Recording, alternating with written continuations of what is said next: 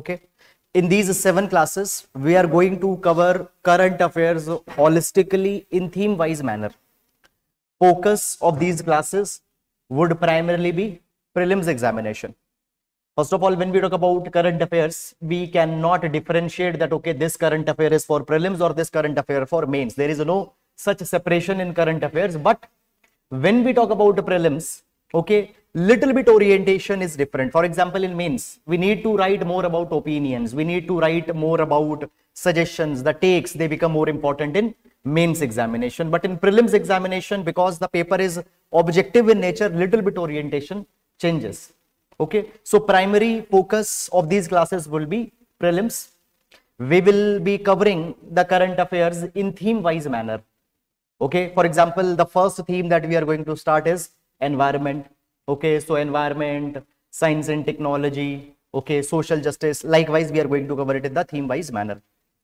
the coverage will be one year plus okay last 12 month to 15 months of current affairs we are going to see here okay first of all upsc has not given any cutoff date that okay till this date current affair you have to read okay and in past in fact this has also happened that they have asked the current affairs which were two years back in the news. But we have to finalize a cutoff date from our side. So we are going to cover last one and a half year approximately current affairs in these classes. Okay. Now, one more thing is there that these classes will be high intensity classes. We don't have time to waste here and we cannot spend time in those things जहां पे हम लोग time save कर सकते हैं.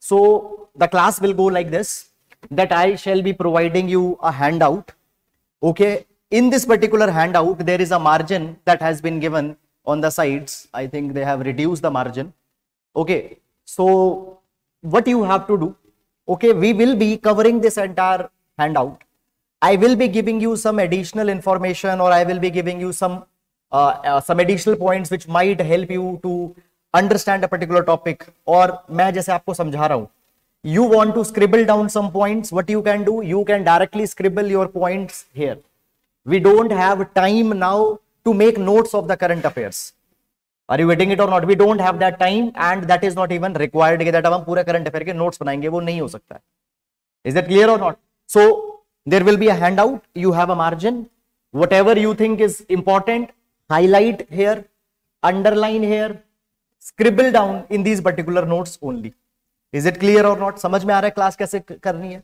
ठीक है अलग से कॉपी बनाने का भी टाइम नहीं है क्योंकि we are running against the time one thing second there let me allay some insecurities और कुछ चीजें होंगी आपके माइंड में for example sir I have covered current affair from this X Y Z source और everybody is following that ABC source do we need to follow that source और not are you getting it or not these things might be there in your mind is this current affair better or that current affair, that source is better?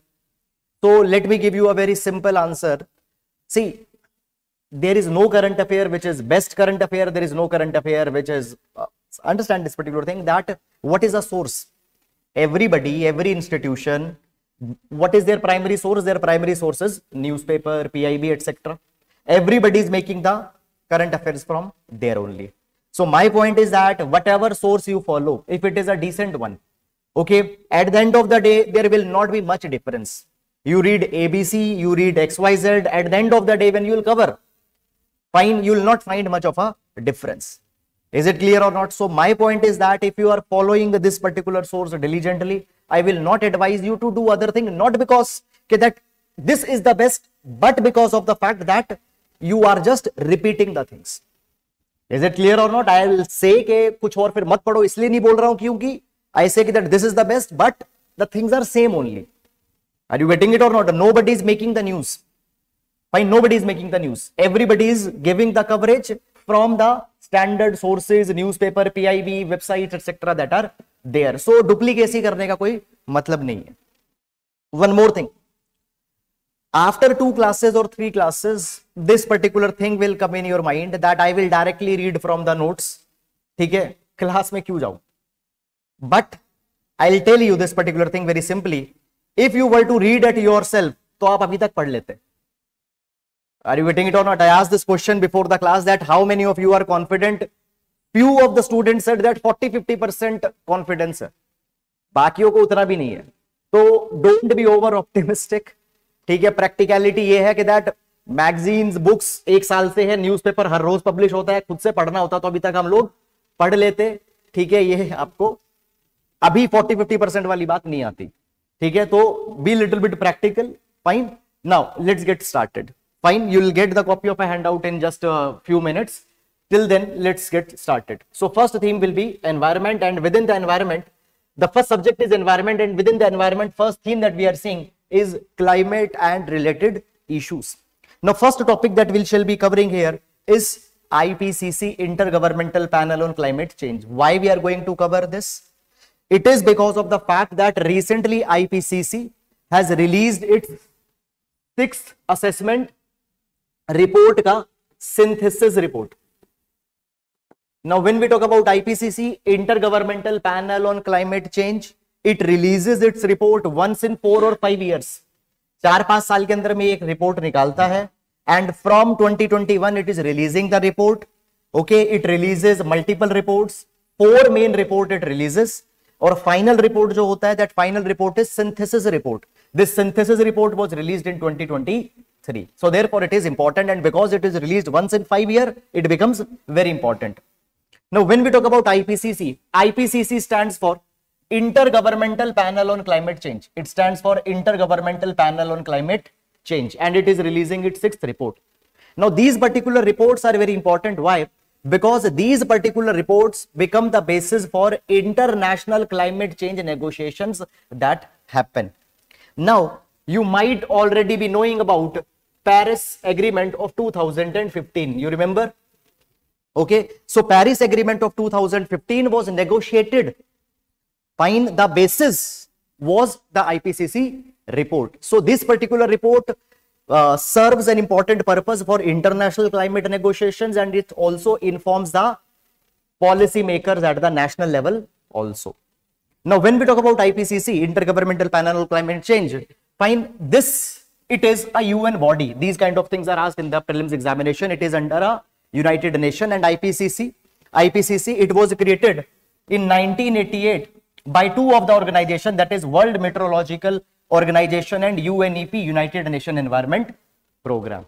Are you getting it or not? So two bodies have created it. Kon kon si? and World Meteorological Organization. Is it clear? One very important thing is that IPCC does not conduct its own research. Is it clear or not? It does not conduct its own research. Basically what happens, the scientific bodies okay, uh, researchers, they send their findings to IPCC. IPCC simply compiles them. So, very important point, it does not conduct its own research. Now, when we talk about IPCC, when we talk about IPCC, so basically, the uh, under the IPCC, what is the structure of IPCC? There is working group 1, working group 2, working group 3. And these three working groups releases its own independent reports. And then all these three reports are compiled and a summary is prepared and that summary is called as the synthesis report which was released recently. So basically working group 1 it looks the physical science basis physical science basis. So climate change is happening carbon emissions are happening. So what is the physical science behind climate change the evidences with respect to physical science behind climate change it is seen it is taken by the working group 1 impact adaptation and vulnerability. So as the climate change is happening, as the temperature is increasing, what will be the impact on Arctic? What will be the impact on uh, Arctic? What will be the impact on the wetlands? What will be the impact on sea level? That will be seen by the working group 2 and working group 3 is with respect to the mitigation of climate change. How climate change can be mitigated, advisories, way forward, suggestions, they are on this particular line a uh, report is prepared. So basically four reports are there which are released under IPCC. One, re one report is on physical science, other report is on impact adaptation mitigation, third report uh, uh, impact adaptation and vulnerability and third report is on mitigation of climate change and the fourth is the synthesis report. All these four reports have been released. Is it clear or not? The highest decision making is IPCC plenary. Highest decision making under IPCC is IPCC plenary. Are you getting it or not? ठीक है now when we talk about when we talk about the sixth ipcc report some of the important findings that have been given by the ipcc report because the statement type of questions could be asked on this particular line so the first important finding with respect to the ipcc is that it has emphasized that climate change is leading to vector borne diseases water borne diseases circulatory respiratory diabetic and infectious diseases now, if a statement comes, then keep it in mind, this is the first time, this is the first time that IPCC report has directly linked the climate change with the circulatory, respiratory and diabetic diseases. Is it clear or not? Okay. Waterborne disease, vector-borne disease such as malaria, dengue, etc. They will increase because of the climate change because of more humidity that will be there. Okay. Then the second is that the most important thing that it has talked about is increasing wet bulb temperature. Increasing wet bulb temperature. Now this in itself becomes an important, this in itself becomes an important topic. ठीक है अभी wait bulb temperature क्या होता है anybody if you can tell what is wet bulb temperature wet bulb temperature an important concept with respect to geography question can be asked and it has talked about the increasing wet bulb temperature. Now, understand this particular thing. Basically,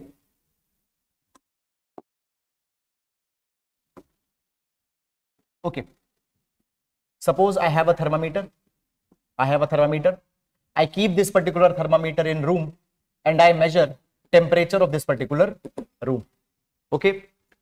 Whatever reading I will get here, that is dry bulb temperature that is dry bulb temperature Okay, I get a reading. Let's say 40 degree Celsius. So means this room's temperature is 40 degree Celsius. This is the dry bulb temperature. then there is a wet bulb temperature then there is wet bulb temperature what is wet bulb temperature what i will do i will wrap a cloth i will wrap a cloth around this particular bulb of this particular thermometer and then i will measure temperature then i will measure temperature. Whatever reading I will get here, that particular reading will be called as the wet bulb temperature. Now a question will come in your mind that why we are measuring this wet bulb temperature. Let's understand and what is the importance of this wet bulb temperature. So we'll understand it in just few minutes. First of all, you tell me one thing that reading that I will get here and reading that I will get here. Will the reading be same or will be different? will the reading be different or same reading will be different higher reading will be here or here where will be the higher reading a पे higher reading होगी b पे reading कम होगी why reading in b will be less yes understand this thing बहुत एक basic concept है समझते हैं see basically what is happening what is happening cloth is wrapped around this particular thermometer. Now what is happening? What is happening? When the cloth is wrapped, water will evaporate. Water will evaporate from this particular cloth. Wet cloth humne यहाँ pe tie kiya hai to kya hoga Water will evaporate. Now as water is evaporating, for evaporation water needs some energy and that energy it will take in the form of heat. It needs some energy and that energy it will take in the form of heat. So actually what is happening, actually what is happening, basically this wet cloth, it is stealing heat from this particular thermometer. It is stealing heat from this particular thermometer. And because it is stealing heat, reading here will be less. Reading, reading here will be less. समझ में आ रहा है इतना या नहीं आ रहा है समझ में आ रहा है नाउ अंडरस्टैंड अभी इसको दिमाग में रखो एक और एनालॉजी लेते हैं then all these particular things will get connected suppose you are you are taking a shower in the washroom आप बाथरूम के अंदर में शार ले रहे हो you might have felt this particular thing that once you have taken the shower you come out you suddenly feel cooling you suddenly feel cold होता या नहीं होता why you are feeling cold when you are out but you are not feeling that cold when you are inside जब आप अंदर थे तब आपको ठंडी नहीं लग रही थी the moment you have come out you are feeling cold why understand this thing what was happening the moment you have come out your body is wet from your body what is happening water is evaporating and as water is evaporating from your body it is taking heat from your body as it is taking heat from your body a cooling sensation is left on your body one thing but when you were in the bathroom tab your body was wet but why you are not feeling cold then it was because understand this thing inside the bathroom also water was trying to evaporate from your body water was trying to evaporate from your body but water was not able to evaporate why because humidity in that bathroom was very much high understand this particular thing that water wants to evaporate water wants to evaporate for evaporation it needs two things number one it needs temperature and number two it needs space where it can evaporate where it can evaporate if humidity is high if humidity is high in the air there is no space to accommodate the water vapor there is no space to accommodate new water vapors are you getting it or not when you came out of the bathroom humidity was less fine the water that was trying to evaporate could evaporate why now are you understanding it or not so understand one very important concept that evaporation will depend on two things Number one, it depends on temperature. Number two, it depends on the humidity. Fine. Now understand this thing. When you have tied this wet cloth, when you have tied this wet cloth, if you keep it in a room, if you keep it in a room where humidity is very much less, more water will evaporate. Yes or no? More water will evaporate. If more water will evaporate, it will steal more heat or less heat. It will steal more heat reading will come down or reading will go up? You tell me. Reading will come down. Are you getting it or not? So now understand this particular thing. Reading at wet bulb temperature, in very simple word, indicates the humidity that is there in the room. Are you getting it or not? If wet bulb temperature is high, if wet bulb temperature is high, it means that water was not able to evaporate. If a wet bulb temperature is low, it means that water was able to evaporate from the cloth that we have tied here. Is it making some sense or not? So, in very simple words, what wet bulb temperature is indicative of? Wet bulb temperature is indicative of relative humidity. Are you getting it or not? Understand this thing. I will keep both the thermometers in the same room. Dry bulb temperature I am getting reading of I am getting the reading of forty degree Celsius okay wet bulb temperature I am getting the reading of twenty degree Celsius second case dry bulb temperature I am getting the reading of forty degree Celsius तो same ही रहेगा ठीक ये forty degree Celsius है लेकिन यहां पे wet bulb temperature let say reading I am getting is thirty five degree Celsius what it means it means Here humidity was more. And because humidity was more, the wet bulb temperature is high. Here humidity is less. Because humidity is less, more water could evaporate from that cloth. And as more water evaporated, it took more heat and the reading came down. Are you getting it or not? Now, this concept is very important to understand why. Now, see this particular thing. There is a concept of heat index.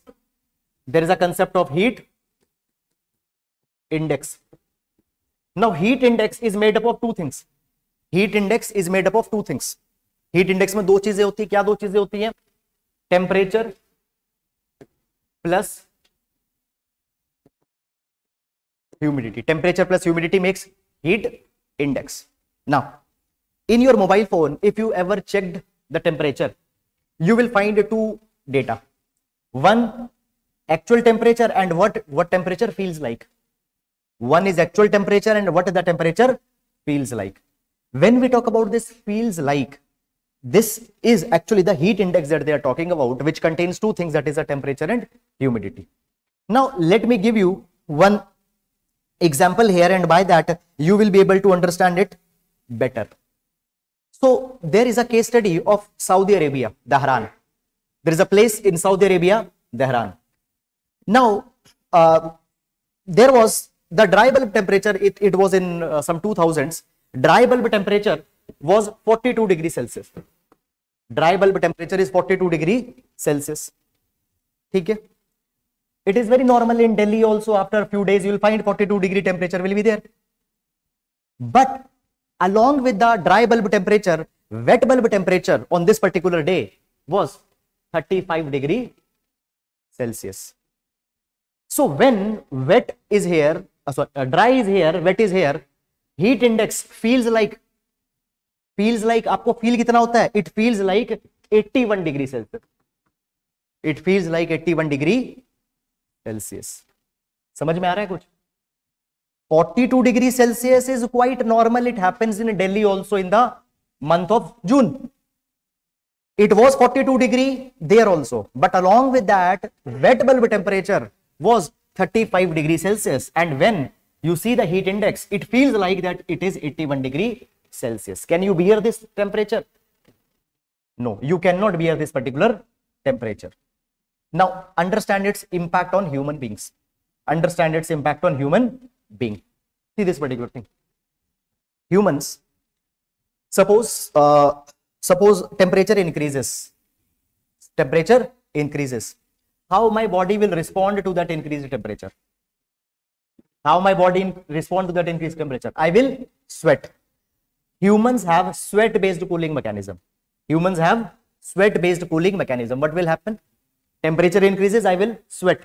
And the sweat, it will evaporate from my body. When it will evaporate from my body, it will give a cooling sensation to my body. My body's core temperature will come down. Are you waiting? This is the way by which the humans they cool their bodies समझ में आ रहा है या नहीं आ रहा but for evaporation of sweat I need that the humidity in the environment should be less are you getting it और not now if wet bulb temperature is increasing it means that humidity is it going up or is it going down batao if wet bulb temperature is increasing humidity is going up are you getting if humidity will go up sweat on our bodies will not evaporate. Now understand this thing, there is a particular range till which humans can bear the heat index. Now understand this thing. That upper range is 35 degree Celsius. If wet bulb temperature, wet bulb temperature goes to 35 degree Celsius, after that humidity will be so much. After that the humidity is so much that human body cannot cool. It cannot function properly. So upper tolerance range of a human body in terms of the wet bulb temperature is 35 degree Celsius. Is it clear or not? Okay. Now according to according to this IPCC report, what they say? It says that wet bulb temperature is increasing, which is used to measure both heat and humidity. And wet bulb temperature, how it is measured, we have seen this particular thing. Now it says that Lucknow and Patna, fine, they are the cities which will see the wet bulb temperature in the range of 35 degree Celsius in the next 10 to 15 years. These are the cities where wet bulb temperature will reach to 35 degree Celsius. Are you getting it or not? ठीक है now only solution when the wet bulb temperature is going up is to use air conditioners is to use air conditioner desert coolers they don't work fans will not work only use ac who can use air conditioners only rich people and using ac will lead to more carbon emission more carbon emission lead to more heat more heat will lead to more humidity wet bulb temperature will go up who is emitting these emissions rich people past also now also but impact सबसे ज्यादा किसके ऊपर में होगा poor people are you getting it और not so wet bulb temperature concept explains multiple things wet bulb temperature is indicative of increased relative humidity it is related to mortalities around the world why because it leads to the high intensity of heat index and high intensity of heat index leads to strokes it leads to uh, heat uh, uh, heat shocks etc are you getting it or not ठीक है so in the past we have seen that the conceptual aspects of the questions from environment and geography has been asked so please keep it in mind if in case a question comes समझ में आ गया या नहीं आ गया Everybody, are we clear or not? Can we move? So, they have talked about the wet bulb temperature. Now, in this particular context, this was also in the newspaper. IMD, Indian Meteorological Department, has come out with the heat hazard score. Heat hazard score. What is this heat hazard score? Heat hazard score is a type of a heat index only. So who has come out with the heat hazard index? IMD. D. What is this heat hazard index? It is uh, it, it, combines the two things that is temperature as well as humidity. Okay. Then further they have talked about now these are points are more important for your mains examination. Please write if a environment related question is there. Sea level could rise to 2 meter to 5 meter by 2150. Second, IPCC for the first time they have said that 1.5 degree Celsius is inevitable now, in Paris, in Paris 2015, the target was taken, Paris 2015 target was taken that we should ensure that global temperature should not go beyond 2 degree Celsius and if possible, then 1.5 degree Celsius. So 1.5 degree Celsius is the ambitious range taken under the Paris Agreement of 2015. And this IPCC report for the first time conclusively they have said. Earlier they have said that it is probable that we might not reach it, but now conclusively they have said that 1.5 degrees Celsius is unavoidable.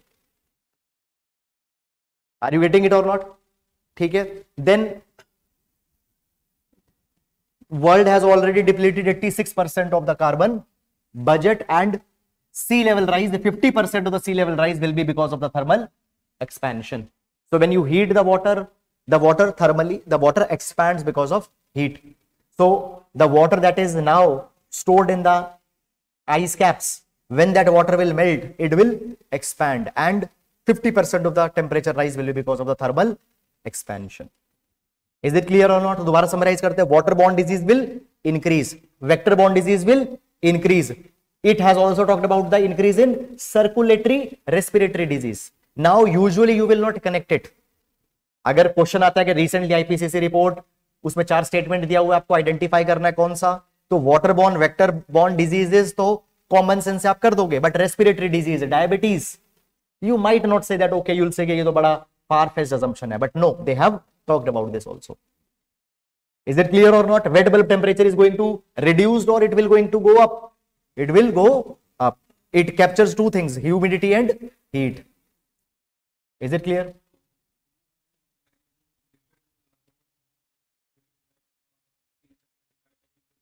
IPCC report की finding है ठीक है fine okay huge impact will be on the Himalayan region because of their fragile nature and the monsoon will decline is it clear और not the next topic UN high sea treaty UN high sea Treaty, UN High C Treaty. Now, okay, uh, I think editing में शायद कुछ issue है this photograph it has come here ये photograph है with respect to the IPCC previous topic that we have seen so it is giving the summary of the previous ipcc reports that were there so i uh, fine theek hai so fifth report i told you became the basis of the paris agreement paris agreement was signed in 2015 fifth report was released in 2014 Okay, now UN High Sea Treaty. UN High Sea Treaty. So basically, it has been signed under the aegis of the UN clause, United Nations Convention on the Law of Seas. Now already you might be knowing this particular thing and not, if not, then let's see this thing. Okay, let's say this is the coast internal waters, internal waters from the coastline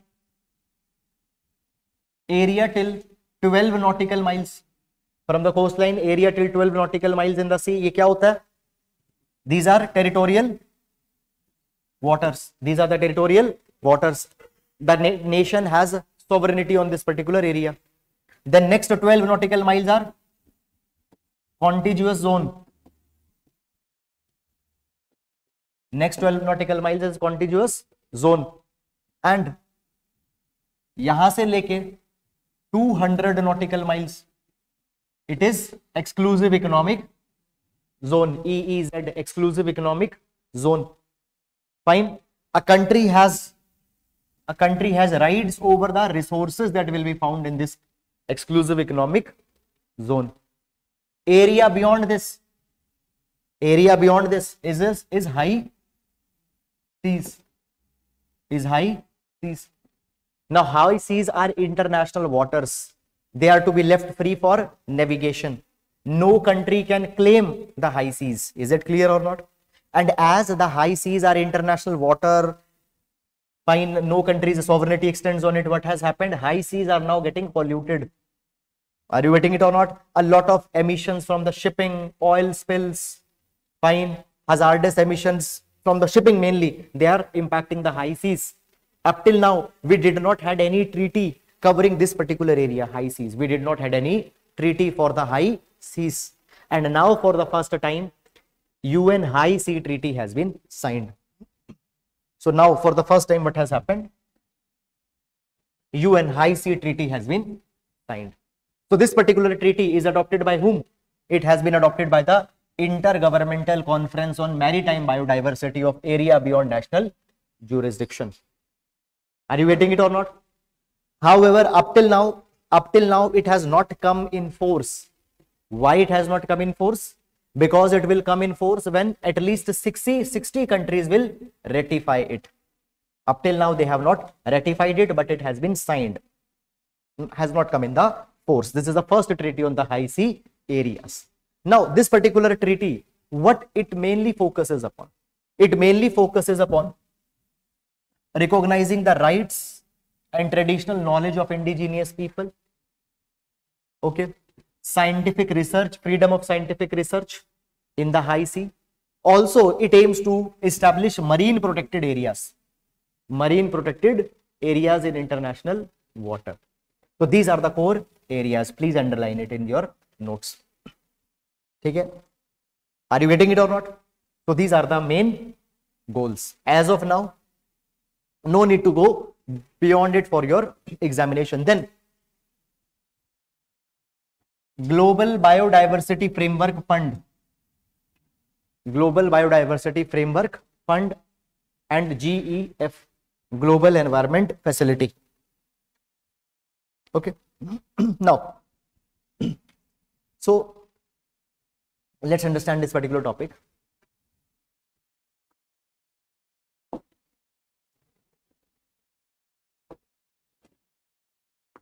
okay see this particular thing 1992 earth summit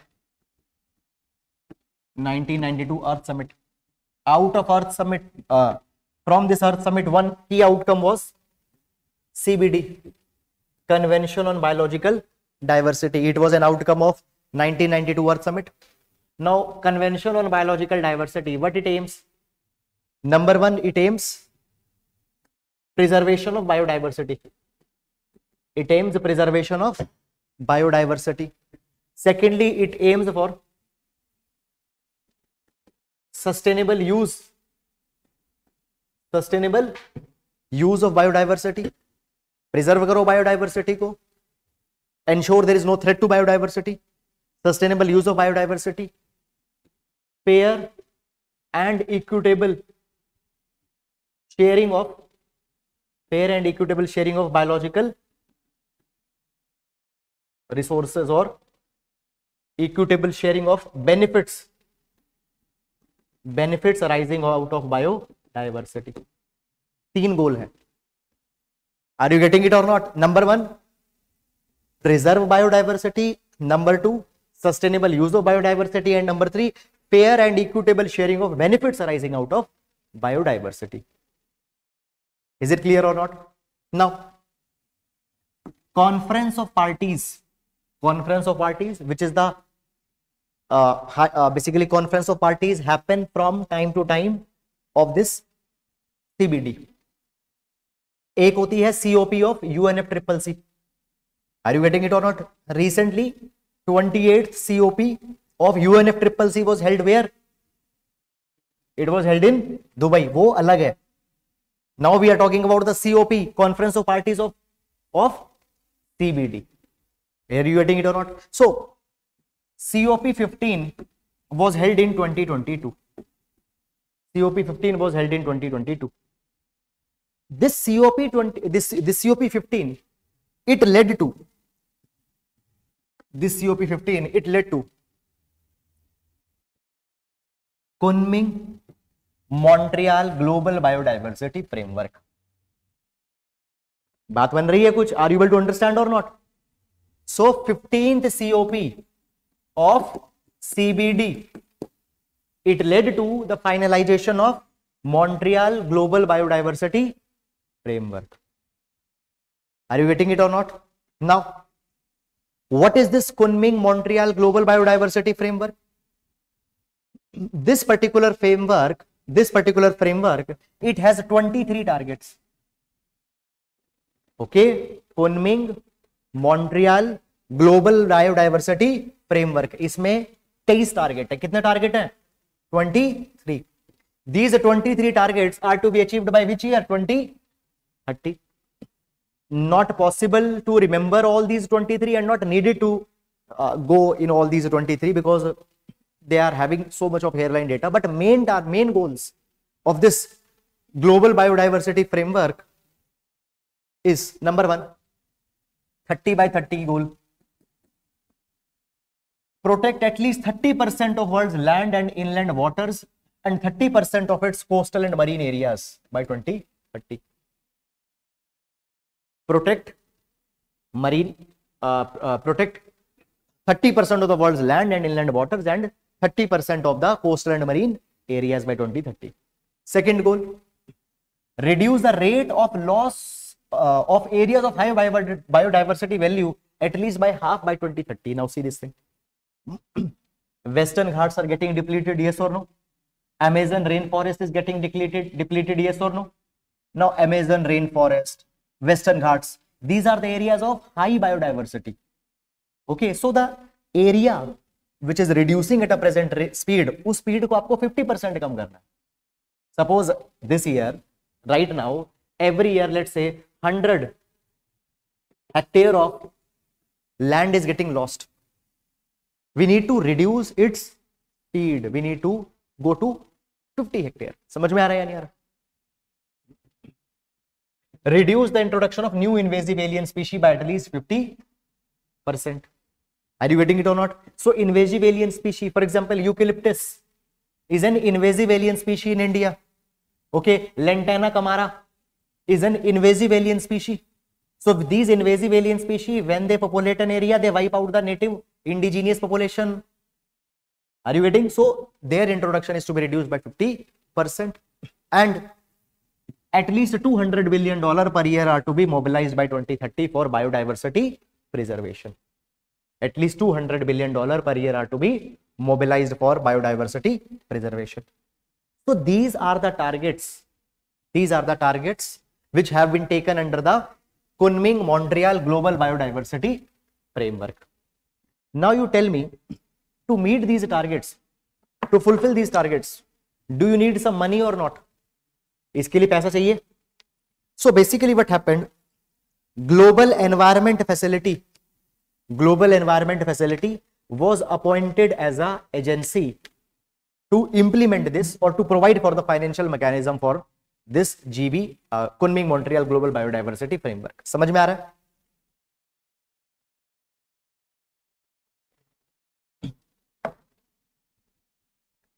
now what is F अब एक नया word आ गया F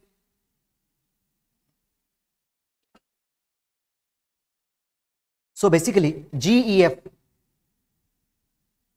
GEF F global environment facility no global environment facility is a is also it also emerge out of nineteen ninety two earth summit it is a financial mechanism it is a multilateral body which provides funding for the projects related to environment, biodiversity, etc. Now, when we talk about global GEF, Global Environment Facility, right now it serves as it provides the finances to CBD, Convention on Biological Diversity, already we are discussing it, or देख United nation framework convention on climate change उसके लिए finance कौन provide करता है global environment facility Stockholm convention on persistent organic pollutants UN convention to combat desertification and Minamata convention on mercury these are the some most important ones okay these are the some most important ones ठीक है Montreal protocol के लिए भी global environ GEF provides a financial mechanism yes समझ में आ रहा है so it serves it provides it provides the finances under these five conventions are you getting it और not now what happened for for finances for the Kunming Montreal Global Biodiversity Framework also who was appointed GEF who was appointed GEF and recently why it was in news 64th GEF council meeting was held Where it was held? It was held in Brazil. And it has approved the establishment of a new fund that is the Global Biodiversity Framework Fund. Global Biodiversity Framework Fund. ध्यान देना है a lot of things are connected here with each other. Are you getting it or not? Confuse नहीं होना कौन कहां पे क्या कर रहा है I will give you a crisp summary सबसे पहले क्या आएगा CBD convention on biological diversity convention on biological diversity की fifteenth COP it's fifteenth COP ठीक है फिफ्टींथ सीओपी के अंदर में क्या निकला Kunming Montreal global biodiversity framework Kunming Montreal global biodiversity framework how many targets were there twenty three some of the targets we have seen for these implementation of these targets you need money they requested whom they requested whom they requested F that you are giving money to so many people हमको भी दे दो and now the G F has approved the separate fund for the implementation of for the implementation of Kunming Montreal framework G F has approved the fund for the Kunming Montreal global biodiversity framework and and this fund will be known as F global biodiversity framework are you getting it or not समझ में आ रहा है clear very good ठीक है one more thing as we are talking about CBD conventional biological diversity just additional piece of information if you want to write you can if you know already no need under CBD there are two supplementary protocol also that are there that is Cartagena protocol and Nagoya protocol okay Cartagena protocol किसकी बात करता है Cartagena protocol talks about biosafety Cartagena protocol talks about bio safety it restricts the introduction of a certain living modified organism it restricts the introduction of certain living modified organism are you getting it or not अब दो चीजें समझो there are two words one is GMO genetically modified organisms and one is L LMO living modified organisms usually you can use them interchangeably okay but Cartagena specifically uses the word living modified organisms understand this thing what is a genetically modified organism genetically modified organism is anyone whose gene structure has been changed. Are you getting it or not? Who has underwent a genetic modification? Today we are coming out with so many of the genetically modified crops. Are you getting it or not?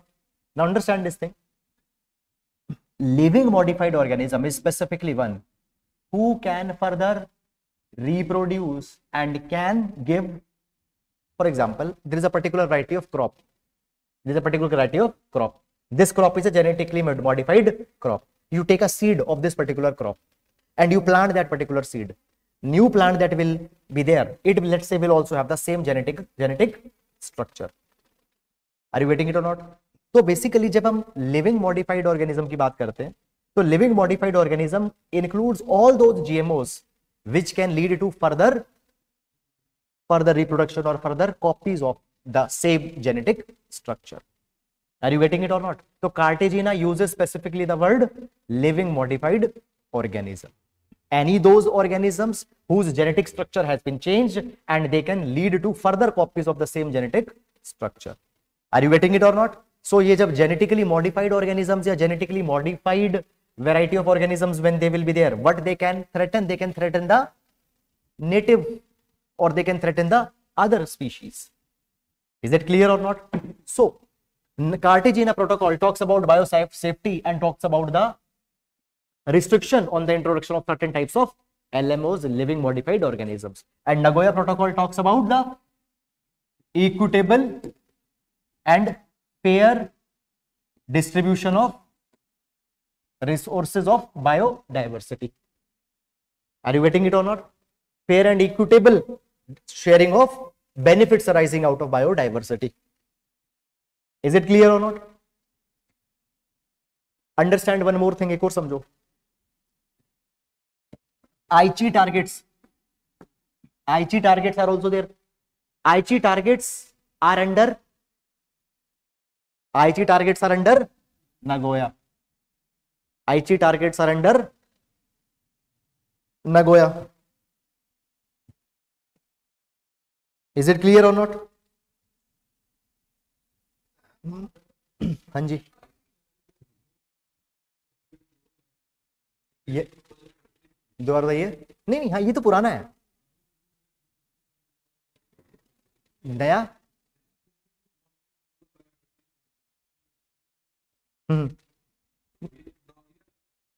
understand this particular thing what I am what I was I am telling that this is a related information that I said कि that related information अगर आता है तो keep it in mind are you getting it on Aichi targets were 20 targets that were be of before this but if a question comes that they are under the purview of what so they are under the purview of CBD are you getting it or not ठीक है they were to be achieve by twenty twenty इनकी जो deadline थी IT targets की वो कब कब तक की थी ट्वेंटी ट्वेंटी ठीक है now that particular timeline has been expired so now what is the latest one latest one is the Kunming Montreal global biodiversity framework this is the latest जो अभी चल रहा है इससे पहले क्या था आईची था आईची किसके अंदर में था किसके अंदर में था सीबीडी में सीबीडी में किसके अंदर था नगोया में था ठीक है तो पता होना चाहिए कहां पे क्या आ रहा है this thing should be clear you should not be confuse that okay वो कहां था वो कहां था आर वी क्लियर और not he can be move ठीक है okay so gef already we have seen it was an outcome of 1992 earth summit ठीक है now okay the gef assembly uh, composed of 185 member countries of participants under the summit and india is also the member next World Environment Day World Environment Day so 2023 World Environment Day completed 50 years ठीक है 1972 Stockholm Stockholm conference happened 1972 you remember stockholm conference which was the first high profile international conference on environment and climate change india also participated in stockholm so to commemorate the stockholm the world environment day started to get celebrated on 1973 को first world environment day हुआ था so world environment day is celebrated to commemorate the stockholm conference that was organized in 1972 are you getting it or not and since then every year world environment day is celebrated on 5th of june this 2023 world environment day completed 50 years now some important aspects with respect to it world environment day it is observed under UNEP, United Nation Environment Program. Now, when we talk about the United Nation Environment Program, it also emerges out of it emerges out of the Stockholm Conference of 1972. Now understand one more thing when we talk about UNEP. UNEP was the first UN body which had its headquarter in the third world country. Its headquarters are in Nairobi. Their headquarters are in Nairobi, Kenya. Are you getting it or not? So underdeveloped countries, okay, third world countries. This was the first body whose headquarters was in third world country that is the Nairobi, Kenya. So UNEP, it celebrates the World Environment Day. Now 50th World Environment Day. It was hosted by Cote Ivory, Cote Ivory, in partnership with the Netherlands. And what was the theme? Theme was beat plastic pollution. Now question comes, a statement might be there, India never hosted World Environment Day. This is wrong. India has already hosted World Environment Day in 2018. So 45 the World Environment Day 2018 was hosted by whom? It was hosted by India. And the theme here, that is the 45th World Environment Day and the theme of the 50th World Environment Day were the same. ठीक है. What was the theme? Beat plastic pollution. 45th also the theme was same. Is it clear or not? Now India, on the occasion of World Environment Day, has come out with some scheme, one scheme which is very important. What it has come out with? MISTI. MISTI. MISTI stands for Mangrove Initiative for Shoreline Habitats and Tangible income. To commemorate the 58th World Environment Day, MISTI scheme was announced. Now, this particular scheme focuses on what? Coral, mangrove, tribal people, plastic. किस पे focus करता है? It focuses on mangrove preservation. Is it clear or not? now, already you might be knowing about the mangroves. Mangroves are a special type of forest or plants which grow in intertidal zones. intertidal zone they thrive in muddy water salty water now when we talk about mangroves misty when we talk about misty misty aims to protect the mangrove cover and its target areas its target areas are sundarban delta hugli estuary hugli estuary and the bay parts of india is it clear when we talk about the sundarbans sundarbans it is World Heritage Site. It is World Heritage Site. And Sundarban, shared by between India and West Bengal, uh, India and Bangladesh. Shared between India and Bangladesh. It is the biggest mangrove cover in the world. Sundarbans, shared by India and Bangladesh, it is the biggest mangrove cover of the world. and is it clear or not now when we talk about when we talk about the uh, mangroves fine understand this thing India में सबसे ज्यादा mangrove cover कहां पे है सबसे ज्यादा mangrove cover कहां है सबसे ज्यादा mangrove cover in India is in West Bengal number one is West Bengal number two is Gujarat and number three is Andaman and Nicobar island is it clear number one और number two ज्यादा important है West Bengal and Gujarat these two states of the highest mangrove cover West Bengal and Gujarat is it clear or not ठीक है viviparity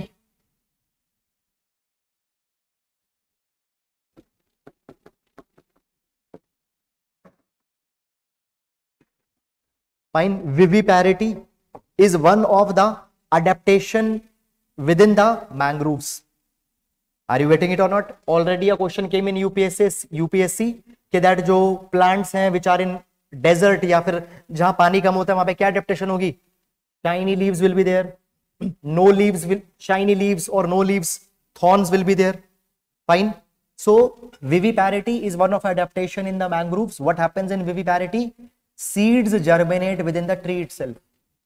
Seeds germinate within the plant itself and after germination the seed will fall. Viviparity is one of the adaptation in mangroves where the seed will germinate within the plant itself and after the germination the seed will fall. Is it clear or not? Fine. One related scheme is there which was uh, announced into the last to last budget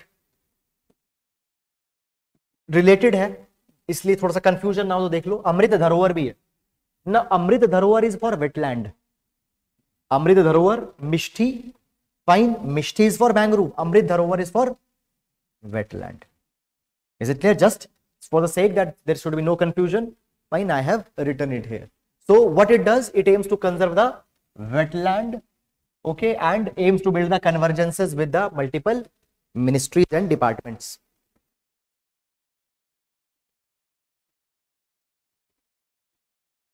are we clear or not ठीक है now okay one more thing when we talk about mangrove okay so this question was ask कि that uh, जो wetland है wetland are facing the biggest crisis because of the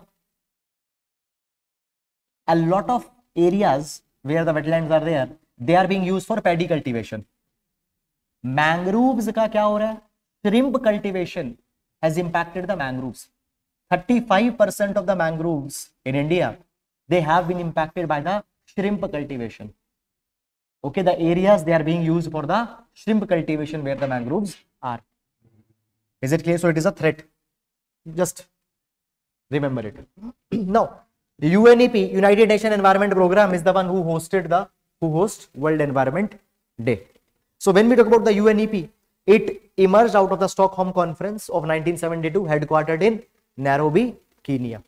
Now these are some of the reports that are released by Stockholm. these are some of the reports that are released by stock uh, sorry unep अंदर में कुछ correction कर लीजिए एक बार okay okay. इसको बस काट लीजिएगा ना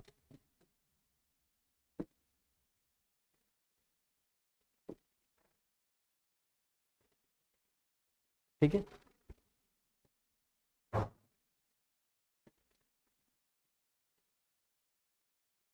okay these report are release by EP okay काट लीजिए सिक्स एट्थ और eleventh six eighth and eleventh okay so these are some of the important reports release by UN EP United Nation Environment Program. Just go through this. Okay, then next, Corsia plan was in news. Corsia plan was in news. Now, what is this Corsia plan?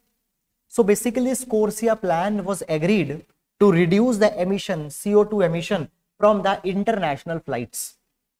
Fine. Now understand this thing, transportation industry is one of a large emitter of carbon. And when we talk about the transportation, aviation and shipping, aviation and shipping are the two major carbon emitters. Is it clear? So for reduction of carbon emission by aviation industry, what has come? Corsia plan has been agreed. Now understand this thing, this Corsia plan, what it aims? It aims to reduce the carbon emission from, from aviation flights and the baseline is 2019 2020 and one important thing it only applies to international flights international flights domestic flights it does not applies international flights which are covered under chicago convention which are covered under chicago convention तो अगर ये question भी आता है कि that Chicago convention recently news relates to what तो it relates to the aviation sector ठीक है तो मल्टीपल तरीके से टॉपिक को समझो is it clear or not moving on next blue ocean event was in news no what is blue ocean event blue ocean event pertains to area where the Arctic ocean will become ice free where Arctic ocean will become Arctic region will become ice free so understand this thing today a lot of areas which are under ice. It is because they are under ice. What? Why? Understand this thing? Because these areas under ice, because of their white color, they have high albedo. Because of that, what happens? They reflect a lot of incoming solar radiation. But if these areas lost their ice, what will happen? They will absorb the incoming solar radiation and the temperature rise will increase. are you getting it or not So what is blue ocean event? Blue ocean event refers to a climate tipping point. This is an example of a climate tipping point. अभी climate tipping point क्या होते हैं Climate tipping point are those events which will have irreversible catastrophic impact on environment and earth. Irreversible catastrophic impact होगा. Some example of blue, uh, sorry, uh, climate tipping points. Arctic sea ice if it melts. If it melts. And multiple reports says that it will melt by 2030. ठीक है. Amazon rainforest. Now, Amazon rainforest, they are called as the lungs of the world. So, if they get lost, it will be a climate tipping point. And any change in Atlantic meridional overturning circulation. Are you getting it or not? So, we see that Atlantic Ocean, warm water moves towards north and cold water comes towards the south. तो Atlantic Ocean में जो circulation है, so Atlantic ocean के जो circulation है major circulation है they are referred to as A M O C any change if that comes in the circulation if those pattern get disturb are you getting it और not then it will be an example of the climate tipping point. So this type of question can be there that they will give a statement and will ask that what of the following इनमें से कौन है example of climate tipping point are you getting it or not so blue ocean event is a climate tipping point ठीक है AMOC is a climate tipping point fine destruction of Amazon rainforest is a climate tipping point is it clear or not समझ में आ गया क्या है blue ocean event pertains to Atlantic और Arctic Arctic और अटलांटिक आर्कटिक ठीक है then next green credit program green credit credit program so recently green credit program was announce by the ministry of environment forest and climate change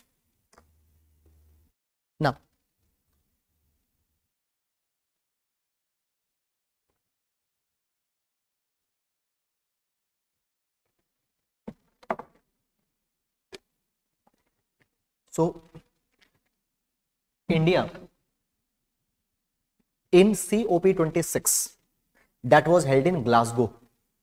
So, in COP26 that was held in Glasgow 2021, India said that we will come out with a life movement. What is this life movement?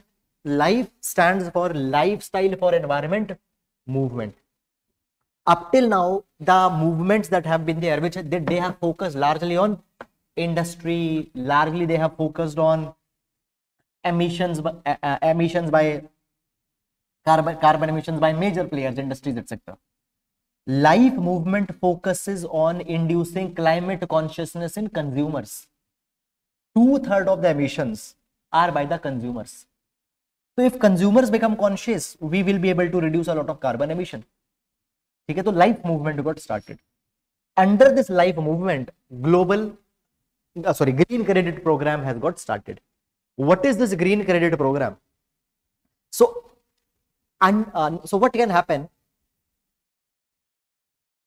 individuals industries if they F P O farmer producer organization urban local bodies gram panchayat private sector what they can do they can undertake activities in eight sectors that are here and if they undertake the activities here they will earn the green credit तो क्या आठ activities हैं eight activities tree plantation water conservation sustainable agriculture waste management air pollution reduction mangrove conservation eco mark sustainable infrastructure Are you getting it or not? They can involve, undertake these eight type of activities and for that they will earn the green credit. For that they can earn the green credit. And this green credit, this green credit will be tradable. This green credit will be tradable. Are you getting it or not? Where it will be tradable, how it will be tradable, that particular thing would be finalized in the times to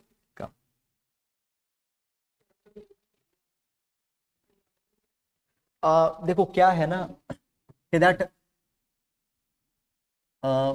locally source material है for example उसके बहुत सारे uses हो सकते हैं are you getting it or not for example आपने locally source for example मिट्टी के बर्तन बना लिए which can replace plastic cutlery are you getting it or not तो working in that particular genre okay promoting such kind of such kind of genre ठीक है understand this thing तो these are the eight activities if you involve in these particular eight activities ठीक है you will earn the green credit and these green credit will be tradable are you getting it or not तो green credit program has been announce now understand this thing on the line of this green credit program this is an additional information if you remember twenty eight COP was held recently कहां पे Dubai in this twenty eight COP India and Dubai they have agreed to start a similar program that is the Global Green Credit Initiative. Global Green Credit Initiative. Now, thoda sa samjho what is happening? What is happening? Countries around the world are they moving towards carbon neutrality? Yes or no? They are moving towards the carbon neutrality. And in order to become the carbon neutral, many countries what they are doing, they are imposing certain obligatory green activities on the industries. If you pollute up to a particular level, you have to undertake some green activity. Are you getting? Suppose an industry is not able to undertake that particular activity. For example, I am a steel industry and I am emitting 100 units of carbon per year. Now to make up for that, I need to let's say plant 100 trees also. But I am not able to do that. What you have planted the 100 trees ठीक है you have planted the hundred trees I will give you money and from you I will buy that particular carbon that green credit are you getting अभी green credit wide है carbon credit से green credit is wider than the carbon credit are you getting it or not carbon credit is given for those activities which are directly leading to the reduction in carbon emission green credit usse wide hai are you getting it or not water conservation aapne kar diya aapko green credit milega समझ में आ रहा है तो scope of green credit is broader than the carbon credit ठीक है so what has happened India and you they have come out with global global green card credit initiative which will connect the communities at global level communities self help groups companies etcetera fine and they can participate in this particular program through one market place through one market place suppose a European country sorry, European company had an obligation to plant 100 trees. They were not able to do that. People, let's say they are also don't have time to do that. What they can do? आपने सौ पेड़ लगा रखे हैं ठीक है आपको पैसे देके आपसे क्रेडिट ले लिया तो क्या है at the end of the day is win win for all समझ में आ रहा है या नहीं आ रहा है okay so This Global Green Credit Initiative, it is an international counterpart. It is an international counterpart of the Green Credit Program of India. Green Credit Program started under which program? Life. Started under which program? Life. And on international front, it is started by which two countries? India and Dubai. Are you getting it or not? Green credit will encompass only those activities which will offset carbon. Yes or no? yes or no anji yes or no no not only carbon emissions it will cater to the wider area is it clear or not fine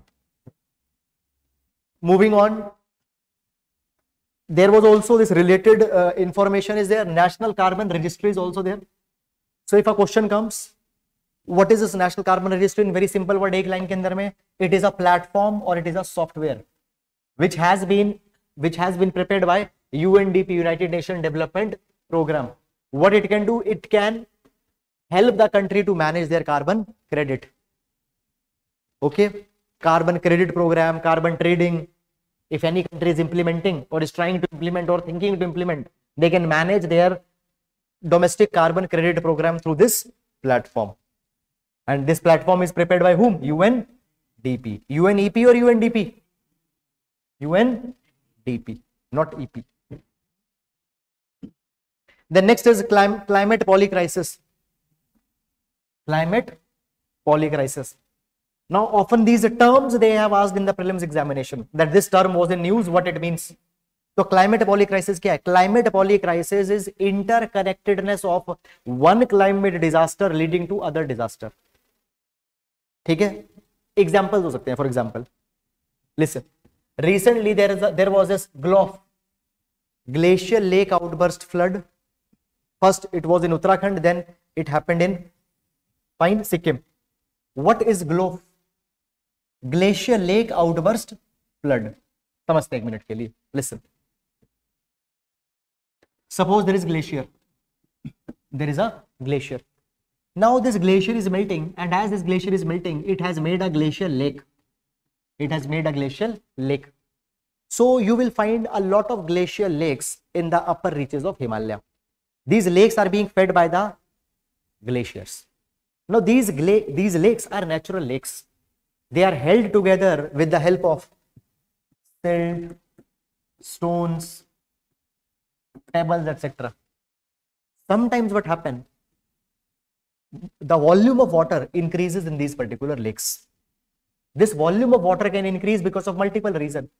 One reason is that there is a cloud burst that happened and suddenly a lot of water came in this particular lake. Now what happens? These lakes fail. These lakes fail. Natural embankments that have contained these lakes, those natural embankments will fail. And what it will lead to? It will lead to gushing water in the valley areas or on the slopes and this flood will lead to disasters ठीक है now these glacial lake outburst flood events glof events they have increased particularly because of the climate change what is happening because of the climate change temperature is going up as temperature is going up the speed at which the glaciers are melting that speed is increasing and as glaciers are melting fast more events of glof are happening Now, glacial lake outburst flood, it is one crisis. Because of this flood, what will happen? There might be a landslide that will happen. Are you getting it or not? So, one climate event, flood, led to other disaster that is landslide. Are you getting it or not?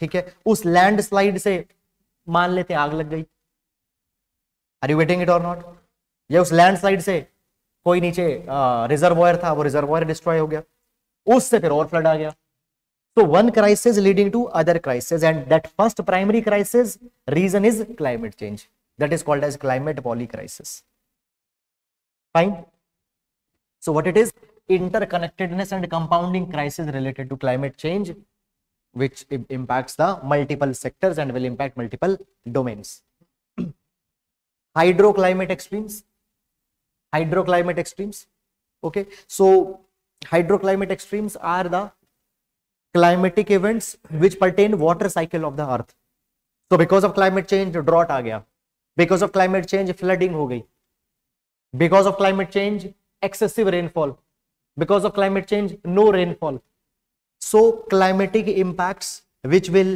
have an impact on earth's water cycle they are called as hydroclimate extremes hydroclimate extremes Fine.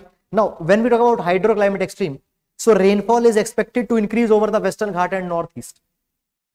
Fine. Heavy, uh, uh, high rainfall in Western Ghat and Northeast, heavy rainfall intensity in the upper Ganga and Indus basin and drought in the lower Ganga basin. So, jahan pe high rainfall, it will lead to flood. Low rainfall lead to drought, famine and other such related events. Next, attach. Attach. So recently attach has been notified. What attach is, attach stands for Alliance for Transformative Action on Climate and Health. Now what is attach? Attach is a platform under WHO, World Health Organization.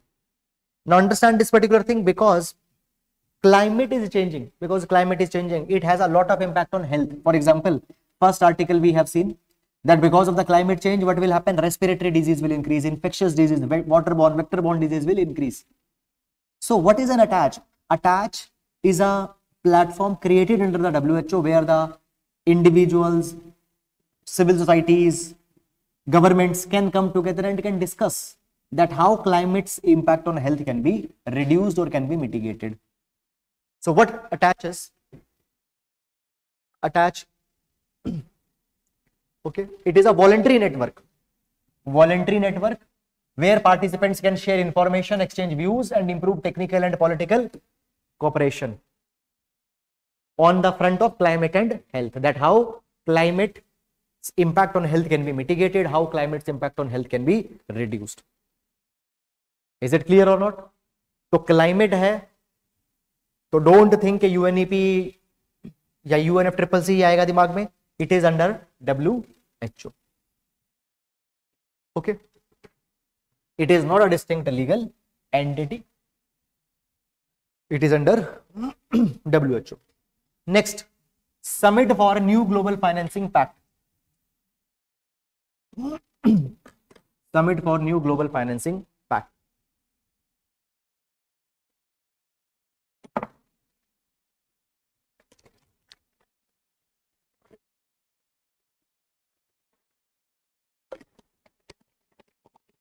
Okay. Summit for New Global Financing Pact. now, this particular summit was recently organized in Paris.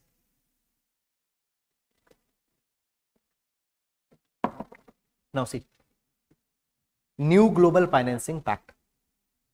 So, basically, developing countries has a contention that developed countries which were expected to provide finance to developing countries for energy transition for meeting with the climate change that money has not come and to raise forward this particular demand again so by 2020 by 2020 developed countries were expected to provide 100 billion dollar per year to developing country to meet with the climate change but that money has not come now this demand it is raised on multiple platforms this demand is raised under UN, uh, uh, UNC, uh, UNFCCC's COP.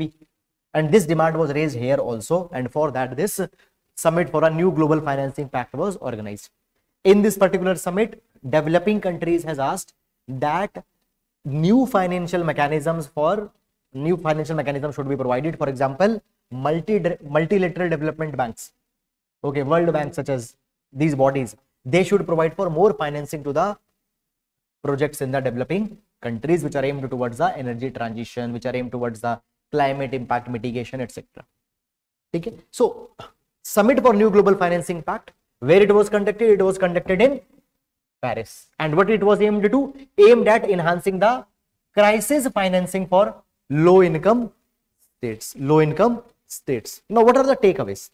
Number one, multi development banks they will provide at least 200 billion dollar of they will provide at least 200 billion dollars 200 billion dollar of lending to the emerging economies so that they can invest in energy transition so that they can invest in building up the structures to fight the climate change second financial support through sdrs so poor country they will receive 100 billion dollar worth of special drawing rights Okay, so when we talk about SDR, what SDR is? SDR is a reserve asset under IMF. It is a form of a currency, not technically a currency. It is not a currency. It is a type of a currency. It is a reserve asset. SDR is made up of how many currencies? कौन कौन सी currencies SDR के अंदर में लिख लीजिए US dollar euro yuan yen, US dollar, euro, yuan, yen and pound. USD, euro, yuan, yen and pound. Is it clear or not? So 100 billion dollar worth of SDR will be provided. Then next, just energy transition partnership was signed. Just Energy Transition Partnership was signed. So what is this Just Energy Transition Partnership here? A dedicated assistance will be provided to Senegal. Senegal is a country in Africa. So Senegal will be provided a credit assistance of 2.5 billion euro so that they can move towards renewable energy. Okay. The next 100 billion dollar which is overdue which was expected to reach by 2020, it has not come up till now. So this 100 billion dollar will be provided soon. All these were the major takeaways of the summit for global financing. And is it clear or not? Next, short-lived halogens. Short-lived halogens. So recently, this uh, was in multiple newspapers. What are the short-lived halogens? Understand this thing. Short-lived halogens, these are the gases which contain halogens such as chlorine, bromine, iodine. Now, these halogens, okay, containing these particular elements of chlorine, bromine, iodine, okay, their role in climate change is debatable. There are certain studies which says that these short-lived halogens, they negatively impact the climate. For example, they are responsible for increasing the temperature. Some studies says that they give a cooling effect to global climate. This is debatable. Why it is debatable? Namaste. Number one, it is found that these short-lived halogens, what they do? They deplete the tropospheric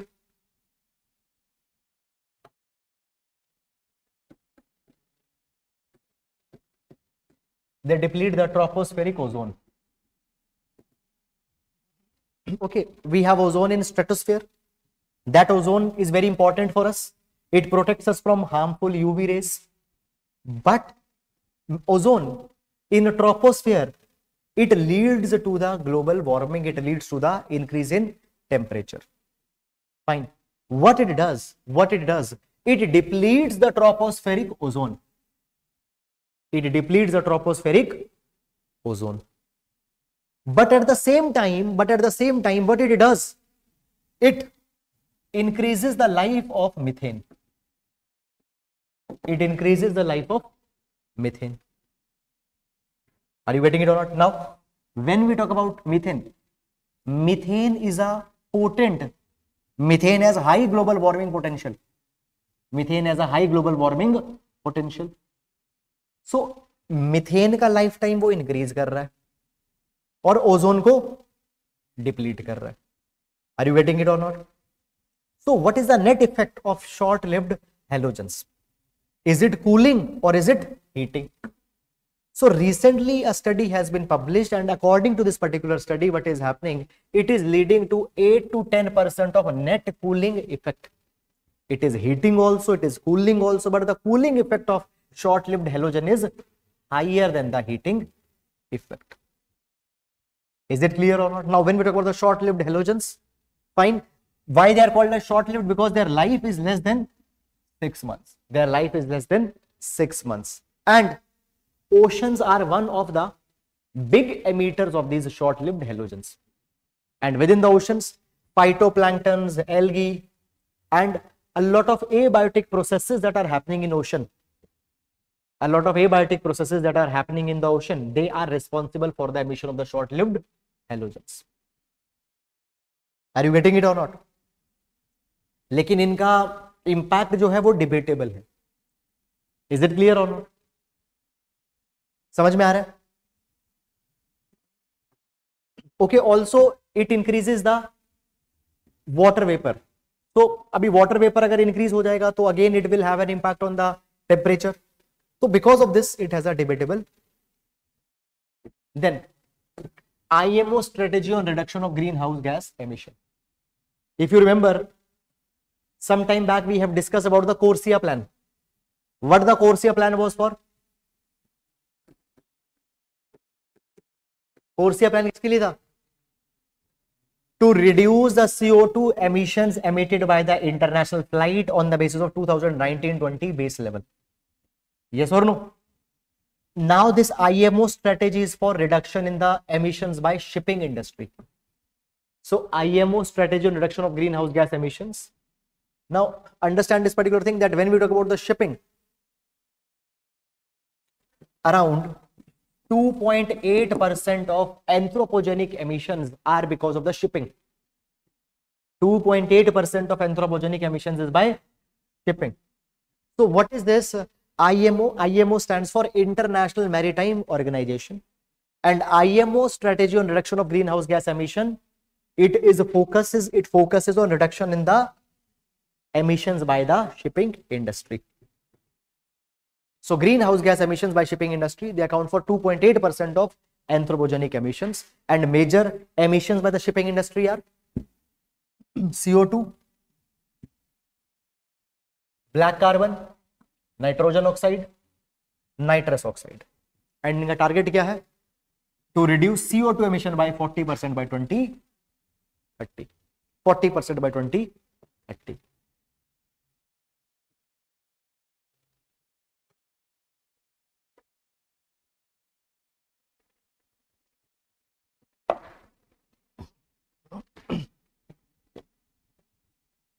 Are we clear or not? The next India Climate Energy Dashboard. India Climate Energy Dashboard, ICD 3.0. Now, this is a dashboard which has been released by Niti Aayog. Okay, who has released it? It has been released by Niti Aayog. Now, what it is? Okay, basically, it gives the real time information with respect to energy sector, climate change, and related economic data sets. Find, for example, energy sector. How much carbon emission it is leading to. What is the share of renewable energies in the total pool of energies? What are the other initiatives of government to reduce the carbon emission and what it is impact? So all the data with respect to climate, energy, etc. can be availed from the ICED 3.0 dashboard. And who is who has released this dashboard? Niti Ayog. Okay. the next is ecocide. Ecocide. Ecocide is any crime against environment or any crime against ecology. Okay. So for example, for example, there is an event of usage of uh, agent orange okay agent orange so you might be knowing about the us vietnam war that was going on now in the us vietnam war what usa did usa used the agent orange which is dioxin this was a herbicide usa aimed to usa aimed to use this herbicide so that the agricultural production in vietnam vanishes Now the war will be over after one year or two year. But this chemical that you have used, it might lead to repressed agricultural production में भी for thirty forty fifty years या कहीं पे अब agricultural crops ही नहीं होंगे सौ साल के लिए वॉर तो दो साल में खत्म हो गया so such crimes which are against environment such crimes which are against ecology they are refer to as ecocides so it was in news what it refers to unlawful acts committed with knowledge that there is a substantial likelihood of widespread of long-term damage to environment. Okay, so it was linked to the usage of Agent Orange by US and now it is used for any such kind of crime. Then Atlantification. Atlantification.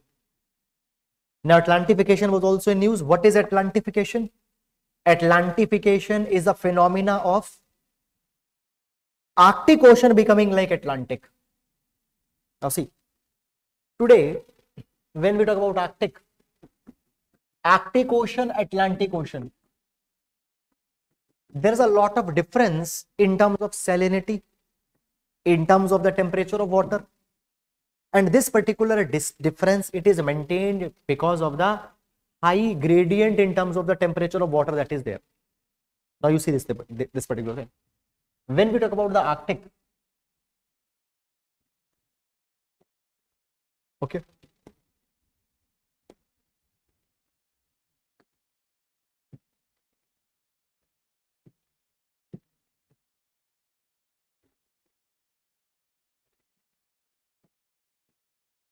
you see that okay, keyboard nahi hai yahan pe kahan pe hai okay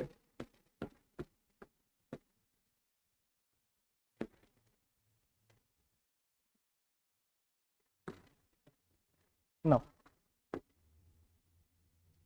so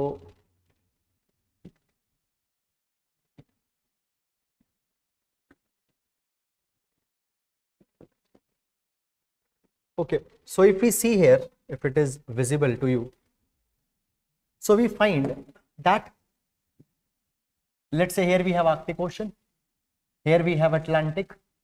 Now, if we find the top layer of Arctic, it is frozen by ice. Okay. Under this top layer of ice, there is cold water that is there. Okay. But when we talk about the water in Atlantic Ocean, it is relatively warm. It is relatively warm. Now, understand this thing, this warm water of Atlantic, it does not mixes freely with Arctic Ocean because of this temperature difference that is there. Now what is happening, what is happening, we find this particular thing that as ice is melting in Arctic, as ice is melting in Arctic, it will lead to more absorption of heat. And the temperature difference that is there in terms of Atlantic Ocean and Arctic, that temperature difference will go down.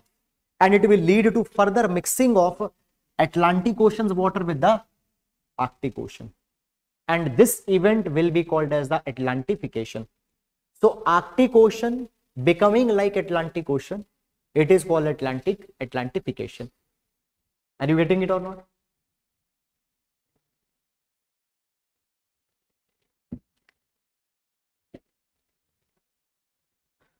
So what is Atlantification? Atlantification, it is a process in which warm water from Atlantic is being advected into Arctic Ocean okay, making some parts of Barents Sea more closely res resemble to Atlantic.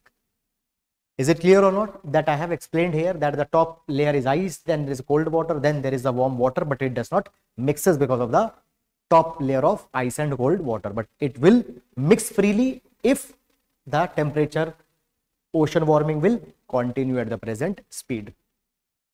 Are we clear or not? And then we have COP28 key takeaways. COP28 key takeaways. Any doubt if you have till this point, you can ask. Yes.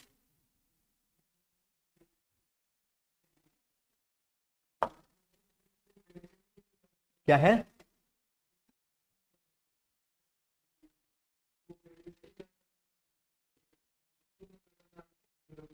नहीं नहीं नहीं आप ही समझो ये तो basically जब हम एएमओसी की बात करते हैं वो तो है ही कि that it will bring the heat it will bring cold और वार्म मिट but the point is that amount of water that is mixing are you getting it or not ठीक है थोड़ा बहुत तो जरूरी है because it is the part of the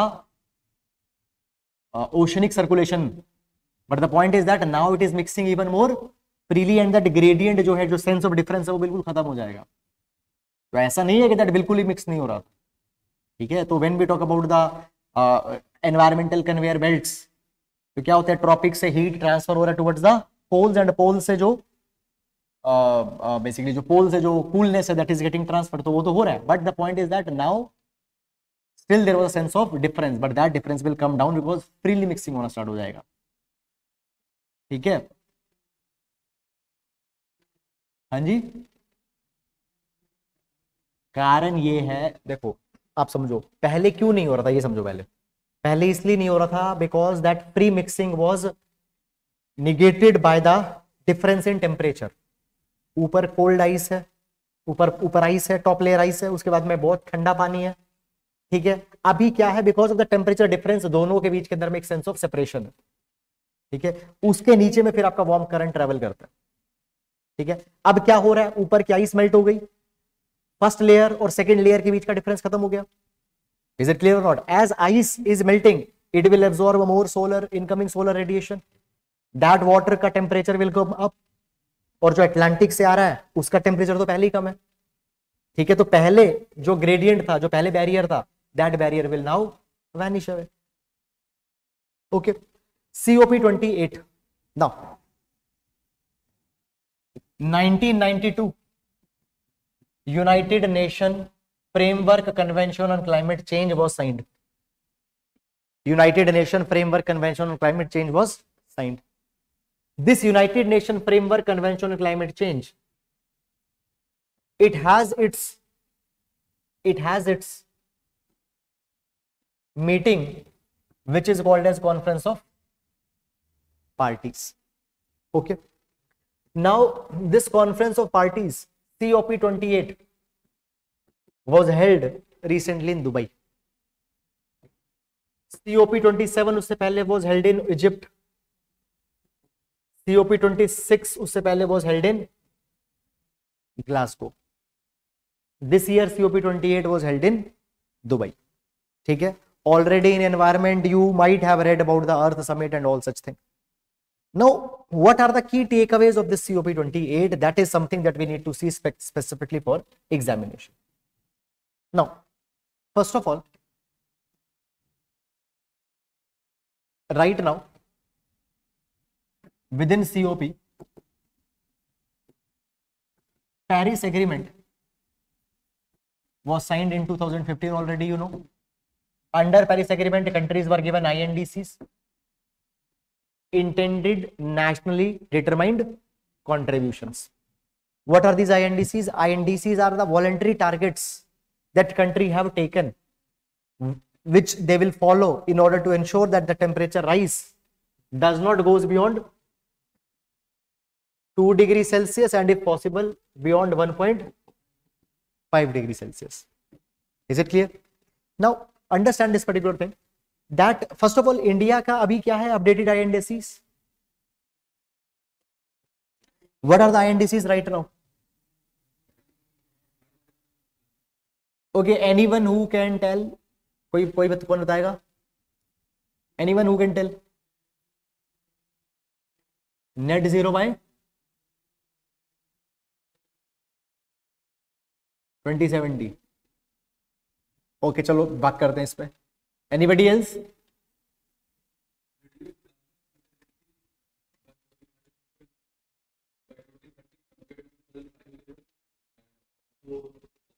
Thank you. 1 2030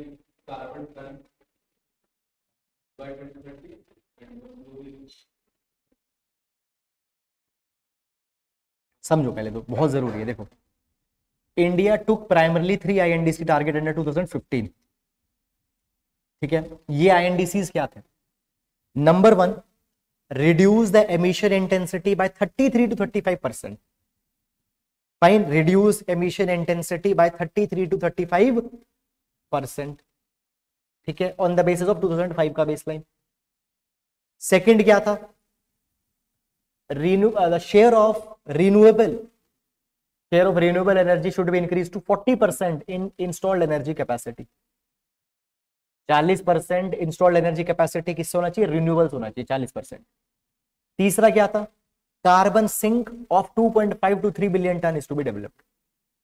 These targets were to be achieved by 2030 by the way. दोबारा वो देखते हैं number one reduce emission intensity by 33 to 35 percent second second non fossil fuel का share कितना होना चाहिए 40 percent and तीसरा क्या है carbon sink of 2.5 to 3 billion ton step one step two Panchamrit goal were announced by India in COP twenty six twenty twenty one Glasgow why am talking about Panchamrit in Panchamrit India talked about the carbon neutrality in Panchamrit India talked about carbon neutrality that we will become carbon neutral by twenty seventy Are you getting it or not? But also it was said, it was said that 1 billion ton of additional carbon storage will be focused by India. Additional 1, tar, 1 million ton of carbon will be absorbed by India by 2030. Har saal ka nahi, total 1 billion ton. But these were not formally the upgradation to our already going on INDC. ठीक है तो carbon neutrality या net zero emission by 2070 is not India's INDC panchamrit goals that india issued we said that we'll try to do it but it is not our indc indcs were revise later on अभी के latest updated INDC क्या है fine now एक तो अब ये वाली बात समझो ऑलरेडी जब हम लोग बात करते हैं रिन्यूएबल एनर्जी की 41 of 41 percent of installed energy capacity by renewables India achieved already in 2021. ठीक है तो अभी अपडेटेड किया number one you remember first we set that 33 to 35 percent reduction in emission intensity 33 to 35 percent था पहले इस 33 to 35 percent it has been increase to 45 percent it has been increase to 45 percent earlier 40% of installed energy capacity was to be from renewables this 40% has been changed to 50% theek hai carbon sink of 2.5 to 3 billion ton was agreed earlier it is same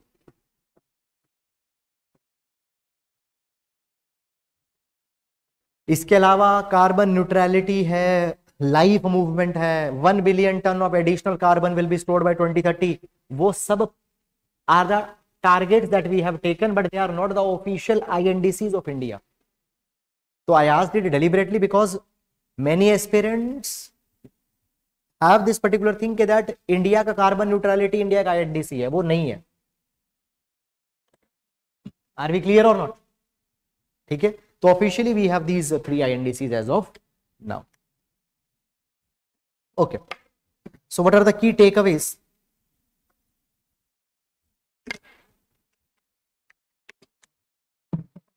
What are the key takeaways?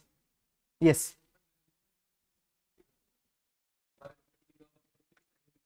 ha wo usi ke 50 percent of installed energy capacity is from renewables उसी में है 500 gigawatt ठीक है 500 gigawatt of electricity five hundred gigawatt of electricity at least और fifty percent of India का energy capacity from be from renewable ठीक है carbon neutrality twenty seventy तक नहीं है इसका part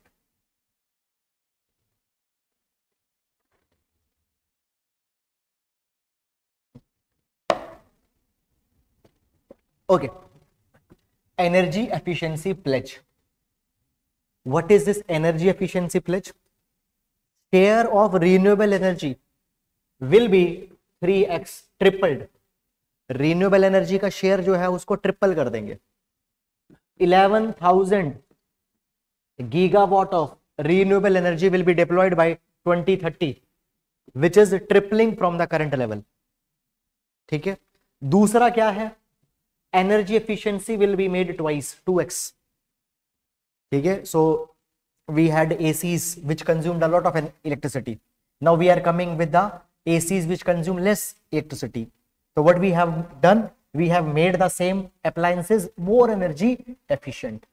So in the terms of appliances, energy efficiency is to be doubled and renewable energy capacity is to be tripled, fine, tripled by the 2030 energy efficiency pledge. 118 countries have signed it. India has not signed it. India has not signed it.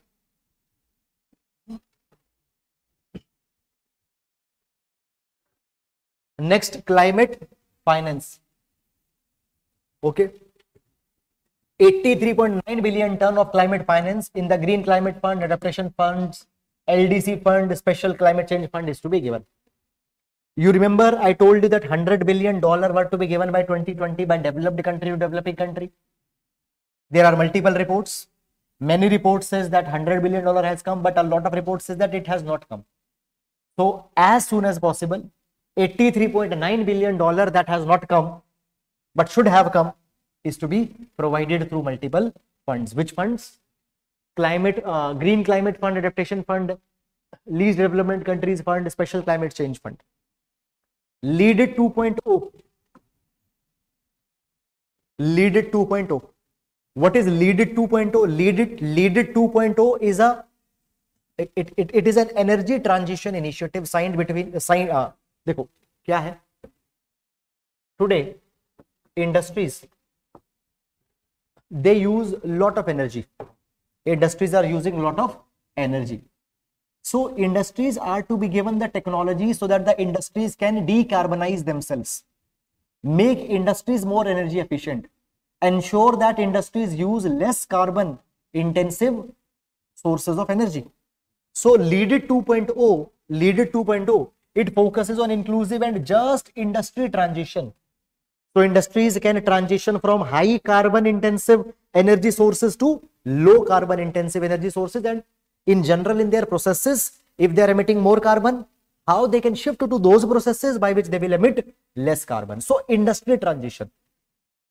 Are you getting it or not? Industry transition on two front. Number one, how industries can decarbonize themselves in terms of energy that they are using. Second, how they can decarbonize themselves in, in, in the sense of processes that they are using.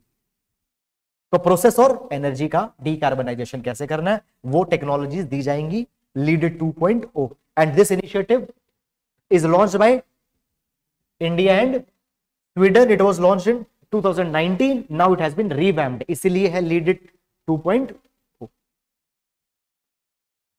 then global river city alliance Global River City Alliance. So what is Global River City Alliance? It is an alliance of the cities which are which are uh, based on a river bank.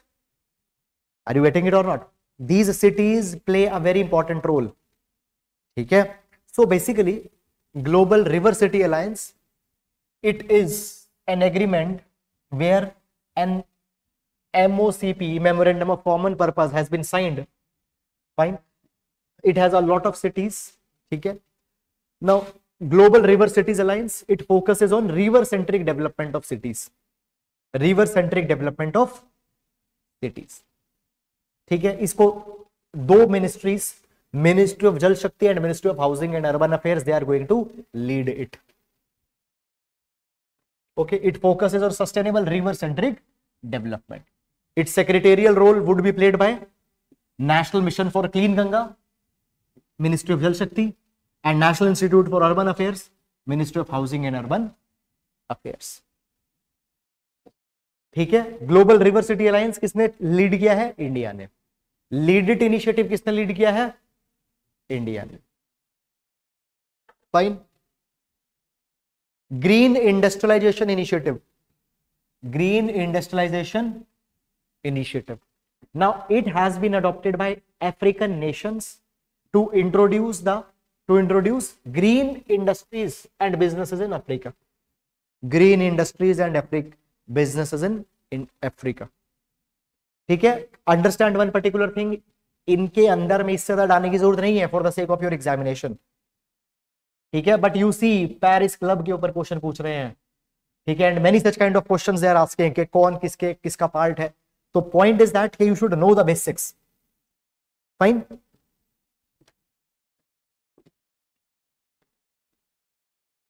Okay, climate club. Now what is climate club? So climate club, again, this initiative aims to provide the technologies for decarbonization to developing countries.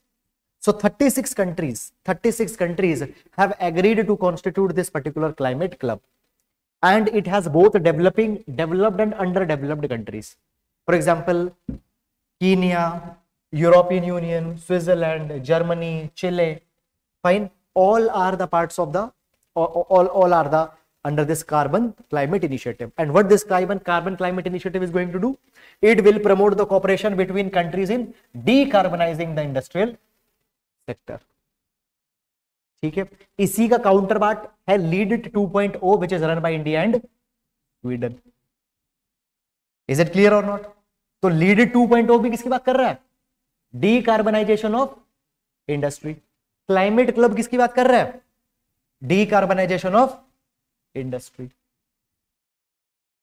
okay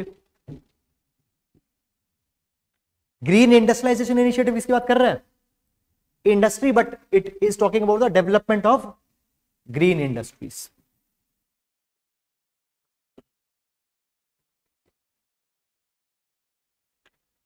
Then phase down of coal, phase down of coal. Okay. ab ye debate jo hai this debate is going on since largely cop 26 six अभी दो term आते हैं एक होता है phase down एक है phase out तो basically phase out means that coal is to be completely eliminated. Phase out is coal to be completely eliminated. Phase down means that the coal को eliminate करना भी possible नहीं है. Coal's consumption will be reduced. Now, in the official text of COP 26, countries insisted that we should go for phase out of coal. India opposed. In COP 26, मैं 2021 की बात कर रहा हूँ. COP26, India said that phase out of coal is not possible because a lot of developing countries depend on coal. So phase down was adopted. Now COP28, again developed countries started talking about the phase down of coal, uh, sorry, phase out of coal. India resisted phase out and finally phase down of coal was agreed in the official document of COP28. So phase down of coal, fine means that rigorously coal fired power plants are to be reduced, coal energy is to be reduced. First time this became a contention in 2021. Methane emission cuts. Now, Abhi, when we talk about methane, guys understand this particular thing that India has not been very much favorable of taking any binding agreement with respect to the methane methane reduction. Why? Because जब हम India की बात करते हैं तो understand this particular thing that India happens to be one of our largest emitter of methane because of the dominance of agriculture sector cattle industry are you getting it और not and right now India can not take methane cuts what happened in twenty twenty one global methane pledge was signed in twenty twenty one global methane pledge was signed This global methane pledge, it was uh, it, uh, it came out of COP26. This global methane pledge made countries to take a binding agreement to reduce the methane emission 30% below 2020 level by 2030. 2020 level में जितना भी methane emission था उसके comparison में 30 percent कम करना by which year 2030 this global methane pledge was signed in 2021 India did not agreed to it global methane pledge if a question comes india has not agreed to this global methane pledge now again methane emission cuts are being imposed now when we talk about methane it has been said that it is अभी ये vary करता है report to report some report से it is 60 time more potent than CO2. Some says it is 80 times more potent to more potent than CO2 in terms of the carbon uh, global warming. But India has decided not to take any mandatory methane emission cuts. What has happened? 100 countries have made a voluntary commitment in 2021 to reduce their methane emission by 30% by 2030. Which level? 2020 level. Is it clear? But India has not taken any target to reduce the methane. Okay. Tell me one thing. Is India the part of uh, energy efficiency pledge? Is India part of energy efficiency pledge? No. Is India the part of global methane pledge? No. Is India part of LEED 2.0?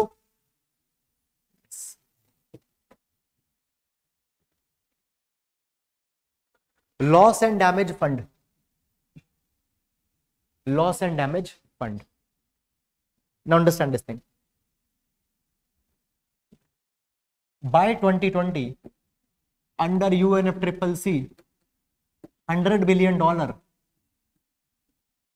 100 billion dollar were to be provided to developing countries 100 billion dollar were to be provided to developing countries this was adaptation and mitigation fund are you getting it or not?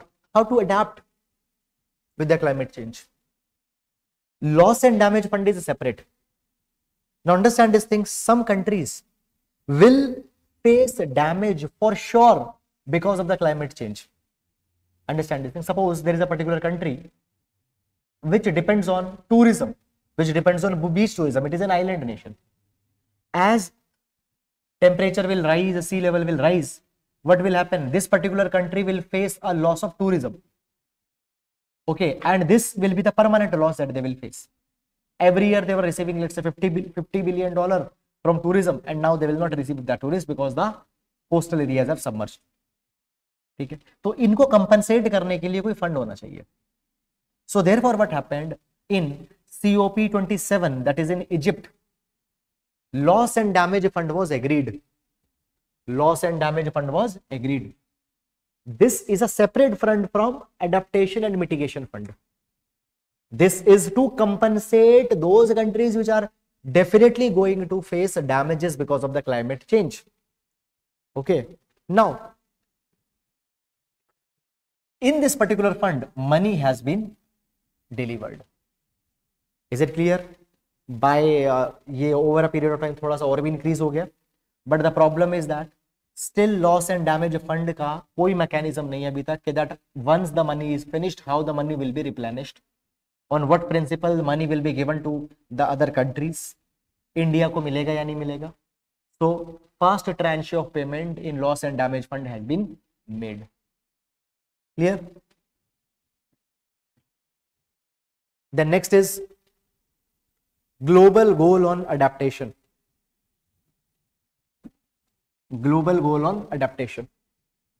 Now see, under, to, uh, under Paris Agreement, adaptation plan was to be prepared by every country, every city, every state. But up till now, adaptation plan has not been prepared, has not been given much focus.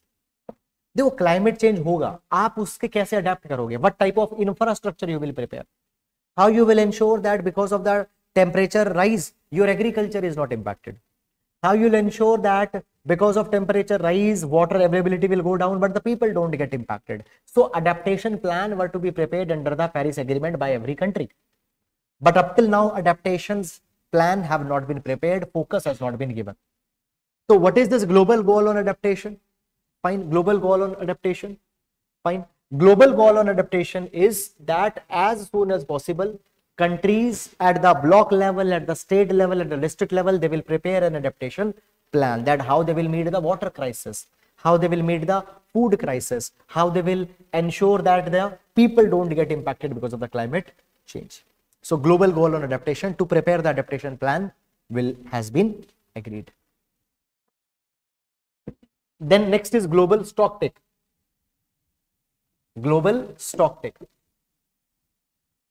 Now, what is global stock take global stock take is a type of an assessment that we have done for the first time now you understand this thing you are preparing for your prelims examination you are reading every day you are doing certain rituals every day but after few days you need to assess yourself that whether the steps that you are taking today are aligning with your goal of clearing prelims or not ठीक है आप पढ़ाई तो कर रहे हो लेकिन आपको असेस करना चाहिए हर दस दिन के बाद पंद्रह दिन के बाद में कि that are you moving in the right direction और not according to you you might be doing the hard work but your hard work is it equivalent to the hard work that is actually required by the UPSC और not you should assess in the same way Paris agreement we signed in to and under Paris agreement we two का target that will try to ensure that temperature rise should not go beyond two degree Celsius and if possible should not go beyond one point five degree Celsius ये goal हमने लिया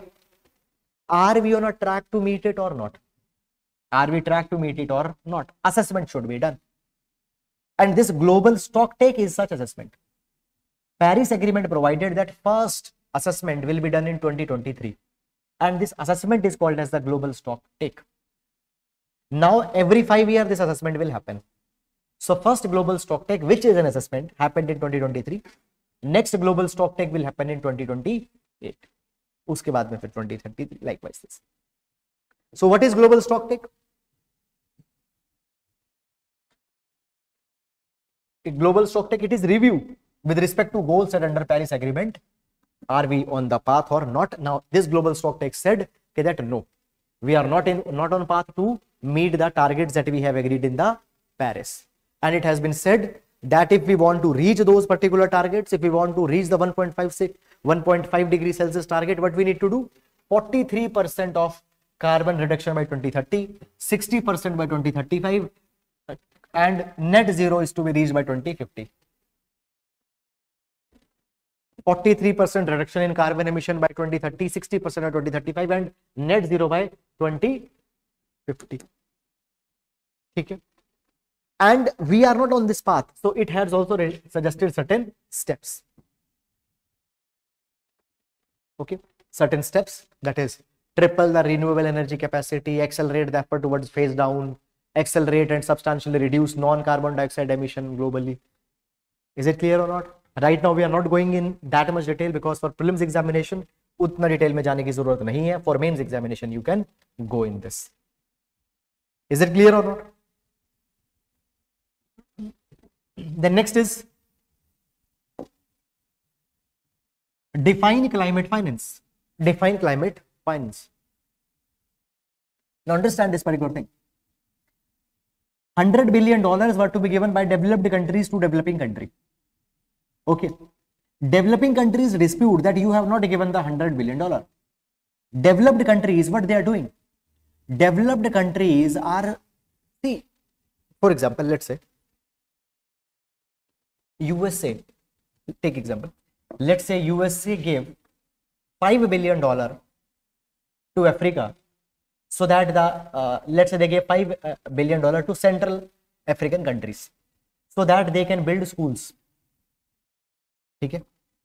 USA will say that this $5 billion is the part of our climate finance.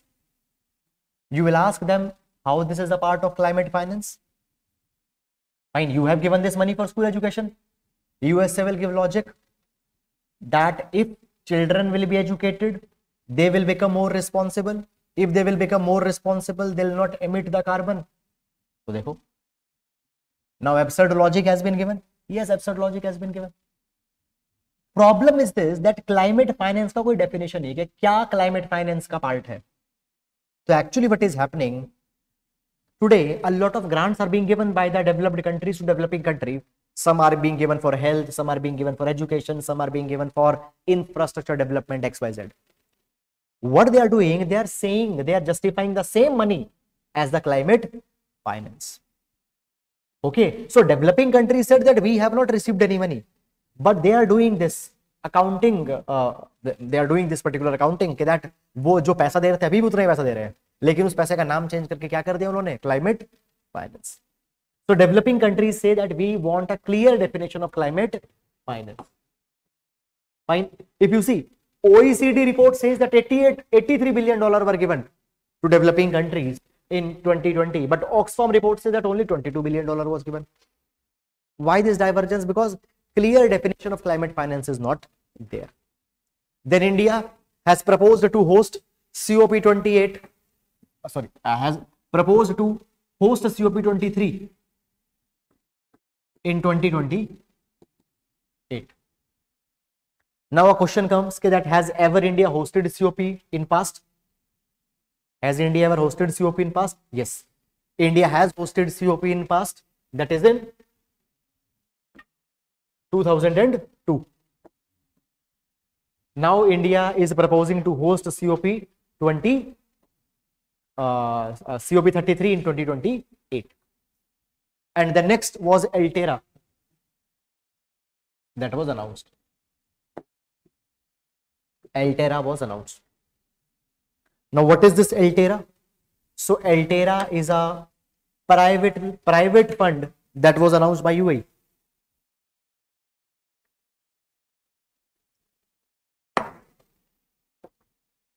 Now, Altera, this is a private fund that will try to mobilize that will try to mobilize 250 billion dollar globally by 2030 and this money will be invested in uh, this money will be raised as a climate investment climate infrastructure climate projects this money will be invested so 30 billion dollar fund right now this 30 billion dollar fund will be increased to 250 billion dollar by 2030 and the money will be invested in the in the climate projects green infrastructure projects this is a not a government fund, not a sovereign fund. It is a private fund.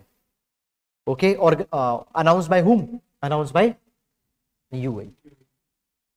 Okay, and under this particular fund, under this particular fund, a unspecified amount will be earmarked for the development of clean energy capacity in India also. 6 big gigawatt of clean energy capacity in India will be developed and the money will be diverted from this Altera fund. So it will focus on energy transition, how you can move from coal energy, how you can move from carbon intensive energy to renewables, industrial decarbonization, how steel industry can be decarbonized, how other industries can be decarbonized, sustainable living and climate technologies. So these verticals are there, sustainable living and climate technology.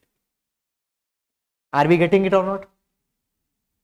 ठीक है now briefly tell me MISHTI scheme was for wetland true और false true और false false किसके लिए था mangrove Amrit Dharohar scheme was for mangrove true और false false किसके लिए था वेटलैंड के लिए था ठीक है हाँ जी जरूरी नहीं है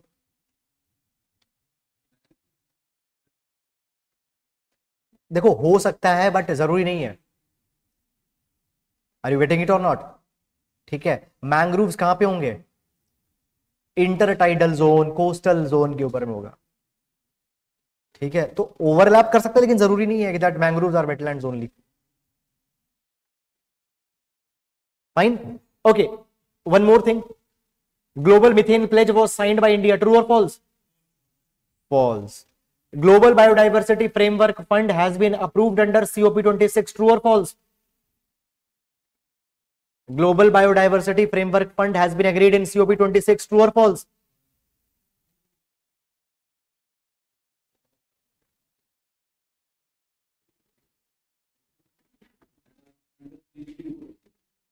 हाँ जी ट्रू और फॉल्स अभी पढ़ा अभी दिमाग से बाहर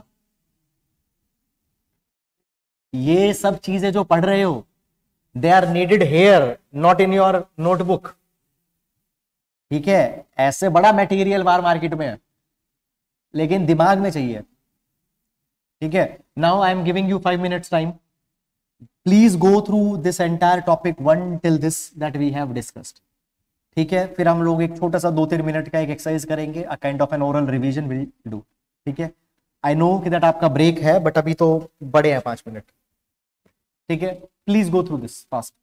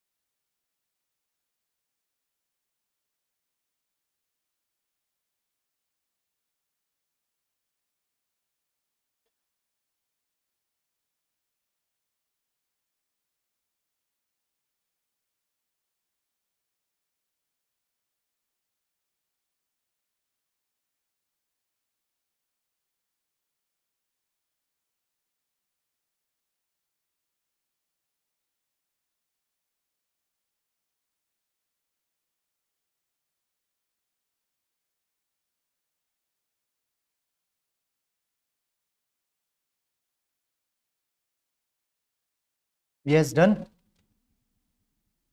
okay fine you can have break now after break we'll be revising it for 5 minutes and we'll ensure that everything that we have done is retained in your mind and then we'll be moving with the next theme ठीक है next theme will be of reports ठीक है उसके बाद में फिर species and all that will be moving on yes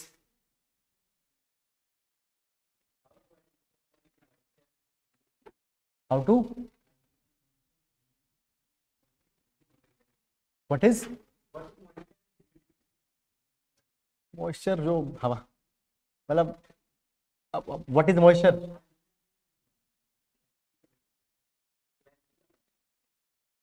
मेरे को क्वेश्चन समझ नहीं आ रहा क्या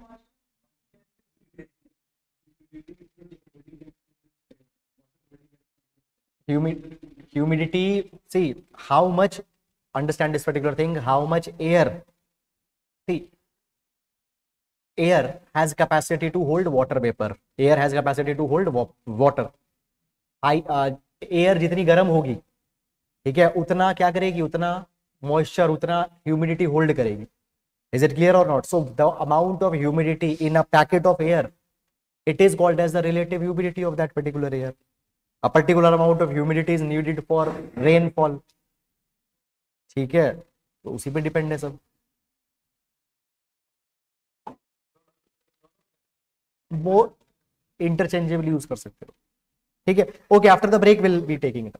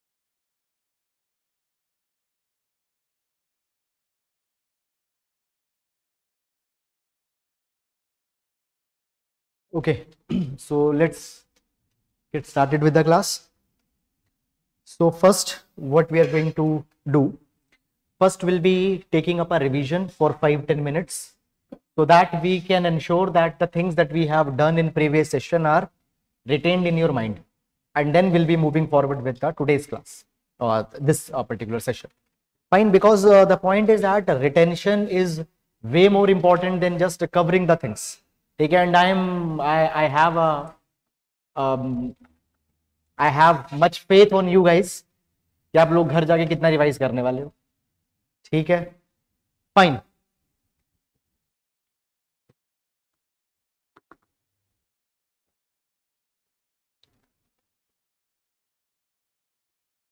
okay now it will be a it will be a rapid revision it will be a rapid revision round ठीक है तो जल्दी जल्दी आप लोगों को आंसर करना है and ensure that everybody is do answering is participating in this ठीक है ऐसा नहीं है दैट कि मतलब do do participate in it why because if you repeat it ना it will reinforce the particular concept okay चलो जल्दी से स्टार्ट करते हैं तो IPCC release it six assessment report it is a body under U NDP and U P true और false जल्दी जल्दी ट्रू और फॉल्स फॉल्स कौन कौन सी टू बॉडीज ने बनाया W MO and UNEP W MO and UNEP it conduct its own research true और false false it does not conduct its own research fine it releases the synthesis report which was release and the fifth synthesis report was release recently true और false true और false false six assessment report was release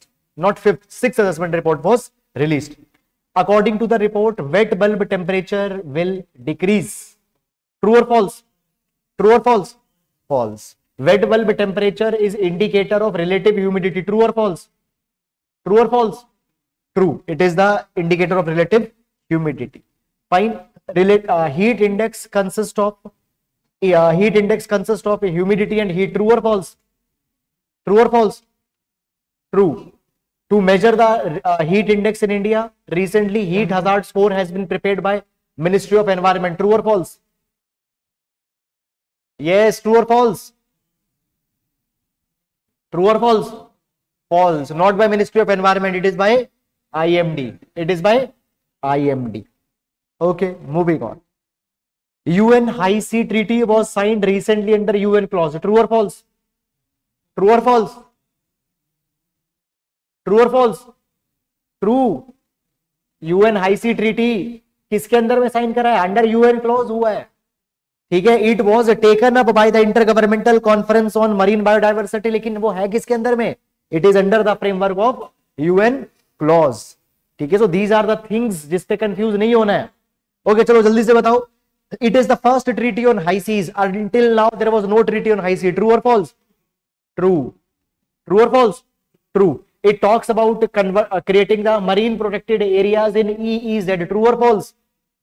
True or false? False. Marine protected area in high sea, not EEZ. Okay. Now, moving on. Uh, Global Biodiversity Framework Fund has been established under the aegis of GEF. True or false? True or false? True or false? True. ठीक है GEF ही e e तो global biodiversity framework fund को देखेगा is it clear और not fine global recently Kunming Montreal protocol was in news it was assigned under UNF triple C true और false true और false false it was sign under CBD it was sign under CBD Cartagena protocol talks about equal and fair distribution of biodiversities resources true or false false false false ठीक है it talked about the biosafety it talked about biosafety Aichi targets got expired recently they were targets that were signed under Cartagena. True or false? False. They were signed under Nagoya. They were uh, they were signed under Nagoya. Recently, 30 by 30 was in news, which was signed under Kunming Montreal Protocol. True or false? True or false? True. Very good. Okay GEF it serve as financial mechanism for Stockholm convention on POP true और false true और false Minamata convention Minamata convention true UNF triple C true और false true okay recently world environment day was celebrated however India never hosted world environment day true और false true और false false India has hosted. Okay, on um, in commemoration of World Environment Day, MISTI scheme was launched, which aims to preserve the which aims to preserve the mangroves. Very good. Fine. India has uh, uh, Sundarban Delta happens to be one of the largest mangroves. True or false? True. Okay. It is also World Heritage Site. True or false? True. Okay. Moving on. Corsia plan was recently news which has been signed to reduce the carbon emission from shipping. True or false? True or false? False. It will cover domestic flights. True or false? False. It covers the flights covered under New York Convention. True or false? False. Okay. Blue Ocean event refers to the event when the Atlantic will turn ice free. True or false? True or false? False. Atlantic or Arctic? Arctic. Atlantification is an event when the Atlantic will become like Arctic. True or false? False. Opposite ho jayega. Are you getting it or not? Blue ocean event is an example of climate tipping point. True or false? True or false? True. Okay. Green credit program was recently started by the Ministry of Environment under Life Movement. True or false? True or false? True. green credit programs horizon is wider than the credit program true or false true or false true green credit program can be undertaken only by the private uh, individuals true or false false it can be taken by individuals it can be taken by uh, uh, gram panchayats it can be taken by ulvs okay it talks about okay but ये वाली activity बताना covered है या नहीं है mangrove conservation covered or not covered covered okay sustainable infrastructure covered or not covered Sus, uh, tree plantation covered or not covered covered okay on the lines of green credit program india and dubai has started altera true or false true or false altera is a separate thing it is a private fund launched at cop 28 वो अलग है India and Dubai they started क्या start किया उन्होंने global green credit initiative what they started global green credit initiative lead 2.0 point O is also initiative between India and Dubai true और false true और false false it is between India and Sweden it aims for decarbonisation of transportation sector true और false false good Okay, National Carbon Registry is prepared by UNEP, which aims to track the carbon credits. True or false? Anji, this side you are not responding, guys. Anji, this side. UNDP or EP? UNDP. ठीक है good okay attach was recently inaugurated under unep true or false true or false false. Attach was under WHO and it aims to mitigate the health risks because of climate. True or false? True or false? True. Fine. It is a separate legal entity. True or false? False. Okay. Summit for New Global Financing Pact was recently agreed, which aims to provide the financing from developing country to developed country.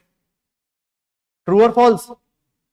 false developed to developing are you getting it or not under this fund multilateral banks will lend money to developing countries true or false true or false true short lived halogens was recently news they have life of less than one week true or false true or false false they they reduce the life of methane in the environment true or false true or false false. They increase the life of methane.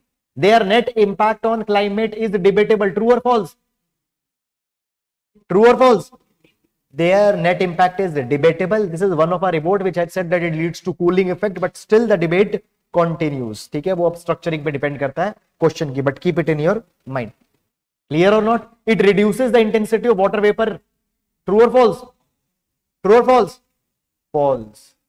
Oceans are the biggest contributor of short-lived halogens. True or false? True. Okay. India Climate Energy Dashboard was recently released by MOEFCC. False. kisne release kiya niti नीति kisne release kiya niti है okay Aayog okay ecocide were recently news these are the crimes against environment true और false true और false true energy efficiency pledge aims to triple the energy efficiency. True or false? True or false? False. Not triple, it doubles energy efficiency. wo renewable energy है. Energy efficiency and renewable energy are different things. India has agreed to it. True or false? True or false? False. Okay. Green Industrialization Initiative has recently been agreed by the European countries to expand green energies across Europe. True or false? False. It has been agreed by African countries, not European countries. Okay. Climate Club was recently news, which is which is a platform by developed countries where they will exchange the carbon technologies. True or false? True or false? False. Only developed countries nahi hai Developed and developing both hai Okay. Then next loss and damage fund was recently agreed in was agreed in COP 27. It has been operationalized in 28. Fine. Chalo, theek hai. Global stock take was mandated under Paris agreement and recently the second global stock take was organized. True or false? True or false? False. It was the first one. According to global stock take, world is on the path to reach the 1.5 degree goal. True or false? False. Okay, Altera is a sovereign fund recently announced by the UAE as a part of COP28. True or false? True or false? False. It is not sovereign, it is a private fund. It is not a sovereign fund, it is a private fund. Okay, it mandates a tranche of payment to India also. True or false? True or false? false uh, sorry true true true true true is it clear or not theek hai moving on fine so as of now the ones who have participated in it we can ensure that at least 90% retention is there theek hai agar jo question galat bhi jawab diye honge to because you have participated in this activity at least ab bhuloge nahi at least you will not forget now i will advise one thing at least revise all these things in the evening today also और एक बार कल revise कर लेना so because of these space repetition it will convert in the long term memory ठीक है moving on the next theme that we are going to take is on reports Now in reports also, uh, many number of times you have seen that so many questions have been asked in prelims exam in obviously in different years. Okay, so here we have some important reports on environment and related themes that were there in the news. Now report के अंदर में आपको बहुत ज्यादा detail में नहीं जाना because question on report have been simple what they ask in report they will be giving you the name of a report little bit आपका रिपोर्ट का नाम रिपोर्ट निकालता कौन है उस रिपोर्ट का थीम क्या है report who releases it and what is the theme ना report often happens to be a very tricky area जहां पे क्या होता है कि दैट बहुत सारी रिपोर्ट मिक्स हो जाएंगे आर यू वेटिंग इट और नॉट अ पर्टिकुलर रिपोर्ट ठीक है so many reports we are raising reading तो हम लोग अभी क्या करने वाले हैं will read a report will read its context five five का पेयर हम लोग बनाएंगे पांच रिपोर्ट पढ़ेंगे उसके बाद में एक मिनट रिवाइज पांच मिनट पढ़ेंगे फिर एक minute revise so that report पढ़ने का कोई मतलब नहीं है दिमाग में रहने का मतलब है ठीक है तो will make will making a pair of five five report so first is wise report wise report now wise stand for water I society and eco system wise report no this particular report recently has highlighted the crisis that is being faced by the Hindu Kush region particularly because of the climate change that is happening. Now climate change is happening, temperature is increasing. This particular report provides this particular thing that global warming if will be there between the range of 1.5 to 2 degrees Celsius, it will lead to the melting of glacier. By 2100, 30 to 50 percent of glaciers will melt compared to 2015-11. और इससे क्या होगा Hindu Kush Himalayan river basin the water in the Hindu Kush Himalayan region it will reach to its peak so the rivers which are getting fed because of the glaciers in the Hindu Kush Himalaya इनके river basin में peak पे पानी पहुंच जाएगा are you waiting it और not which will lead to flooding and in the long run the water level will come down because glaciers are their source of water and if these glaciers will melt once the glaciers will lose their volume 30 50 percent volume कम हो गया तो long term में तो पानी क्या होगा कम होगा लेकिन इमीडिएट टर्म में या मीडियम टर्म में the volume of water in the river basin और in the rivers which are originating from Hindu Kush Himalayas, the volume of water will go up because of the glacial melt. ठीक है अब इतना context समझ लिया और report का नाम याद आ गया तो all these things will come in your mind wise report who releases this report this report is release by international centre for integrated mountain development ठीक है एक और चीज है रिपोर्ट की बात कर रहे हो a question prelims examination is a objective paper जरूरी नहीं है आपको इसी ऑर्डर के अंदर में some names will be long तो थोड़ा सा इंटीग्रेटेड माउंटेन सेंटर ऐसा दिमाग में रहेगा तो when the option will be there in front of your eyes you will be able to eliminate और you will be able to select that okay ये वाला था आर यू वेटिंग इट और नॉट सो डोंट फिक्सेट कि that नहीं I need to remember this I entire name it ठीक है इतना रहना चाहिए कि ओके माउंटेन था development word integrated word was there ठीक है your purpose will be served ठीक है मैं यूटिलिटी के पॉइंट ऑफ व्यू से बात करता हूँ so international centre for integrated mountain development who are the members of it Afghanistan Bangladesh Bhutan China India Myanmar Nepal Pakistan countries largely the mainland countries of Indian subcontinent mainland countries of Indian subcontinent. Okay. So this is the WISE report. Clear or not? So obviously this will be an implication. When the volume of water in these rivers will increase, it will lead to flood or not. It will lead to flooding, it will lead to disasters. Okay. The next is fostering effective energy transition report. Fostering effective energy transition. Okay. Now, who released this report? This re report is released by the World Economic Forum and Accenture. World Economic Forum and Accenture has released this particular report. Now, in this particular report, what they have talked about, they have talked about that how well countries are moving in energy transition. Now, we need to move from carbon intensive technologies to less carbon intensive technologies. We need to decarbonize industry. We need to decarbonize transportation. So how well countries are moving in the direction of uh, energy transition. Okay? So as a part of this fostering effective energy transition, energy transition index was released. And this energy transition index has ranked the different different countries that how good they are doing in terms of energy transition. Okay, energy transition index was released. Now in this energy transition index, in this energy transition index, three parameters are used equity security sustainability and india ka rank kya hai india is ranked 67 and which is a top country sweden which is a top country sweden so energy transition index so a question can be asked where they'll not ask fostering effective energy transition report question might be there they'll ask energy transition index so who releases the energy transition index world economic forum who releases world economic forum in association with Accenture ठीक है ठीक है underline highlight करते रहो साथ साथ don't think घर जाके कर लोगे greenhouse gas bulletin greenhouse gas bulletin so release the greenhouse gas bulletin world meteorological organisation W M O W M O has also founded IPCC WMO has also founded IPCC. World Meteorological, oh, sorry, Organization released the greenhouse gas bulletin.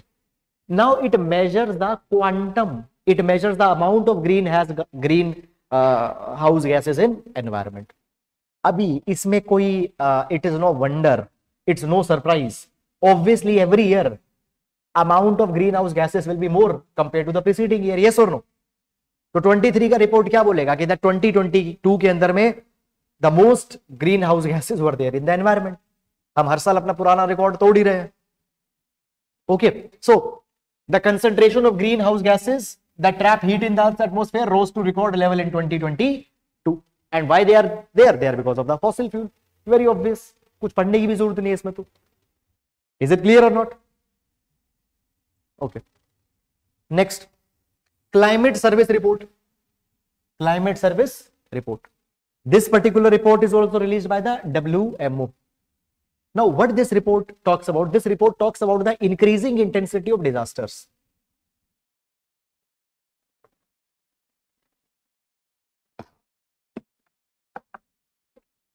It talks about the increasing intensity of disaster. According to this particular report, fine, there will be 1.5 disasters every day by 2030 her rose 1.5 disaster in one or the other part of the country sorry world there will be at least one disaster ज्यादा होगा उससे so by 2030 there will be 1.5 disasters per day and less than 25% of health ministries are prepared to deal with that okay only one fourth of the governments are using data and are preparing the systems to deal with these disasters. So disaster will increase, the governments are ill prepared or under prepared or not prepared at all climate service report who releases wmo so i think how many we have done four or five four one more will do and then we'll revise breakthrough agenda report breakthrough agenda report now breakthrough agenda report it is released by multiple organizations so you have to struggle uh, थोड़ा सा मेहनत करनी पड़ेगी लेकिन it's logical C breakthrough agenda report international energy agency okay then international renewable energy agency तो energy हो गया international renewable energy हो गया and UN climate change high level champion UN climate change high level champion okay so simple याद रखो कि UN champion के नाम से कुछ ओके इंटरनेशनल एनर्जी एसोसिएशन है इंटरनेशनल रिन्यूएबल एनर्जी एसोसिएशन है breakthrough agenda report now what this report talks about this report talks about the huge investments needed across power road transport steel hydrogen and agriculture sector okay adaptation gap report adaptation gap report who releases UN EP UNP also celebrates the World Environment Day. Yes or no? So who releases the UNEP United Nation Environment uh, sorry Adaptation Gap Report UNEP ठीक है what this देखो gap adaptation gap ठीक है adapt करने के लिए adapt करना चाहते कर नहीं पा रहे क्यों नहीं कर पा रहे पैसे नहीं है okay so there is a financing deficit 215 to 387 billion dollar per year are needed to adapt to climate change, but money is not there, particularly with the developed, underdeveloped countries and the developing countries. Adaptation gap report. How much gap is there to adapt? Fine. These numbers are not that important, but in mains examination, you can use this particular data to further consolidate to further uh, reinforce your answers are we clear or not ठीक है तो five reports okay just take 15 second of time report उसका agency पढ़ो फिर उसके बाद में पांच रिपोर्ट और पढ़ेंगे दस रिपोर्ट उसके बाद में बस एक रिवीजन करेंगे जल्दी से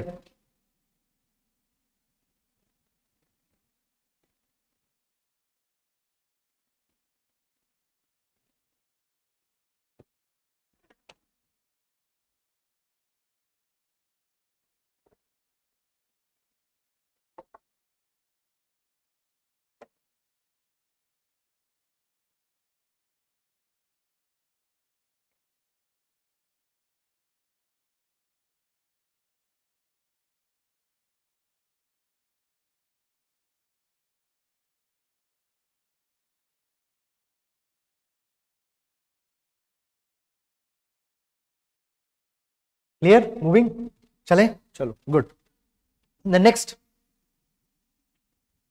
report on inclusive conservation initiative ICI report on inclusive conservation initiative now this particular report has talked about the role played by indigenous people in conservation of environment but still indigenous people role is not recognised ठीक है Now, who releases this report? This report is released by the Global Environment Facility, GEF.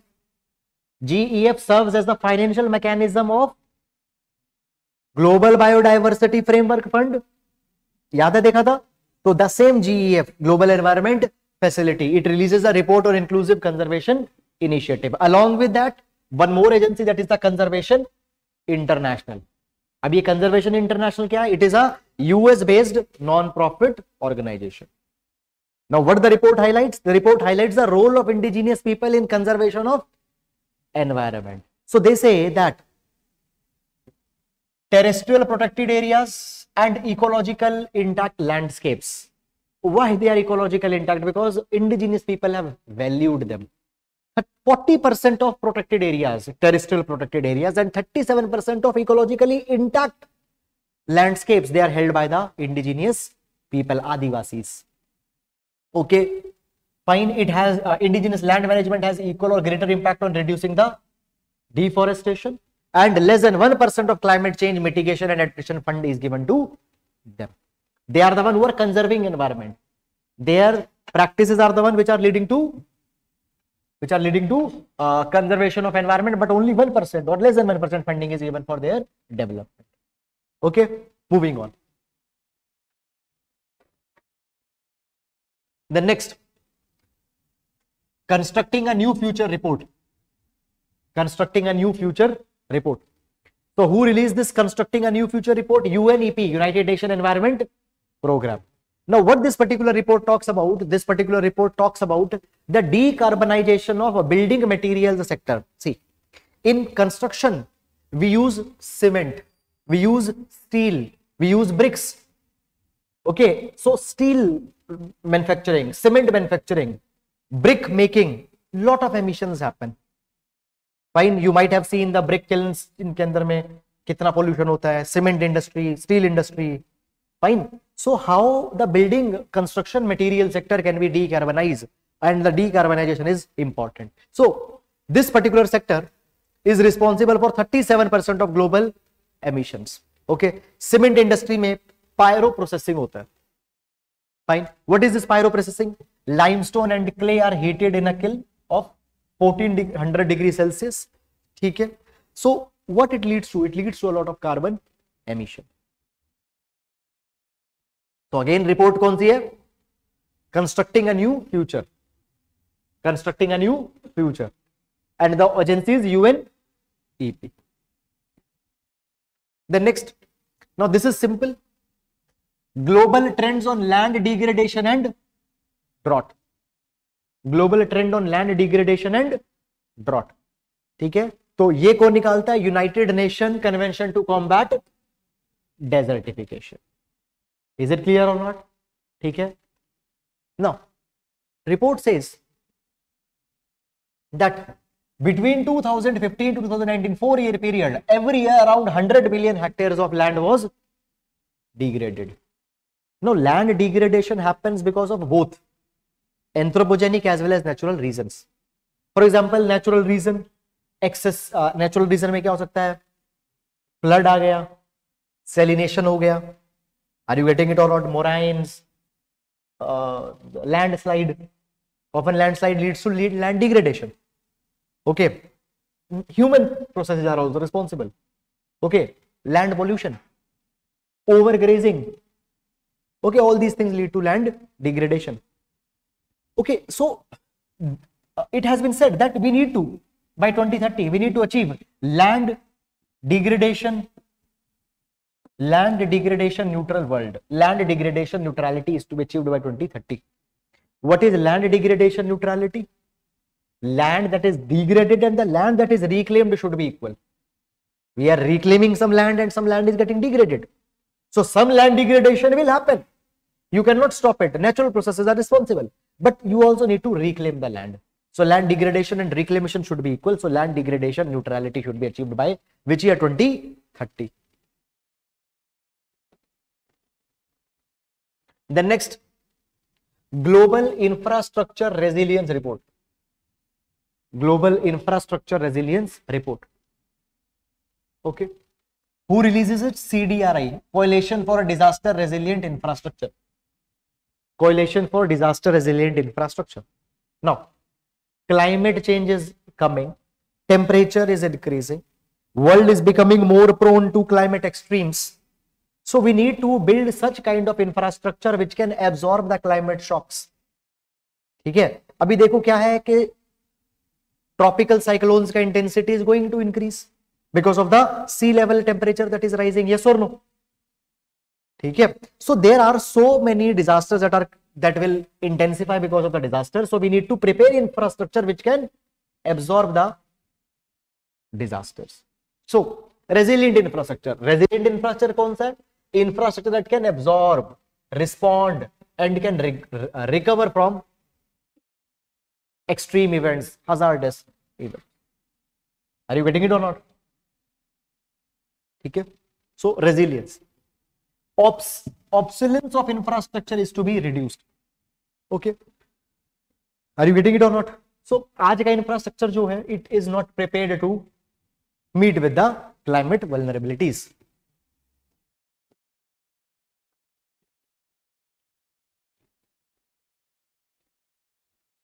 fine global pathways report global pathway report who releases uh, ये fifth report I guess is is fifth और fourth this six चलो तो पहले वाली बार पांच report है इनको एक बार रिवाइज करो agency theme name of report agency theme and name of report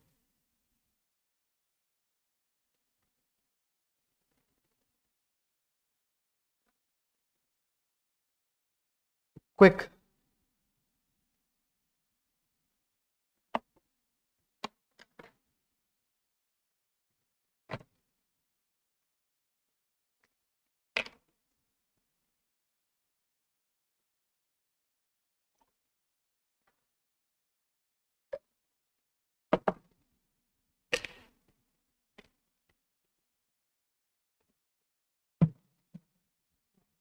okay हो गया चलिए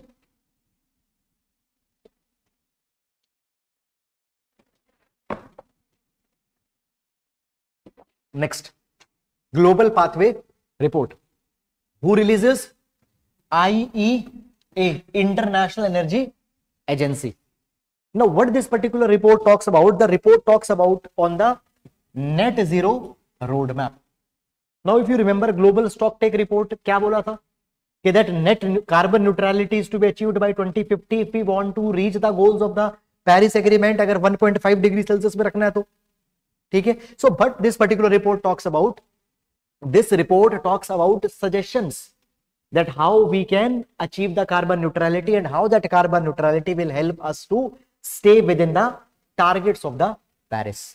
Report recognizes that the window is narrow.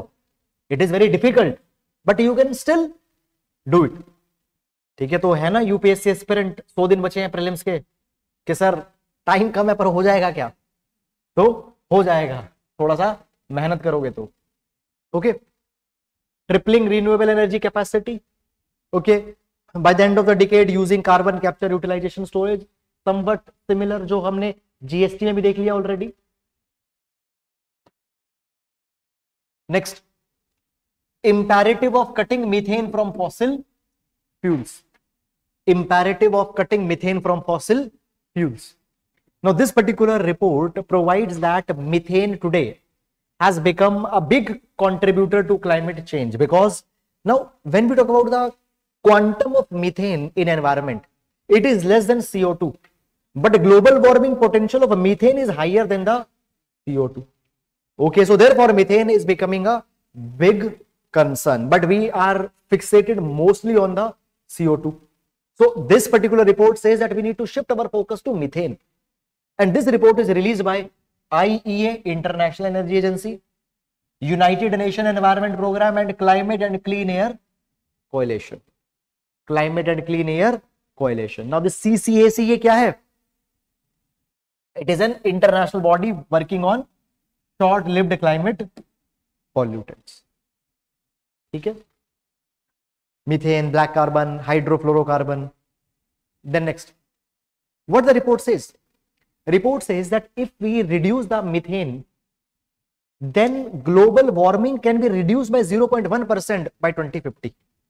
If we don't focus on methane, then at least 1.6 degree Celsius warming will happen by 2050. Okay? Methane mitigation can reduce 1 million premature deaths.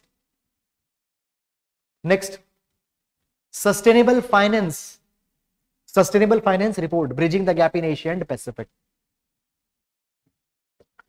Released by UN SCAP. What UN SCAP is? United Nation Economic and United Nation Economic and Social Commission for Asia Pacific.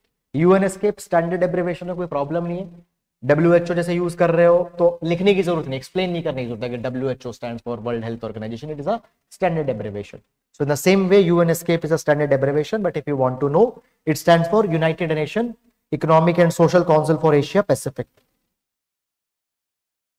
ठीक है now what it says it says that there is sufficient capital and liquidity to close the global financing gap in sustainable financing in world we have sufficient money to provide to the different different countries for sustainable infrastructure for sustainable living but money is not reaching asia pacific is not on track to meet the sdgs by 2030 sustainable development ke path pe nahi hai asia pacific and only 17 countries out of the 51 asia pacific countries have assessed and reported the finances that they need to meet their ndcs okay majority of countries have not assessed that whether they will be able to reach the INDCs, what money they need, what resources they need. They have not assessed it and they have not even requested the desired resources. Is it clear or not? Then next. Okay. Now these reports are, this report is basically linking the impact of climate change on children. and these reports are released by UNICEF. So children displaced in changing climate and climate changed child. ab ye dono report kya kar rahi hai report are linking that how climate change is impacting childhood how climate change is impacting childhood children's opportunity to grow their opportunity to learn so establish a critical connection between climate mobility and childhood millions of children are being driven by homes weather related event for example you are living at an area flood aa you are living in a so today there is a new category of people who are called as the climate refugees okay they are forced to move why because of the unexpected climatic events so children are getting impacted because they have to stop their education okay then we have this climate equality a planet for the 99% now oxfam keep this name in your mind because our reports a lot of reports that particularly pertain to things such as uh, inequality, increasing gap between rich and poor. They are released by Oxfam. So this particular report highlights that how rich people are the ones who have polluted the most, but they are the one जिन पे कोई impact नहीं है ज्यादा impact इस पे poor लोगों पे super rich that is top one percent were responsible for sixteen percent of global carbon emission and this emission by these one percent people is equal to poorest six percent people so climate inequality के ऊपर report किसके ऊपर हमें climate inequality climate injustice Paris agreement synthesis report release by U N F triple C what it does it analyse the INDCs and whether the countries by working on these INDCs are on the path to reach the Paris goals or not. UNF triple C report ठीक है IPCC की synthesis report है वो अलग है this is UNF triple synthesis report are we getting it और not now what I am doing I am going to give you one minute go through all these report please go through ये first report से लेके last तक report को जितनी बार पढ़ सकते हो पढ़ो तीन ही चीज पढ़नी है रिपोर्ट का नाम agency and the theme of the report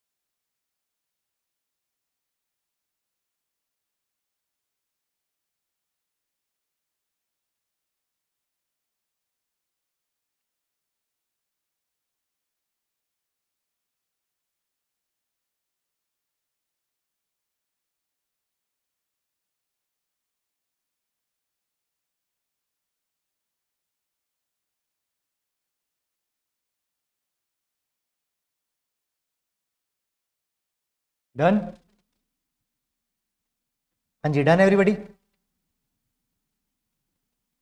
चलो let's do a quick revision okay everybody please try to participate because it is only for you ठीक है पॉलिटिकल रैली नहीं है जस्ट मेरे को नारे लगवाने हैं ठीक है it is for you only wise report was release by which agency integrated center for integrated uh, international center for integrated mountain development this report has talked about the impact of climate change on which region hindu kush himalayas water in these rivers will come down in the immediate and medium term true or false false it will increase is it clear moving on energy transition index released by whom released by whom world economic forum energy transition index release by whom world economic forum okay very good greenhouse gas bulletin report किसने release किया है ठीक है report on inclusive conservation initiative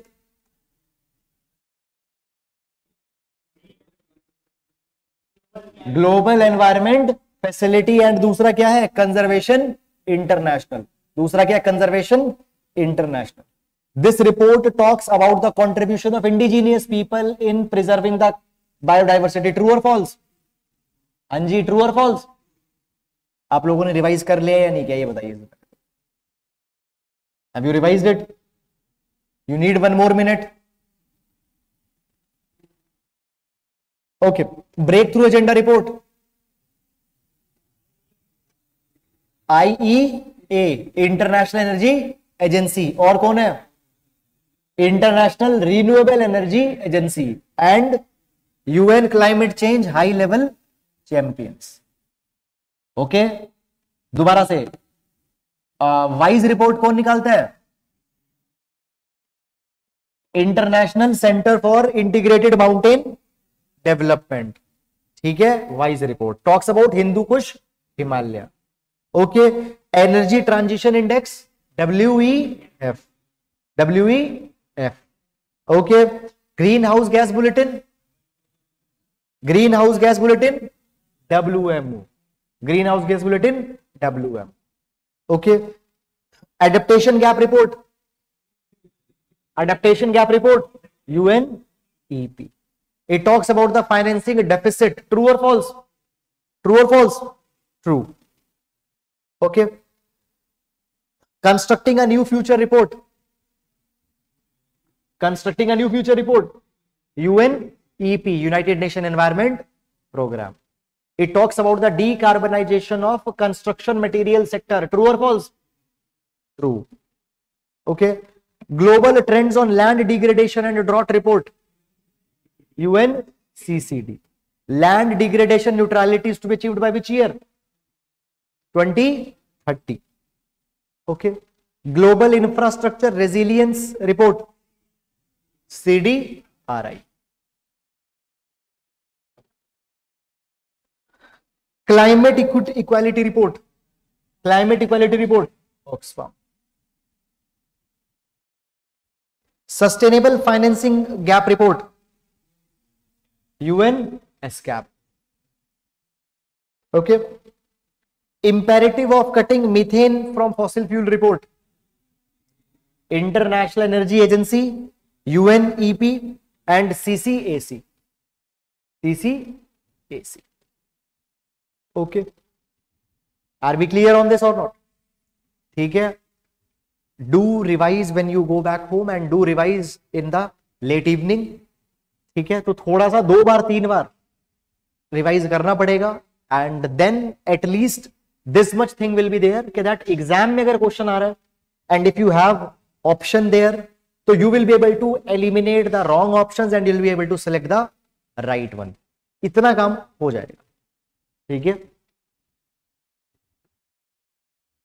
moving on then next we have protected areas environment theme continues environment subject in fact continues and with in the subject of environment we have this theme of protected area protected area now first we have Mukurthi national park Tamil Nadu Mukurthi national park Tamil Nadu now Mukurthi national park Tamil Nadu it was in news okay now not only we are going to see the protected areas but whatever information which might be remotely related and is relevant for exam will also see ठीक है so सबसे पहले क्या है Mukurthi national park no Mukurthi national park is in Tamil Nadu in itself it is important aspect for prelims examination it is located in western ghat and is a part of nilgiri biosphere reserve now when we talk about the nilgiri biosphere reserve here we need to know some important things in india how many biosphere reserves we have in india how many biosphere reserves we have we have 18 biosphere reserves and out of these 18 biosphere reserves 12 are the part of man and biosphere program UNESCO's man and biosphere program twelve are there ये कौन से biosphere reserve है these are bios those biosphere reserve which देखो the nature of the relation between man environment and wildlife this is very important if man wildlife and nature will live in harmony it will solve a lot of problem so, word क्या है Man and biosphere. So, Man and Biosphere Programme is the one which focuses on building a cordial relation between the man and environment and wildlife. So those biosphere reserves which focus on building a cordial relation between these three components, they are the part of the man and biosphere program.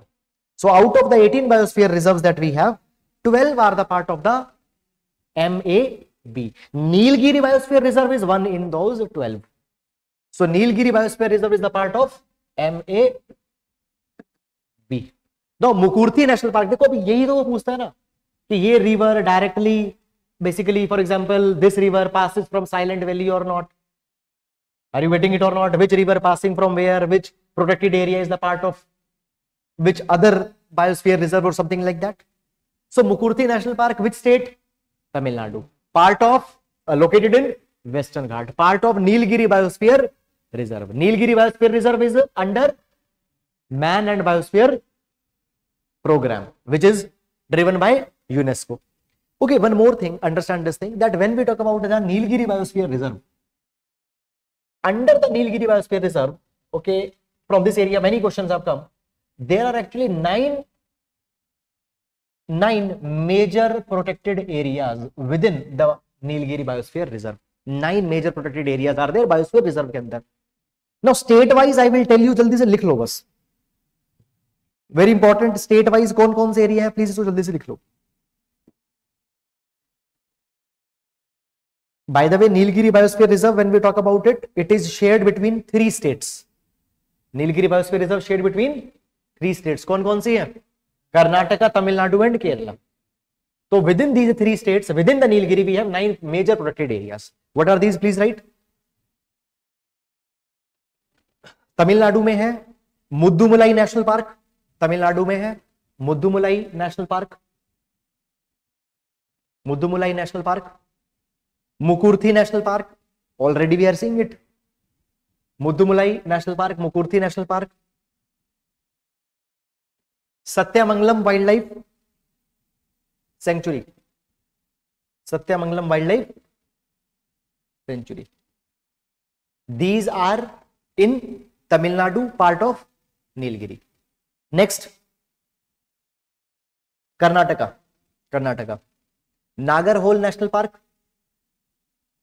Nagarhole whole national park I advise you कि वहीं hand out में ही लिखो अलग से कहीं मत लिखो because वो एक दो पेज नहीं संभाल पाओगे वहीं साइड में लिखो Nagarhole national park Bandipur national park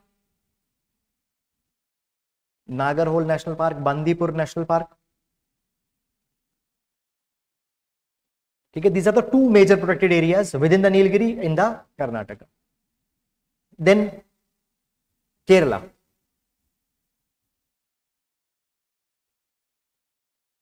silent valley national park silent valley national park Aralam wildlife sanctuary Aralam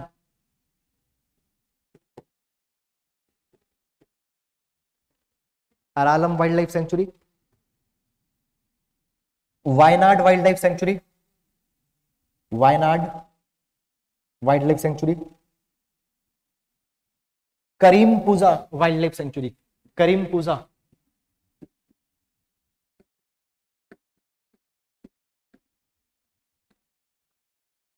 Karimpuza Wildlife Sanctuary. Okay, it is in Kerala. So, Nilgiri Biosphere Reserve in 3 states, Tamil Nadu, Karnataka and Kerala. And within Nilgiri Biosphere Reserve, these are the 9 major protected areas that we have, and Mukurthi is one of these. Is it clear? Tamil Nadu. And what is the important keystone species that is found in the Mukurti National Park is Nilgiri Nilgiri And the forest is montane, grassland and shrublands. Montane, grassland and shrublands. By the way, I will not advise you to go and give too much of focus on these vegetations that much.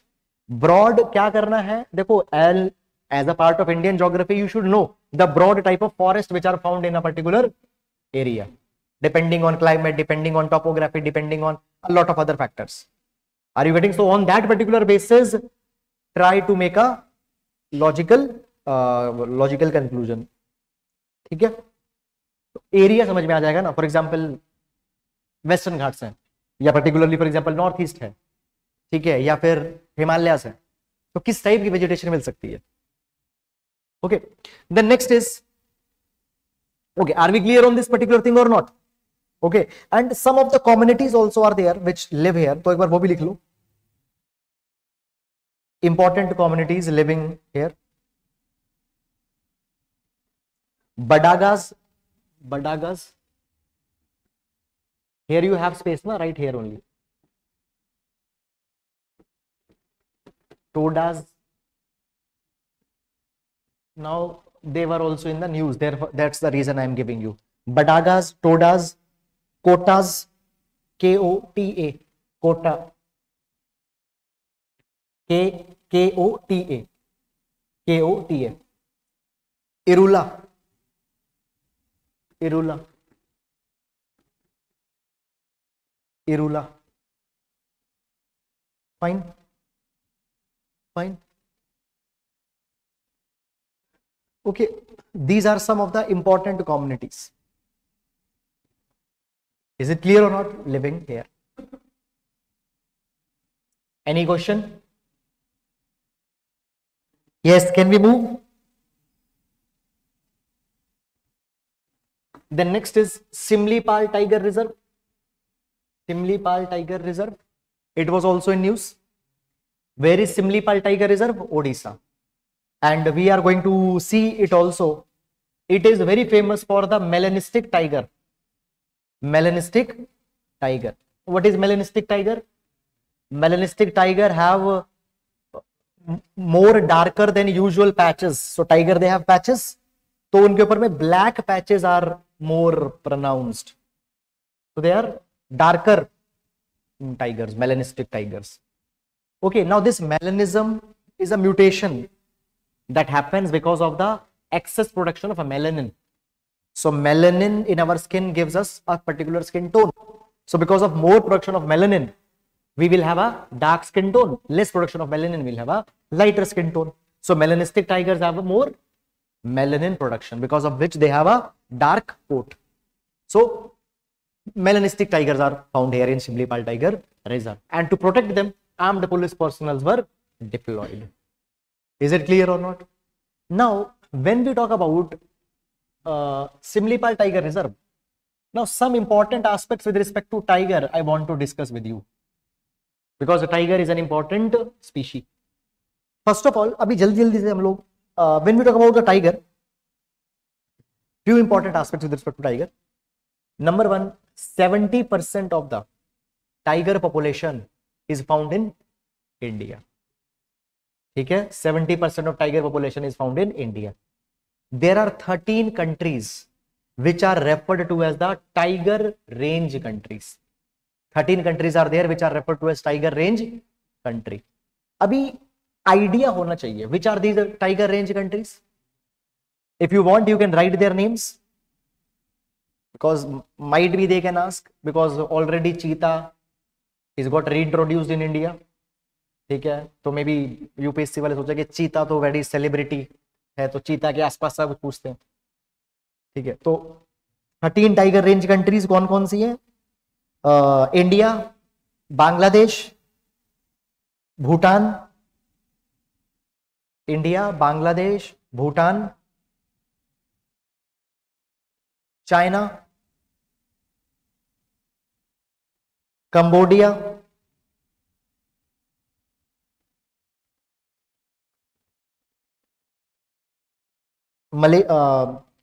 India, Bangladesh, Bhutan, Cambodia, China, Indonesia,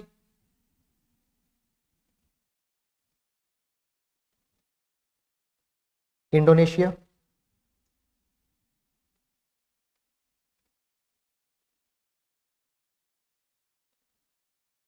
next, Malaysia we have seen.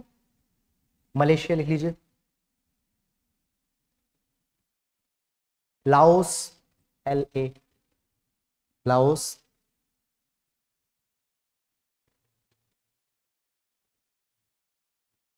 Myanmar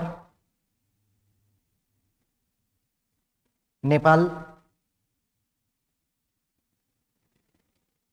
Thailand Thailand Thailand Thailand Vietnam और थोड़ा दूर का एक है मतलब Russia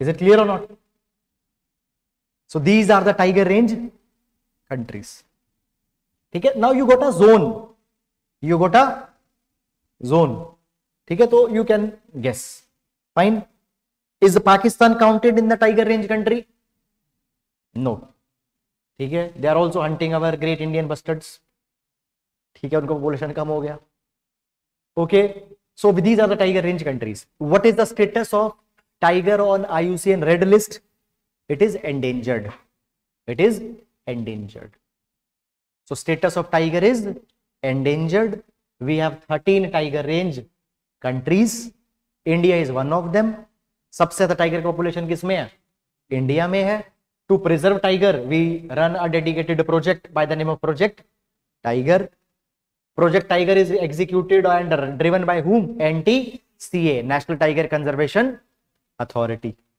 Is it clear or not? And Project Tiger is one of the one of the successful program with respect to the conservation of any species in the world. ठीक है ये एक वन ऑफ द बहुत successful programme है now understand this when we talk about the project tiger under the project tiger any area having Considerable population of tiger can be declared as a critical tiger habitat. Under Project Tiger, area having a considerable population of tiger is considered as uh, declared as a critical tiger habitat. How many uh, tiger reserves we have? So NTCA declares a area having tiger population as a tiger reserve. How many tiger reserves we have right now? So as per the latest updation that has happened on the website of NTCA, we have now got one more 55 tiger reserves ठीक है 55 tiger reserve अब सबसे latest वाले कौन से हैं ठीक है सबसे लेटेस्ट कौन से Dholpur Karauli Dholpur Karauli Dholpur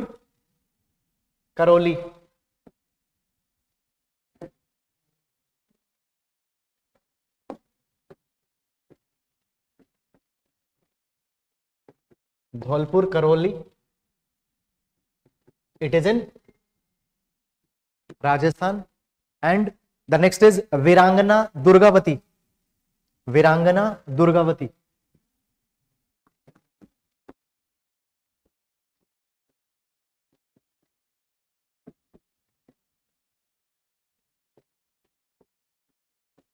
Virangana Durgavati Tiger Reserve. It is in Madhya Pradesh.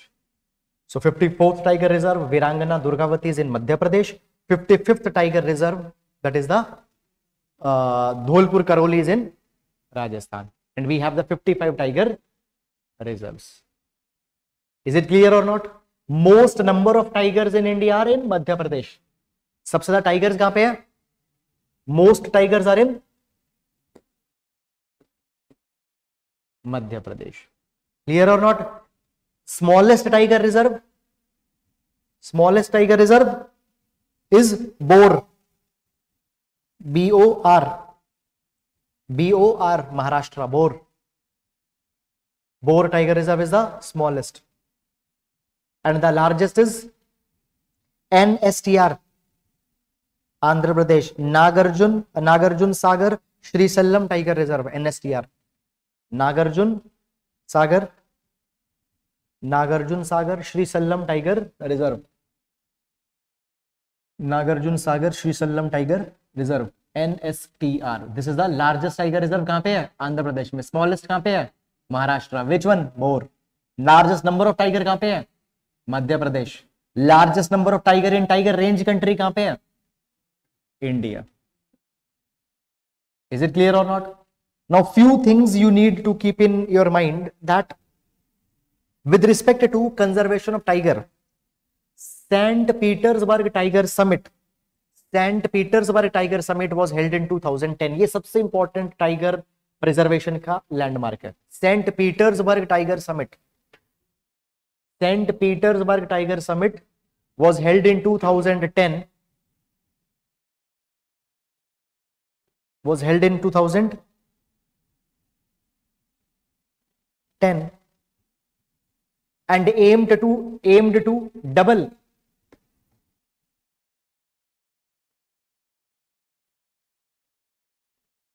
and aimed to double aimed to double tiger population aimed to double tiger population is it clear और not ठीक है aimed to double the tiger population कब तक करना था 2022 तक कब तक करना था 2022 तक so because already in the past UPSC आज the question with respect to M stripes पूछा था M stripes is usual in the news से रिलेटेड है तो वो टाइगर से रिलेटेड था तो such kind of things for example Saint Petersburg already Beijing declaration they have been they have asked in the prelims examination से related था women से रिलेटेड था so St. Petersburg uh, summit was organized it was for conservation of tiger population tiger population is to be doubled by which year 2022 now also under this uh, uh, also what happens tx2 award is given please write tx2 award is given ठीक है recently tx2 award अभी tx2 award क्या है given to those protected areas which have increase substantially और have double the tiger population तो T मतलब tiger in two recently Sathyamangalam tiger reserve you remember Sathyamangalam wild life sanctuary में देखा तो Sathyamangalam tiger reserve भी है Sathyamangalam tiger reserve in Tamil Nadu and Pilibhit tiger reserve Pilibhit tiger reserve in UP they got the T award तो T X two award is given for to those protected areas which have successfully doubled their tiger population. So two areas recently got, two tiger reserves recently got. कौन कौन सा Sathyamangalam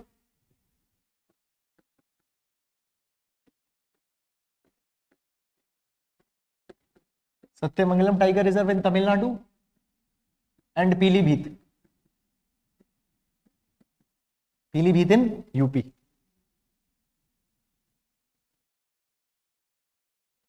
Are you getting it और not ठीक है now global tiger forum is an international organization specifically working for the protection of tiger global tiger forum headquartered in delhi global tiger forum global tiger forum is the agency specifically working for conservation of tiger headquartered in delhi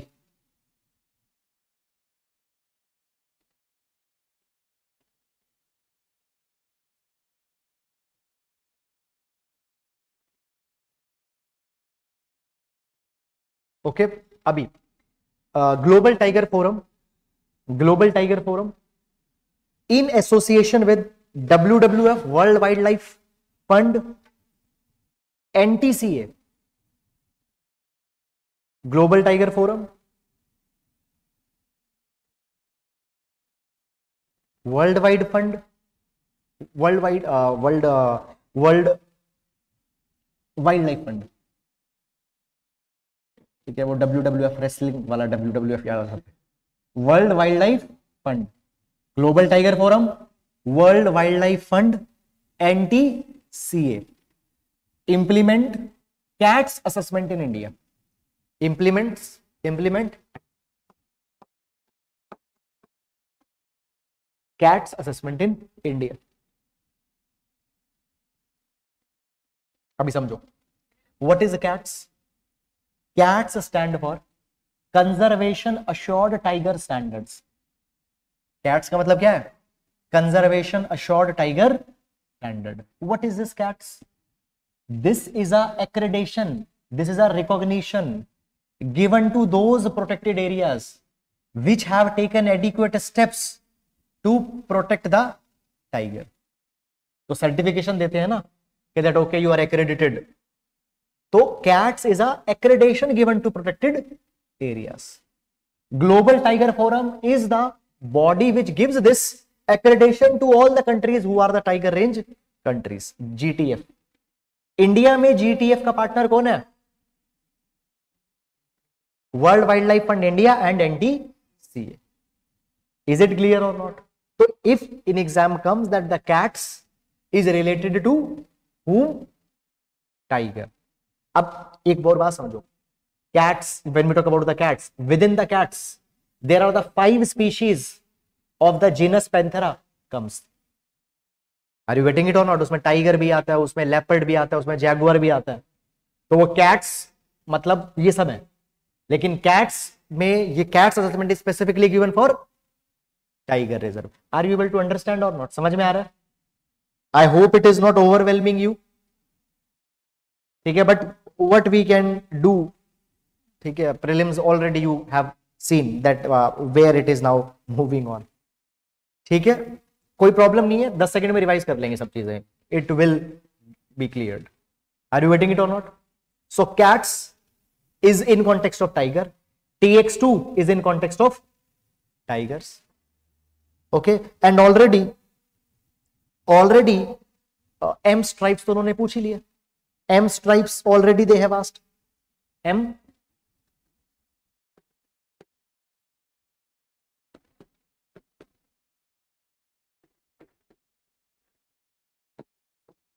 M stripes they have already asked. So M stripes kya hai M stripes is a program of program taken by NTCA to modernize the infrastructure with respect to the surveillance of tigers and their conservation.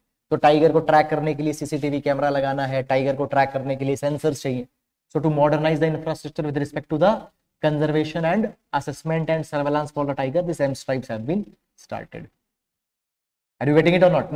don't worry just in one minute everything will be sorted out तो tiger सबसे पहले ही बताओ now you will tell me what is the status of tiger what is the status of tiger endangered ठीक है ये single committed वाला नहीं है conservation status is endangered okay tigers are found in 13 tiger range country clear or not india is a part of that most number of tigers are found in india in india mein sabse zyada tiger kahan pe hai madhya pradesh how many tiger reserves we now got 55 as per the latest uh, update on the ntca's website which is the latest tiger reserve dholpur karoli in which state rajasthan are you getting it or not now tx2 award cats award m stripes are related to the tiger st petersburg summit was held for doubling whose population tiger population by which year they are to be achieved 2022 is it clear or not and melanistic tiger is a tiger having a darker coat because of the higher production of melanin is it clear or not ठीक है सो some important biggest tiger reserve in India NSTR smallest tiger reserve Bor tiger reserve समझ में आ गया any doubt here ठीक है so because question will come because अगर आता है इसके आसपास में कोई तो the information that you got mix match करके बन जाएगा answer moving on so so simlipal tiger reserve and as tiger came we have discussed about it and hair when we talk about Simlipal Tiger Reserve, it is the part of UNESCO World Network of Biosphere Reserve. UNESCO world network of biosphere reserve तो UNESCO world network of biosphere reserve में वो सारे आते हैं जो map के part है तो S T R is a part of man and biosphere reserve programme Similipal tiger reserve is a part of MAB is it clear or not And Simlipal is also the part of the Mayurbha, Mayurbanj Elephant Reserve. ठीक है और एक चीज और ध्यान रखना कि Similipal Similipal biosphere reserve is there Similipal biosphere reserve में Similipal tiger reserve is there and Similipal biosphere reserve is a part of MAB making sense or not Similipal biosphere reserve Similipal biosphere reserve के अंदर Similipal tiger reserve Similipal tiger reserve में melanistic tiger clear and two important communities that live here which were in the news are Renga Kharias and mankirdias Is it clear or not? Fine. Can we move now? The next is Debrigad Wildlife Sanctuary. Debrigad Wildlife Sanctuary. Now Debrigad Wildlife Sanctuary, ठीक है इसको confuse नहीं होना दिब्रू से साइकोवा से ठीक है this is separate one Debrigarh wildlife sanctuary is in Odisha is in Odisha now this wildlife sanctuary was made completely free of human settlement therefore it was in news and always this particular often this particular thing comes in the news that uh, tiger versus a tribal conflict is there okay because often we see that tribal people live in the forest and for the sake of the conservation of wildlife, they are asked to leave it. so Debrigad Wildlife Sanctuary was in news. Where it is? It is in Odisha. Why it is the news? Because it has been made free of human settlements. Okay? And what are the important uh, uh, animals are found here? Indian bison, wild boar, sambar, peacock. Okay? And Hirakud Reservoir. Hirakud Reservoir, it is also in the Debrigad. Now Hirakud Reservoir, it is a Ramsar site. So Ramsar sites are the important wetlands which are recognized under the Ramsar Convention. So Ramsar sites are the important wetlands which are recognized under Ramsar Convention 1971 Iran. Is it clear or not? Also, when we talk about this Hirakud Reservoir, it is also an international bird area. Ab international bird area. What is an international bird area? International bird area is recognize by BirdLife International ठीक है अभी देखो link देखो international bird area is recognize by the BirdLife International and who recognizes the international bird area along with the BirdLife International Bombay Natural History Society and in UPSC they आज the question on Bombay Natural History Society अभी question अभी UPSC की एक अच्छी बात ये है अभी एक दो साल से नहीं बोल सकते हैं because now they are going to much deep but they use to ask and if you leave some of the question they give you a very broad domain for example question was आज that what is Bombay Natural Society what is its domain domain? It is nature तो Bombay Natural History Society environment environment conservation के domain में काम करता है is it clear or not ठीक है now again I come back and will give you more clarity so Hirakud reservoir it is in Debrigarh it is a Ramsar site important wetland also it is international bird area अभी international bird area क्या होता है let's understand this thing so international bird area international bird area is a recognition international bird area is a recognition that is given to a place which fulfills three criteria which fulfills the three criteria. What are these three criteria? If you want, you can write. तीन criteria होते हैं what are these three criteria number one contains the population of contains the population of globally threatened bird species contains globally threatened bird species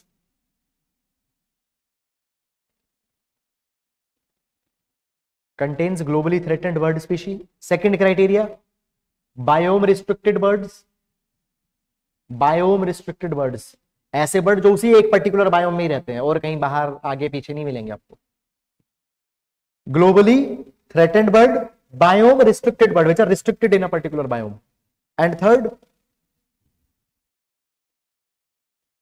large migratory bird population large migratory bird population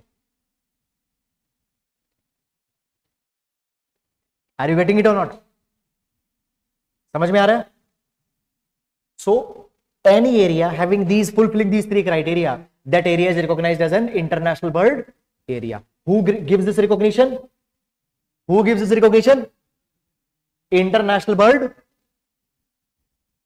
BirdLife International who gives it's bird life international अभी आपको जाके ये नहीं देखना कि कितने हैं India में because it has 554 plus in India we have as of the last data on the website of ENVIS पांच सौ चौवन थे तो obviously you can not remember it so leave it only ones which were in news you should know it it was the one ठीक है no understand this thing BirdLife International gives this classification with the help of B N H S They want one country specific partner also. So India may, who assists BirdLife International? In India, who assists BirdLife International? Bombay Natural History Society.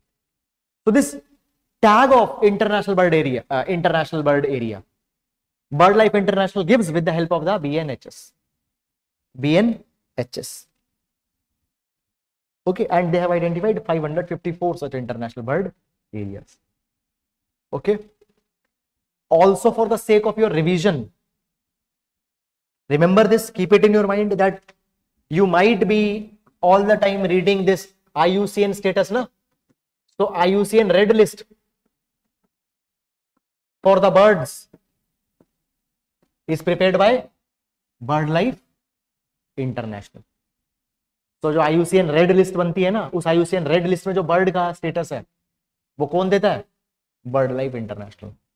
It is an important organization, therefore.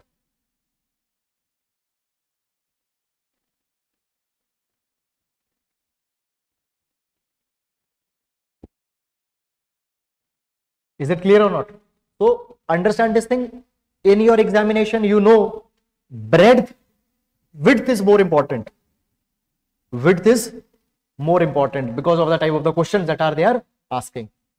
So ensure that you are keeping it in mind लिख लो इसको ऐसा नहीं है कि चलो वहां sir याद रह जाएगा नहीं रहेगा ठीक है fine can we move now ठीक है I make you revise in a minute so that you don't you are not overwhelmed by so much of information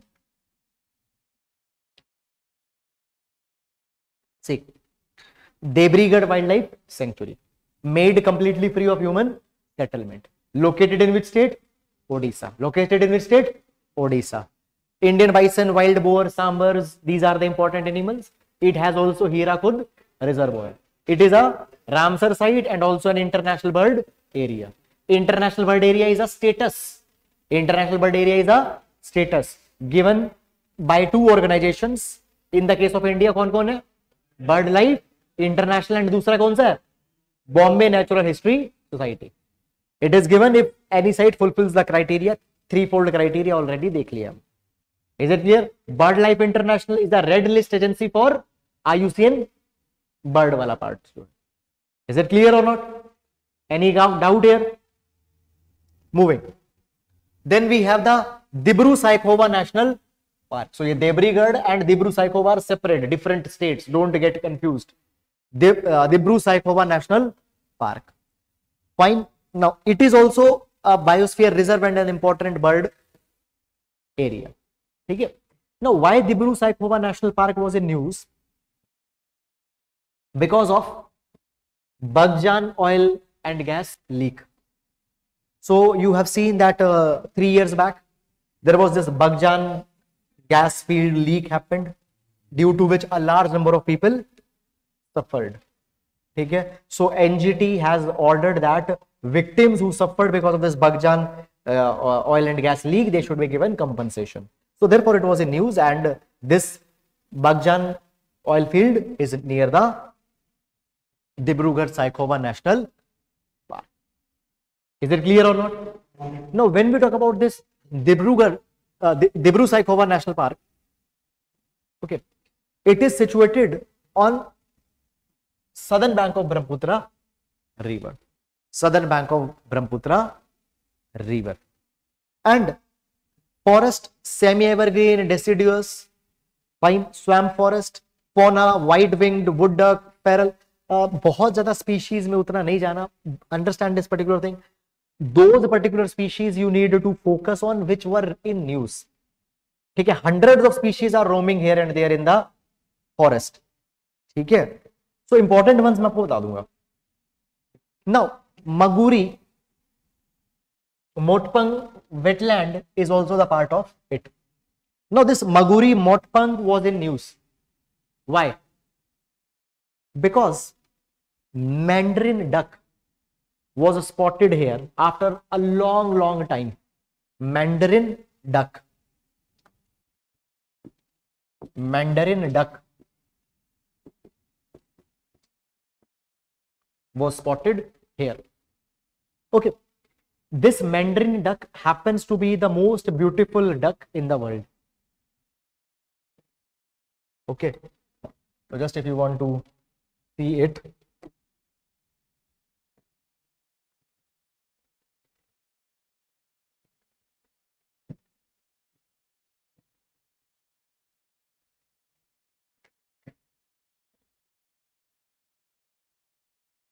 okay so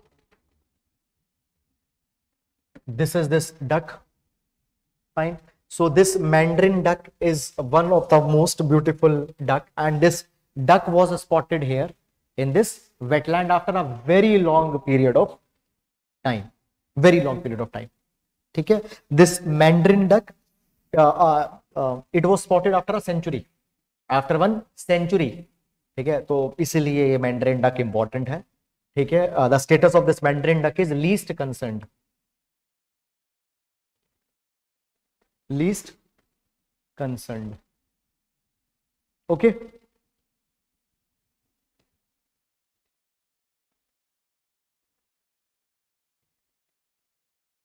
fine Hollongapar gibbon sanctuary Hollongapar gibbon sanctuary also known as Gibbon Wildlife Sanctuary. Now, why it was in news? Because a railway track passed from the middle of this particular sanctuary. And because of this railway track, this sanctuary got divided in two parts. Fine. So, Holangpur Gibbon Sanctuary, located in which state? Located in Assam. Okay. Now, two important things are there.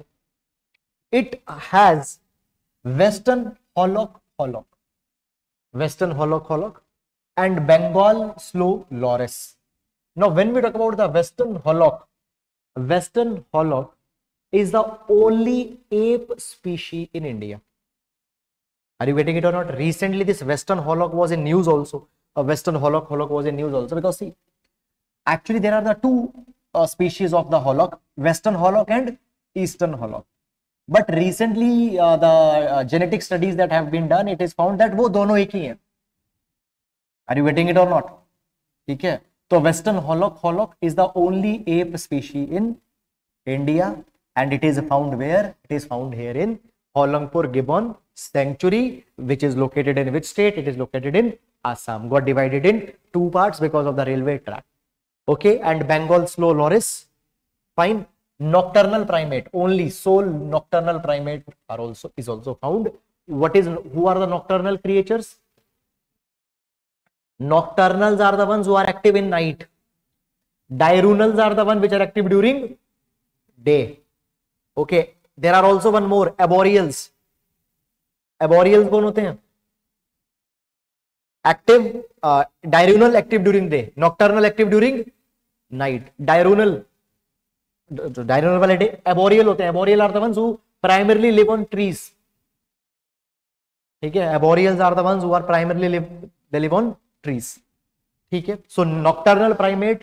north east India slow loris is also found in the gibbon sanctuary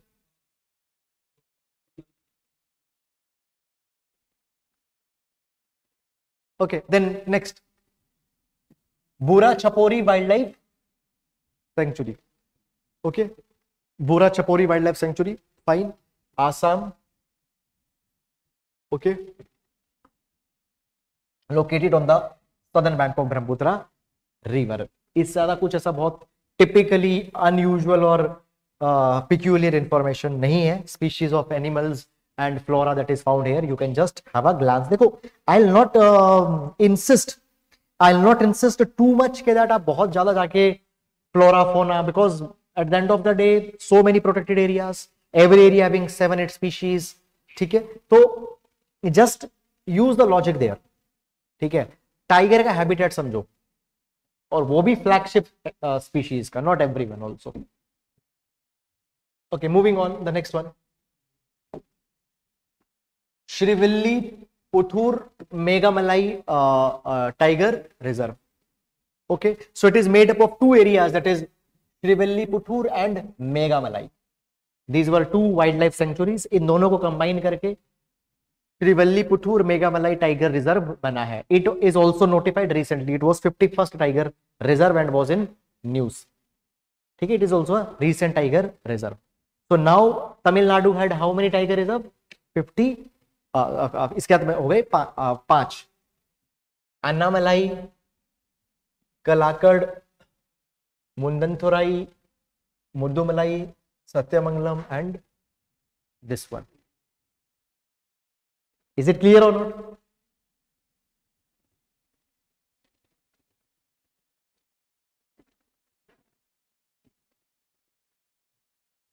yes you will to understand समझ में आ रहा है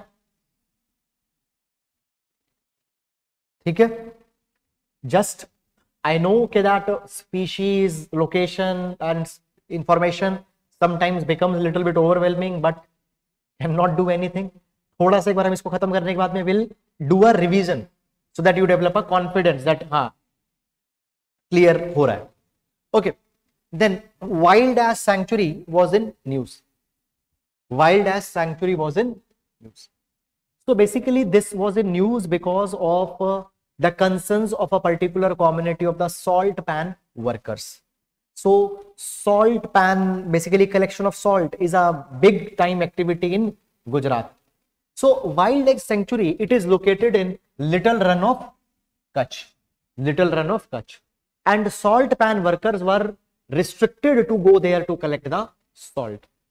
Okay, abhi dekho, they have asked the question with respect to the tribes and the communities also. तो अभी यहां पे कुछ ट्राइब्स एंड कम्युनिटीज हैं which are important so first of all salt pan workers which collect the salt they are called as Agariyas Agariyas okay they were respected to enter the little Rann of Kutch because of the wild life sanctuary that was there now some other communities are also there which live here Koli Sandhi Miyana communities fine Is it clear? And they are doing this profession of collecting the salt since last six, seven hundred years. Okay, so for this uh, social, uh, uh, uh, because of this particular thing, this was raised as a concern. Okay, are we clear or not? Now, only place where Indian wild ass is found and two more tribe communities are there Rabari and Bharwad okay ठीक है Irula community भी discussed where it lives Irula community भी discussed we discussed it in the context of Mukurthi national park it lives in Nilgiri it lives in Nilgiri region okay Mukurthi national park वहां पे भी है sodas also we discussed there fine so you need to give okay fine while as okay i think in editing the content is hidden in this particular table तो थोड़ा सा बार आप लिख लो while as please write the information because i think in editing इसमें शायद कुछ issue हो गया please please write uh, IUCN status near threatened. IUCN status near threatened. Scheduled 1, Schedule 1 Wildlife Protection Act. Schedule 1 Wildlife Protection Act.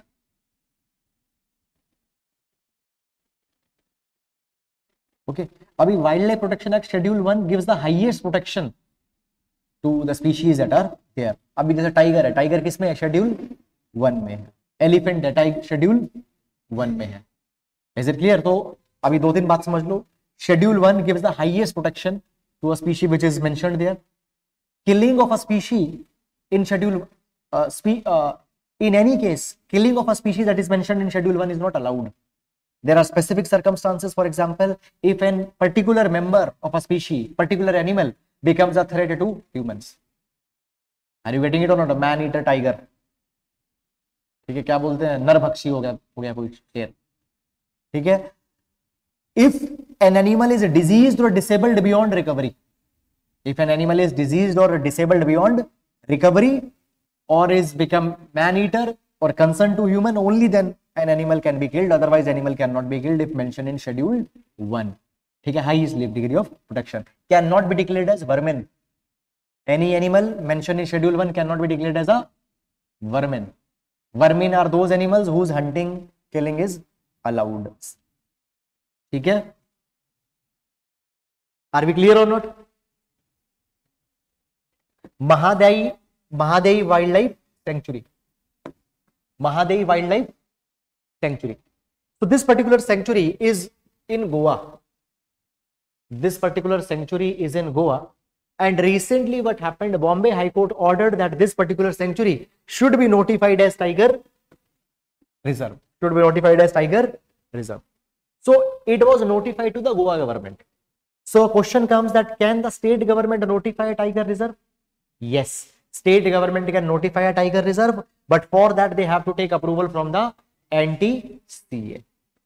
So state government, state government after taking the approval from NTCA national tiger conservation authority fine under the wild life protection act of 1972 are empowered to create a tiger reserve is it clear ठीक है चलिए जल्दी से बताइए Debrigarh wild life sanctuary which state Assam नहीं ओसो ओडिशा देवरीगढ़ ठीक है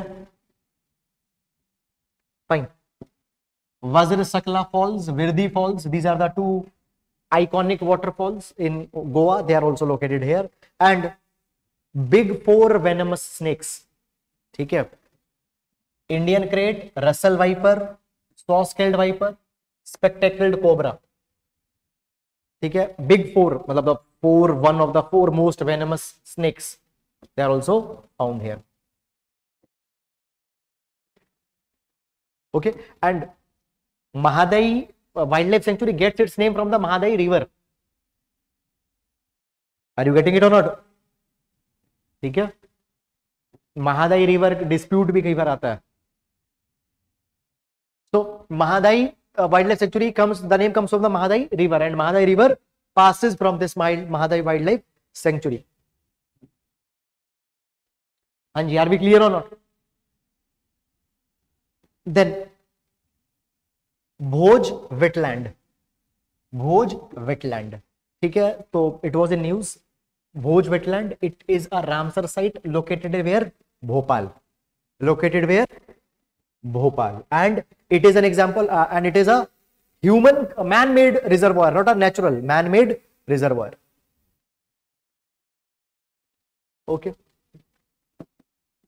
government notified sixty two new elephant corridors what is an elephant corridor what is an elephant corridor elephant corridor is a strip of land which connects the two elephant corridor uh, two elephant reserves now understand this thing that on the lines of project tiger on the lines of project tiger we also run project elephant project elephant was started in 1992 okay project elephant was started in 1992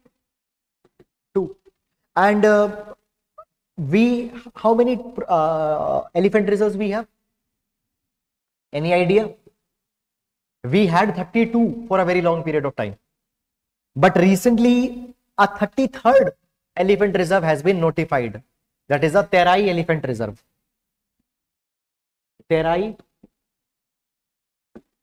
up terai elephant reserve up has been notified as a 33rd elephant reserve elephant reserve are notified under the project elephant 1992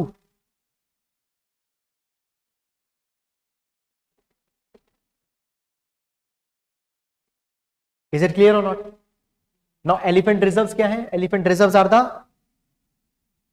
piece of lands connecting the elephant uh, elephant corridors connect elephant reserves and for their movement for their unfettered movement around 62 new elephant corridor have been announced ठीक है सबसे ज्यादा elephant corridor कहां पे है west Bengal okay next Sundarban already we have discussed it contains the biggest mangrove delta in the world Sundarban is the part of Sundarban Delta or Sundarban mangroves are shared between two countries. Which two country? India and Bangladesh. Sundarbans are also declared as the World Heritage Site. Also declared as the World Heritage Site. And if you remember, Sundarban will be protected or Sundarban conservation will be done also in a specific scheme. कौन सी scheme? मिष्टी scheme. ठीक है तो MISHTI scheme focus area will be the Sundarbans. Also, Sundarban wetland is a Ramsar site also and a international bird area also.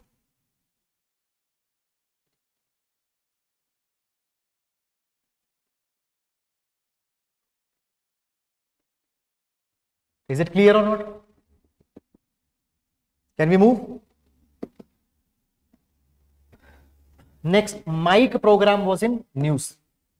Mike program is in news. Now see, uh, Mike stands for monitoring of illegal killing of elephants. Monitoring of illegal killing of elephants. Now, one thing unusual about the mic is that through whose resolution mic has come in existence. It has come in existence through the resolution of sites. Okay, what what sites stands for?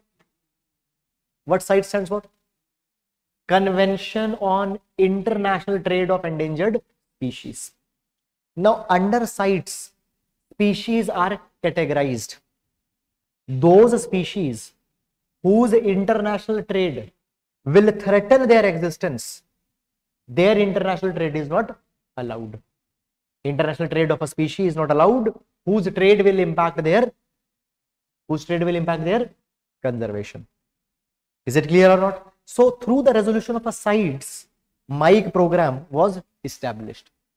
under this uh, information is needed uh, information is provided for protecting the elephant abhi which mic sites are there in india which mic sites are there in india theek hai uh, again uh, there is some editing issue i think that has come fine aap likh lijiye nilgiri ke baad mein hai Wayanad elephant reserve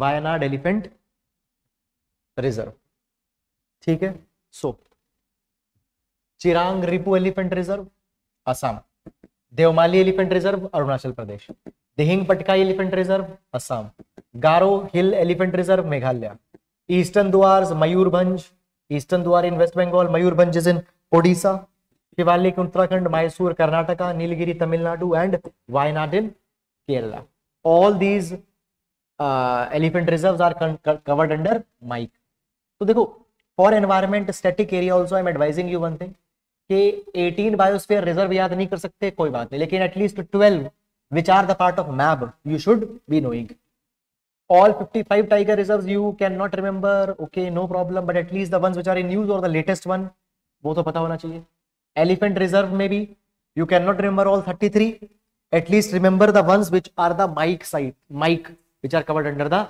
mic. Okay. Now, the next one is Asola Bhati Wildlife Sanctuary. Now, Asola Bhati Wildlife Sanctuary was in news because recently an event that is Walk with Wildlife was conducted here. Fine, in which large number of people came, participated, events, commercial activities happened, which goes against the norms of a wildlife sanctuary. So for this particular thing, it was in news. Delhi High Court has uh, has raised the concern with respect to this. Valmiki Tiger Reserve. Then the last three we have Valmiki Tiger Reserve. Okay, where it is located? Located in Bihar. Located in Bihar and the east. Uh, the basically it is the only tiger reserve of Bihar. located in Bihar, only tiger reserve of Bihar, and uh, and lies in which region? Terai region. Okay. Pong Dam. Uh, Pong uh, Dam Wildlife Sanctuary, where? Himachal Pradesh. Himachal Pradesh. It is an example of man-made man-made reservoir. Ramsar site also. And the last is Dandeli forest and Dandeli Wildlife Sanctuary. Both are where? Both are in Karnataka. Both are in Karnataka. ठीक है now it is a part of kali tiger reserve kali tiger uh, uh, it uh, kali tiger reserve is uh, adjacent to it Kali tiger reserve के अंदर में क्या है the same name Dandeli forest Dandeli wild life thank you are we clear on ठीक है तो here uh, अभी one more thing when we are going to see the next thing that is the important species there also some more areas welcome fine because certain species and related to दो species some areas will be there okay so now what we need to do we are going to take 2-3 minutes of time and we'll read all these particular uh, protected areas from first till the last. Okay. So I'm giving you 2-3 minutes of time. Please do revise it. It is not a break. You need not to chit chat. You need not to check your mobile phone. Okay. Half an hour class is also is still there. So use it wisely. Take 2-3 minutes of time. Then we'll revise and then we'll move to the next theme.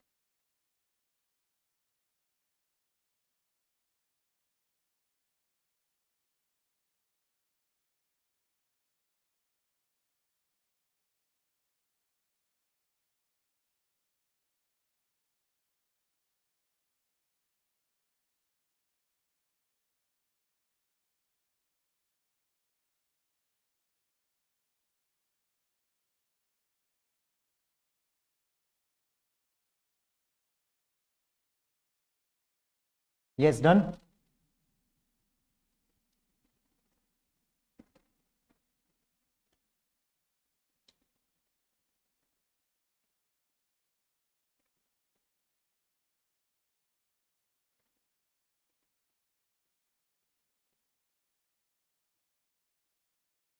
can we move ठीक है जल्दी से एक बार दो minute revise करेंगे ठीक है and will then move to the next theme okay जल्दी से quickly you need to answer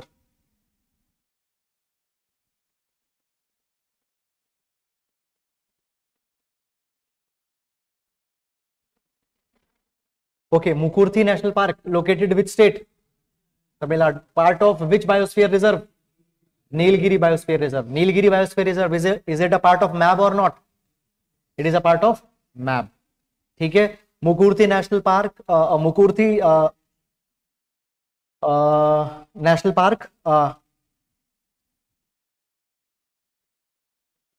it is the only protected area in Tamil Nadu which is a part of bio Nilgiri biosphere reserve रूअर false false ठीक है other protected areas under Nilgiri biosphere reserve दोबारा याद कर लेते हैं first of all Nilgiri biosphere reserve divided in how distributed in how many states three state कौन कौन सी स्टेट्स हैं Tamil Nadu Karnataka and Kerala first of all in first of all in Tamil Nadu क्या क्या है हमारे पास में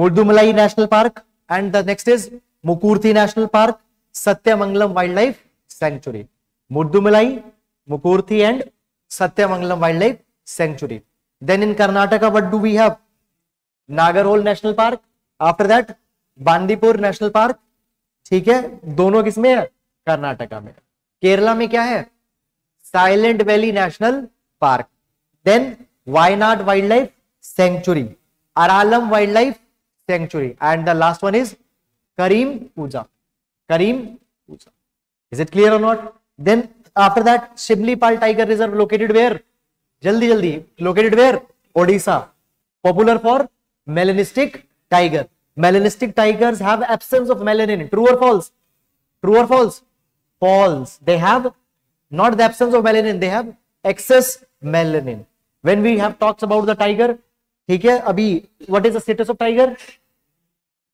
what is the tiger of status on IUCN red list endangered fine is India part of a tiger range country or not yes how many tiger range countries we have 13 St. Petersburg Declaration Summit related to what tiger population. TX2 aims to double the tiger population by which year 2022.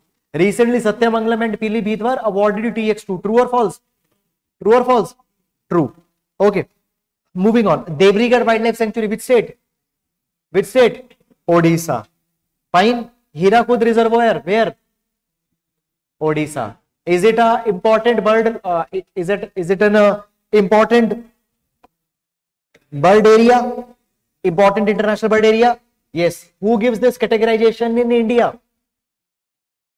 world life international along with Bombay natural history society along with whom Bombay natural history society bird life international is a red list authority for IUCN birds true और false true और false true ठीक है Dibru Dibru Saikhowa national park was in news recently which state Assam which state Assam It is located on the north bank of Brahmaputra. True or false? True or false? False. Which bank? Southern bank. Okay. Recently, Mandarin duck was found here. True or false? True or false? Okay. It, within this, there is a wetland. That is the Maguri wetland. There, Mandarin duck was found.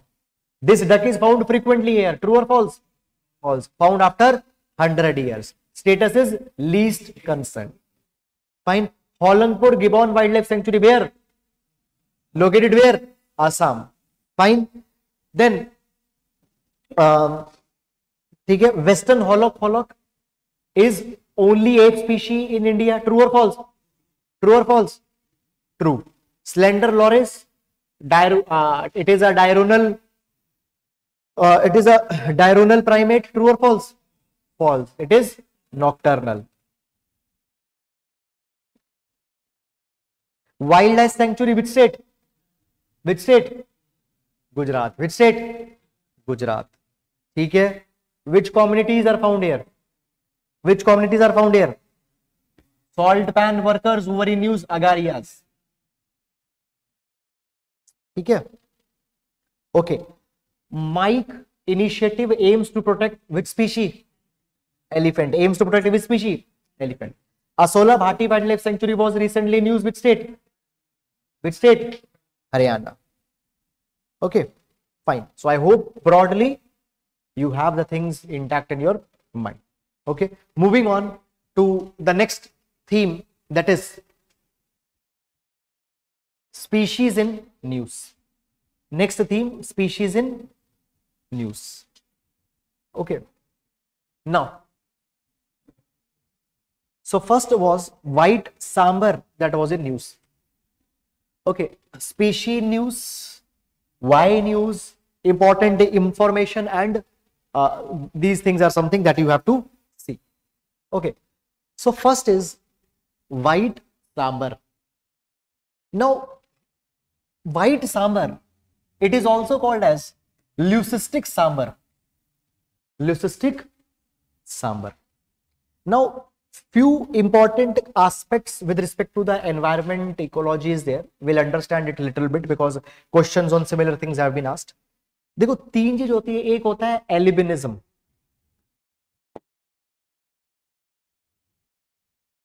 please right here side में लिख लो albinism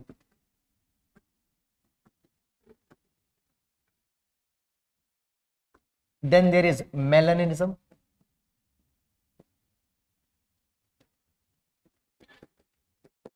Melaninism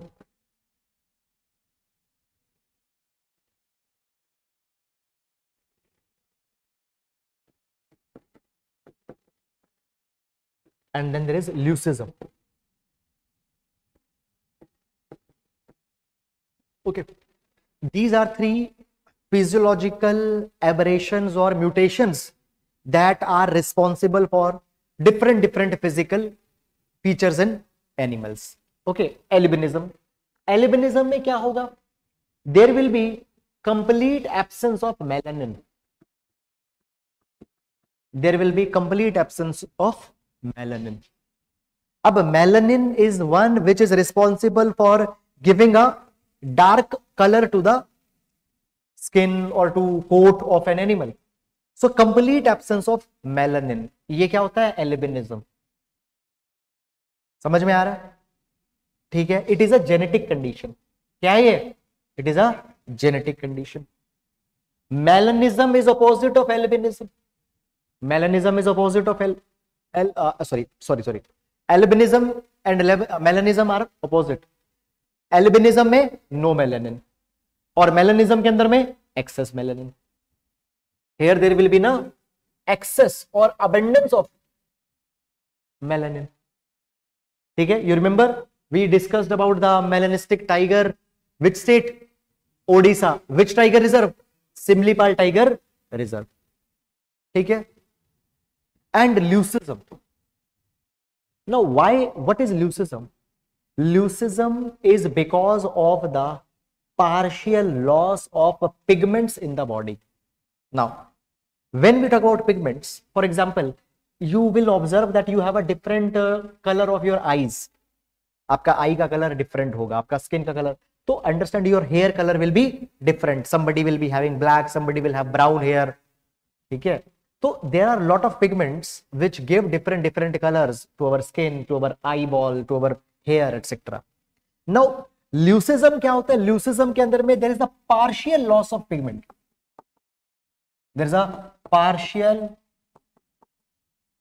loss of pigments is it clear or not fine which will give which will be responsible for discolored coat or discolored or patchy body of an animal are you getting it or not complete loss nahi a partial loss of certain pigments happen it lead it is because of the partial loss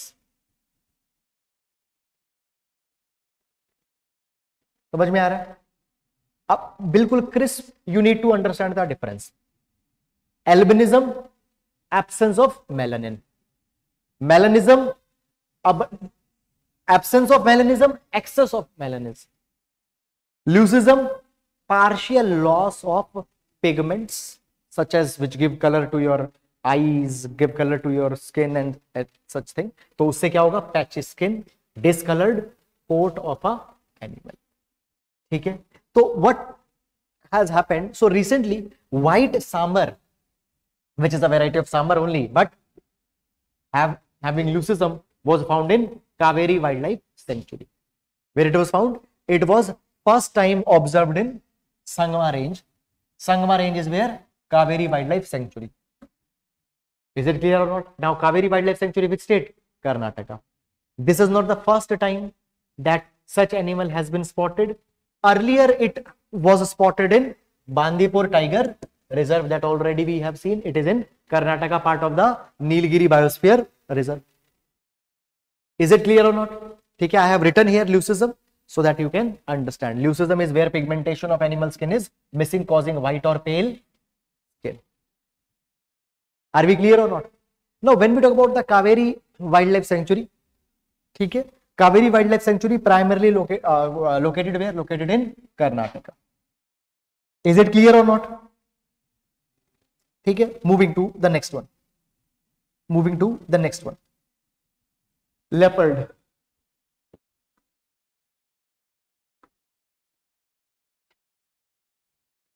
okay IUCN status of sambar क्या है vulnerable leopard now leopard is leopard is the part of the family of big cats ठीक है family of big cats ना understand this thing very important part see big cats में कौन कौन आता है tiger lion jaguar leopard snow leopard you don't find cheetah here is it clear और not तो cheetah is not the part of big cats leopard comes in the big cat और big cat में smallest big cat is leopard Fine. Leopard, it is the smallest of the big cat and recently because of the sterilization of a leopard in Maharashtra, it was in news. Okay. Now when we talk about leopards, fine, nocturnal animal means that it hunts in the night. Okay. Wildlife Protection Act, Wildlife Protection Act, it is schedule 1 means hunting is not allowed cannot be uh, declared as vermin okay cannot be killed until and unless two conditions that we have mentioned okay IUCN status क्या है vulnerable IUCN status क्या है vulnerable cites appendix 1 means international trade is not allowed international trade is not allowed are we getting it or not ठीक है feeds on smaller species such as uh, cheetal, hog deer, wild boar, etc. Okay. State of Rhino 2023 report. State of Rhino 2023 report. Okay. Now, when we talk about the rhinoceros, when we talk about the rhinoceros, so there are five, there are the five subspecies of rhinos that we have there are five subspecies of rhino that we have listen सबसे पहले है great one horn rhino great one horn rhino now when we talk about India India में कौन सा मिलता है greater one horn rhino and greater one horn rhino is the biggest rhino great biggest rhino what is their status vulnerable on IUCN red list Then there is Javan rhino found in Java. What is the status critically? Endangered. Sumatran rhino critically endangered. White rhino near threatened. Now understand this particular thing.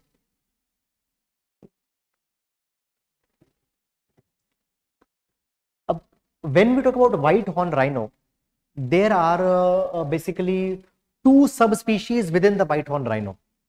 Okay. Now, one is the northern white horn rhino and another is the southern white white horn rhino. Northern white-horned rhino and the southern white-horned rhino. इस पूरे species का status क्या है near threatened but northern white horn rhino now this is something which is something little bit important it is functionally extinct it is a functionally extinct. Now understand this thing. There are only two northern white horn rhinos that have left and both are female. So there is no possibility of their survival. But as they are two, still it is not extinct. Therefore it is functionally extinct. means that within next few years when they'll die, this particular species of rhino will be extinct. which I'm talking about the northern whitehorn rhino. Northern whitehorn rhino functionally extinct. Now these rhinos, they are right now lodged in Kenya. They are right now lodged in Kenya. Okay. Clear है या नहीं है southern there is ample population of them ठीक है Okay. Then there is black rhino, critically endangered, and one horn rhino. Already we have discussed it is in India. ठीक है यहाँ पे देख लिया इज इट क्लियर और not now when we talk about the one horn rhino large one horn rhino के लिए दो चीजें हैं सबसे पहले the largest population of one horn rhino in India is where Kaziranga national park ठीक है सबसे ज्यादा पॉपुलेशन कहां पे है काजीरंगा नेशनल पार्क लेकिन the most concentrated population of one horn rhino वो कहां पे है it is in Pobitora wildlife sanctuary okay Pobitora wildlife sanctuary so two things in absolute numbers in absolute numbers they are in Kaziranga national park 90% percent of one horn rhinos are in Kaziranga national park but concentration highest density of one one rhino वो काजीरंगा में नहीं है वो कहां पे है Pobitora wildlife sanctuary Pobitora wildlife sanctuary it is it has the highest concentration और highest density of rhinos fine so major places where they are found in India Kaziranga national park Pobitora wildlife sanctuary Orang national park Manas national park fine in Assam and Jaldapara national park Gorumara national park in West Bengal and Dudhwa tiger reserve in Uttar Pradesh this is the expanse of them but majority दो ही जगह पे Pobitora and Manas Kaziranga sorry national park is it clear not ठीक है now recently why rhino was a news because state of rhino twenty twenty three report was release who releases the state of rhino 2020, uh, state of rhino report international rhino foundation which largely talks about population of rhino conservation programs with respect to rhino threats that they are facing ठीक है अभी एक चीज है कि that majority of animals इनके threats क्या हैं hunting particularly greater one horn rhino it faces a threat for his for its horn which has a lot of uses in Chinese medication okay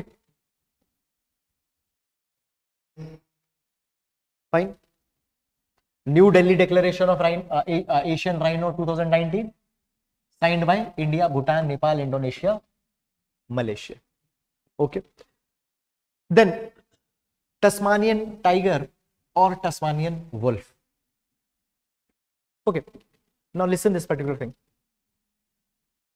when we talk about uh, uh, basically tasmanian bull tasmanian devil ठीक है थोड़ा सा one concept I want to tell you first of all Tasmanian wolf के बारे में बात कर लेते हैं तो when we talk about Tasmanian wolf it looks mix of a wolf dog tiger देखो टाइगर वाली स्ट्राइप्स भी हैं थोड़ी सी ठीक है डॉग जैसा भी लग रहा है वुल्फ जैसा भी लग रहा है तो therefore it is called as tasmanian tiger also called as tasmanian wolf but it competes with a dog like a dingo now tasmanian wolf it is being said to be virtually extinct theek hai thoda sa is map pe focus karo here we have australia and here we have tasmania theek hai tasman sea and here yahan pe if you can see we have the tasmania now word Tasmanian wolf, Tasmanian devil, it comes from the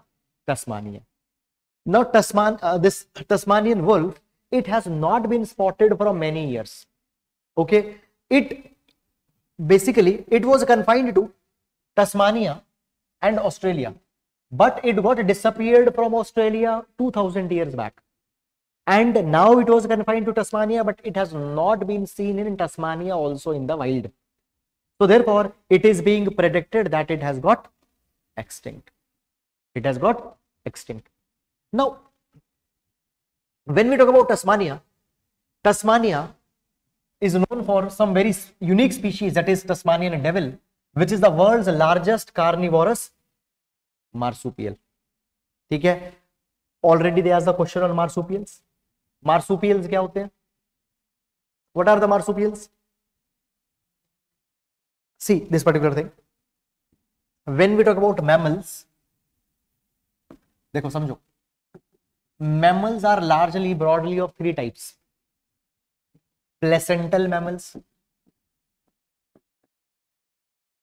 placental mammals placental mammals will give birth to young ones and the young ones when they are in the body of a mammal they will be nourished they will be sustained by a placenta ठीक है so placenta nourishes the embryo in the body placental mammals humans क्या है humans are the placental mammals fine then there are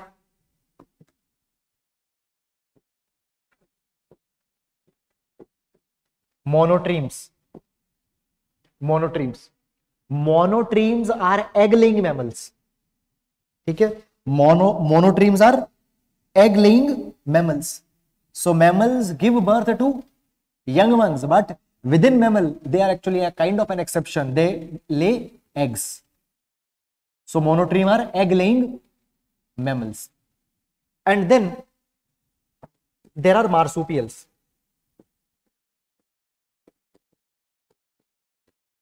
There are marsupials. Now, what are marsupials? marsupials give birth to a relatively underdeveloped uh, child and they will be having a pouch within that particular pouch fine that particular young one will further develop is it clear or not so marsupials they will be having a body pouch and in that body pouch the development of young one will happen so largely we have three types of three categories of mammals again placental mammals fine which is the biggest category ठीक है human are an example of placental mammals monotremes egg laying mammals and marsupials ठीक है Tasmanian devil it is an example of marsupial and it happens to be the biggest carnivorous marsupial समझ में आ रहा है या नहीं आ रहा है these marsupial their extent is very much limited to this region of Australia, Tasmania only. Is it clear or not? You will not find their extent that much. Yes, clear hai?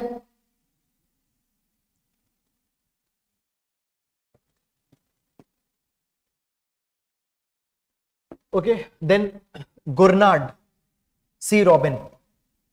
Gurnard C. Robin.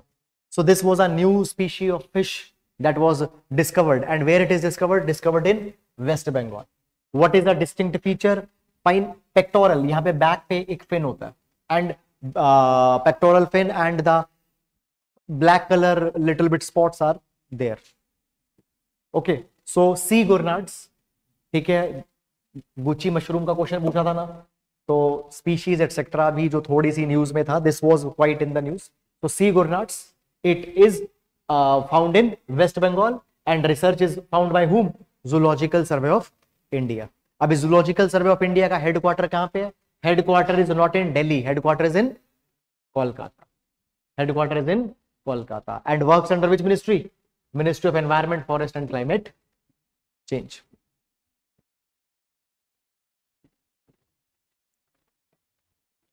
okay conocarpus plants Conocarpus plant. So Conocarpus are banned by Gujarat. Earlier they were banned by Telangana. Conocarpus plants. Okay, this is a type of an invasive plant. This is a type of an invasive plant, pine, which is native to, uh, uh, which was introduced, which was native to from South America. Now, one basic question I will ask. What is you'll find that these invasive species uh, species they grow at a very fast rate why these invasive species you will see that they grow at a very fast rate why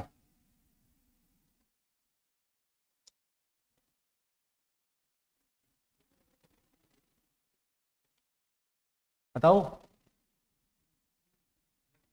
हम हमेशा बात करते हैं invasive species introduce हो गया invasive species आ गया तो वो नेटिव स्पीशी को ओवर पावर कर देगा they grow very fast they populate very fast very basic question why और बेसिक करके बताओ तो फिर तो नेटिव को भी तो करना है वो तो हाँ तो फिर वो फाइट बैक क्यों नहीं कर रहा बहुत बेसिक रीजन है बहुत बेसिक रीजन है understand this particular thing that the native species of plants for example they have their predators they have their pest okay जो उनकी पॉपुलेशन को अंडर चेक रखते हैं when a invasive species is introduced they don't have their pest they don't have their predators are you getting it और not so they don't face that competition which the other species will face ठीक है क्योंकि उनके ऊपर में वो check करने के लिए प्रिडेटर्स पेस्ट एक्सेट्रा नहीं है they grow at a very fast rate now some of some of the invasive species that are in news time and time again उनका नाम लिख लीजिए एक तो यूकिलिप्टस है we have this conocarpus there is eucalyptus there is prosopis juliflora prosopis juliflora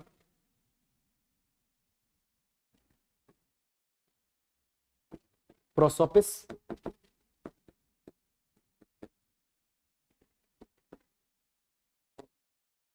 okay uh, also called as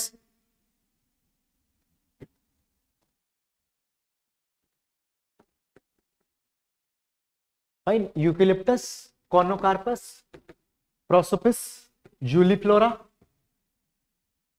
clear lantana camara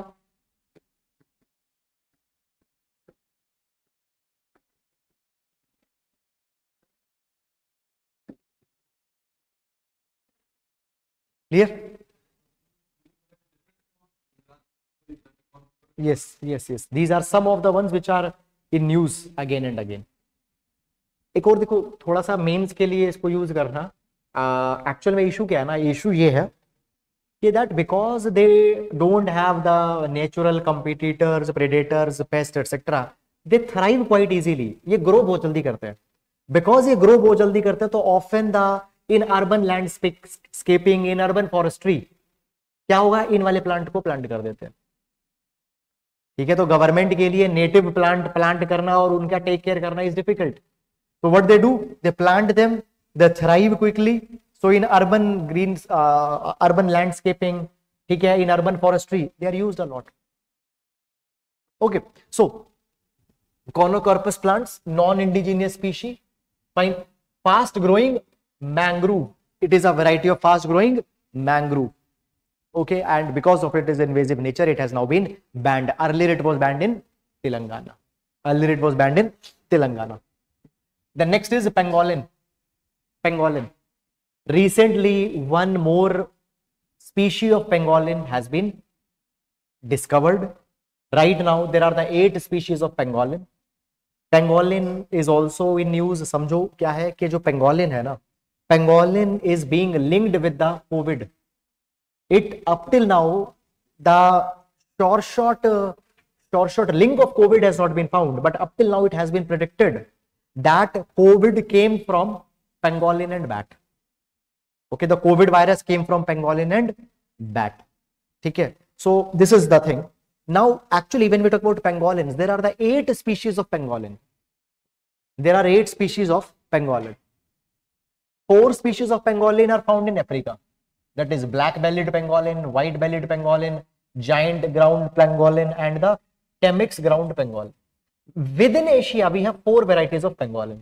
That is Indian pangolin, Philippine pangolin, Sunda pangolin, and Chinese pangolin. Four varieties of pangolin we find in Asia. Okay, now what happened? There is, Abhi, samjo. what happened? in China by, by investigating the scales of a pangolin. It was found that the scales of pangolin are different from the other varieties of pangolin that are observed. So researchers, they are predicting that apart from these eight species of pangolin, there is one more species of pangolin. Okay? Up till now, more conclusive research and more conclusive study has not come. It is being named as Manus mysteria. It is being named as Manis mysteria okay मतलब a mystery there is a mystery अभी तक clear नहीं है but they have found by seeing those scales of a pangolin that were being traded in the Chinese market that these scales ठीक है तो ये देख रहे हो ना इनकी बॉडी के ऊपर में fine these they are called as scales they are made up of keratin ठीक है And because they are made up of keratin, there is a huge demand of these scales. The keratins are used as a product in hair products. They are used in hair products. Okay. So for the keratin that is found here in the hair scale, there is a, a lot of market. So in the grey market of China, by seeing these scales, it was found that these scales are not like other eight species that are there. So there might be a ninth species of pangolin. Okay. Now, when we talk about the pangolin, pangolin have a particular defense mechanism. They have a particular defense mechanism and this defense mechanism is that when they will see a predator, they will turn uh, mm, uh, they will turn round, they will turn like a ball. Okay? Which is called as volvation. Volvation is their protection mechanism. Volvation. That is, they will turn like a ball ठीक है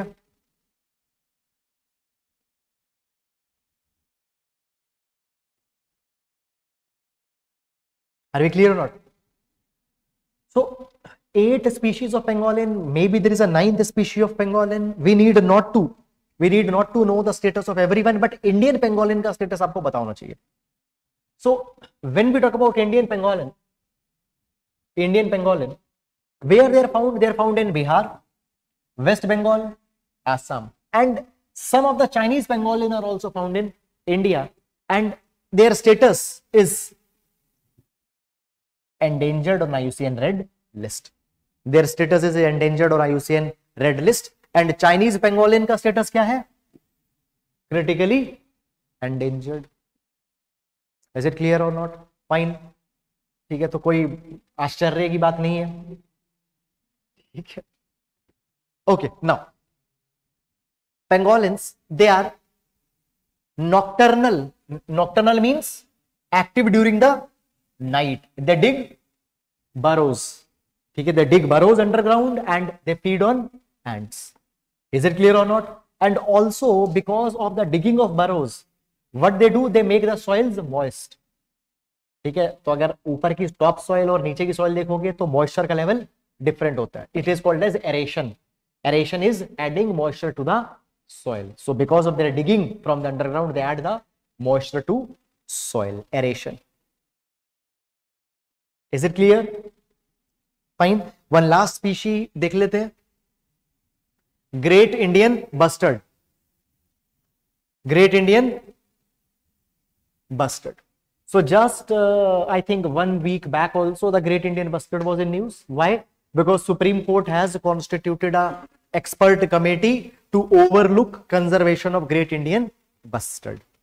Abhi, Great Indian Bustard, when we talk about it, it is critically endangered. Great Indian Bustard, it is critically endangered and very few members of this particular species are now remaining. Now, Great Indian Bustard, majority of Great Indian Bustards are found in Rajasthan. Majority of great Indian mustards are found in Rajasthan. After Rajasthan, some population is found in Gujarat. Okay. Also, what has happened? Cyclone Biparjoy also impacted uh, the great Indian mustard population. Now, see this particular thing. Great Indian mustard, they have problem on multiple fronts. Number one problem with respect to the great Indian mustard is the electrocution problem. great Indian bustard, they have a poor frontal vision.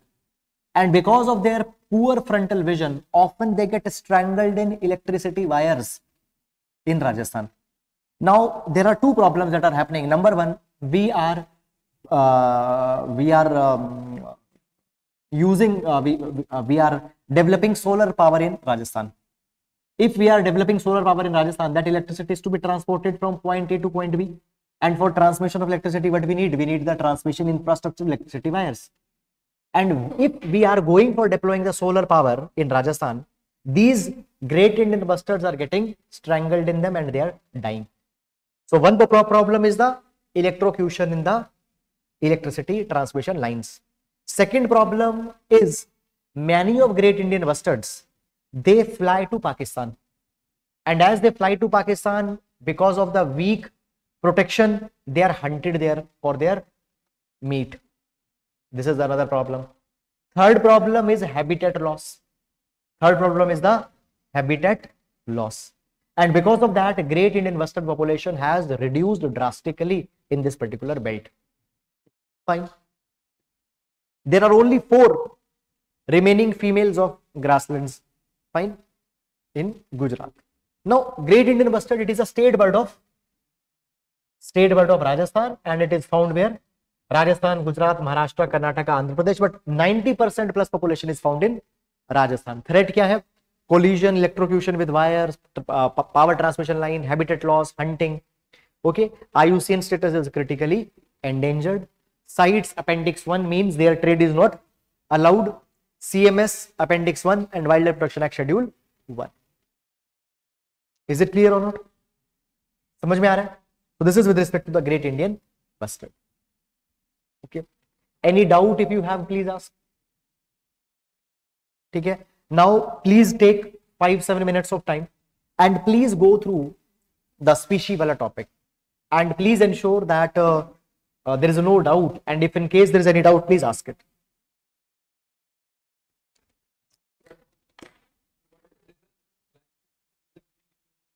Hmm? देखो की stone species होती है which plays a very important role in an ecosystem means अगर आपने वो species हटा दी ठीक है वो स्पीशी अगर आपने हटा दी तो बेसिकली क्या है कि पूरा का पूरा इकोसिस्टम कोलैप्स हो जाएगा या बहुत ज्यादा नेगेटिव इंपैक्ट होगा ठीक है keystone species okay now understand many number of a time keystone species and flagship species are use interchangeably also that can be use but sometimes what happens uh, flagship species more used for that particular kind of an animal which is an iconic to a particular area just for example the moment you will think about uh, assam one horn rhino might come in your mind are you getting it or not so a species which is iconic to a particular habitat habitat a particular vegetation a particular area we often refer to as a flagship species but bahut बार ye overlap bhi karte hain It can be, uh, yes, it, uh, a species can be a flagship as well as keystone. Yes, please, it is not a break. Go through this. I know it is very painful. ठीक है पढ़ाई करना बड़ा दर्दनाक है लेकिन you have taken the decision तो अब तो करो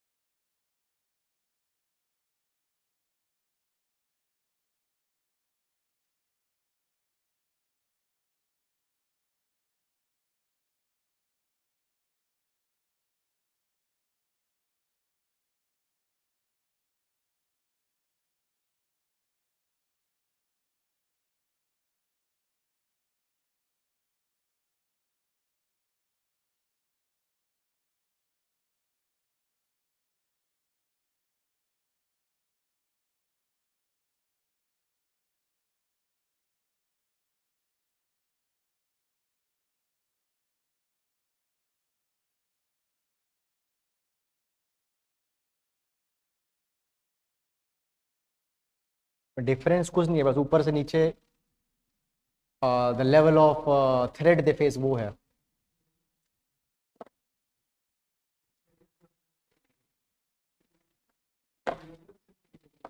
uh, सबसे लास्ट में आता है एक्सटिंक्ट उससे पहले आता है क्रिटिकली एंडेंजर्ड ठीक है लाइक वाइज ऊपर चले जाओ फिर आता है उससे पहले एंडेंजर्ड फंक्शनली एक्सटिंक्ट मतलब जो किसी पर्टिकुलर uh, मतलब फंक्शनल एक्सटेंट फॉर एग्जाम्पल कि पॉसिबल ही नहीं है उनको दोबारा रिवाइव करना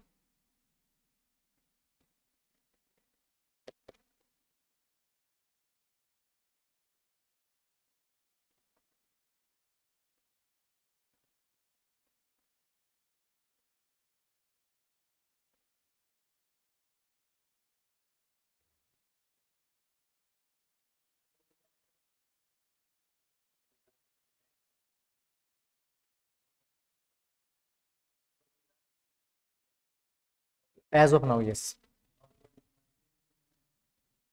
अभी अभी सिर्फ यहीं पे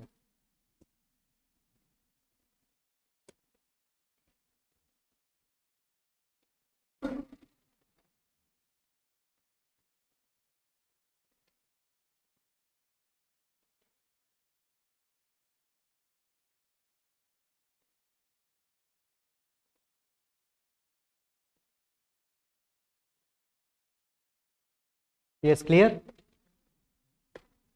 ठीक है so now please ensure that in evening you revise this entire these entire things once ठीक है देन एक बार कोशिश करना कि कल अगर सुबह क्लास में आने से पहले if you can give some 15 20 minutes ठीक है and then will be moving to the next थी okay any question any doubt if you have you may please ask okay thank you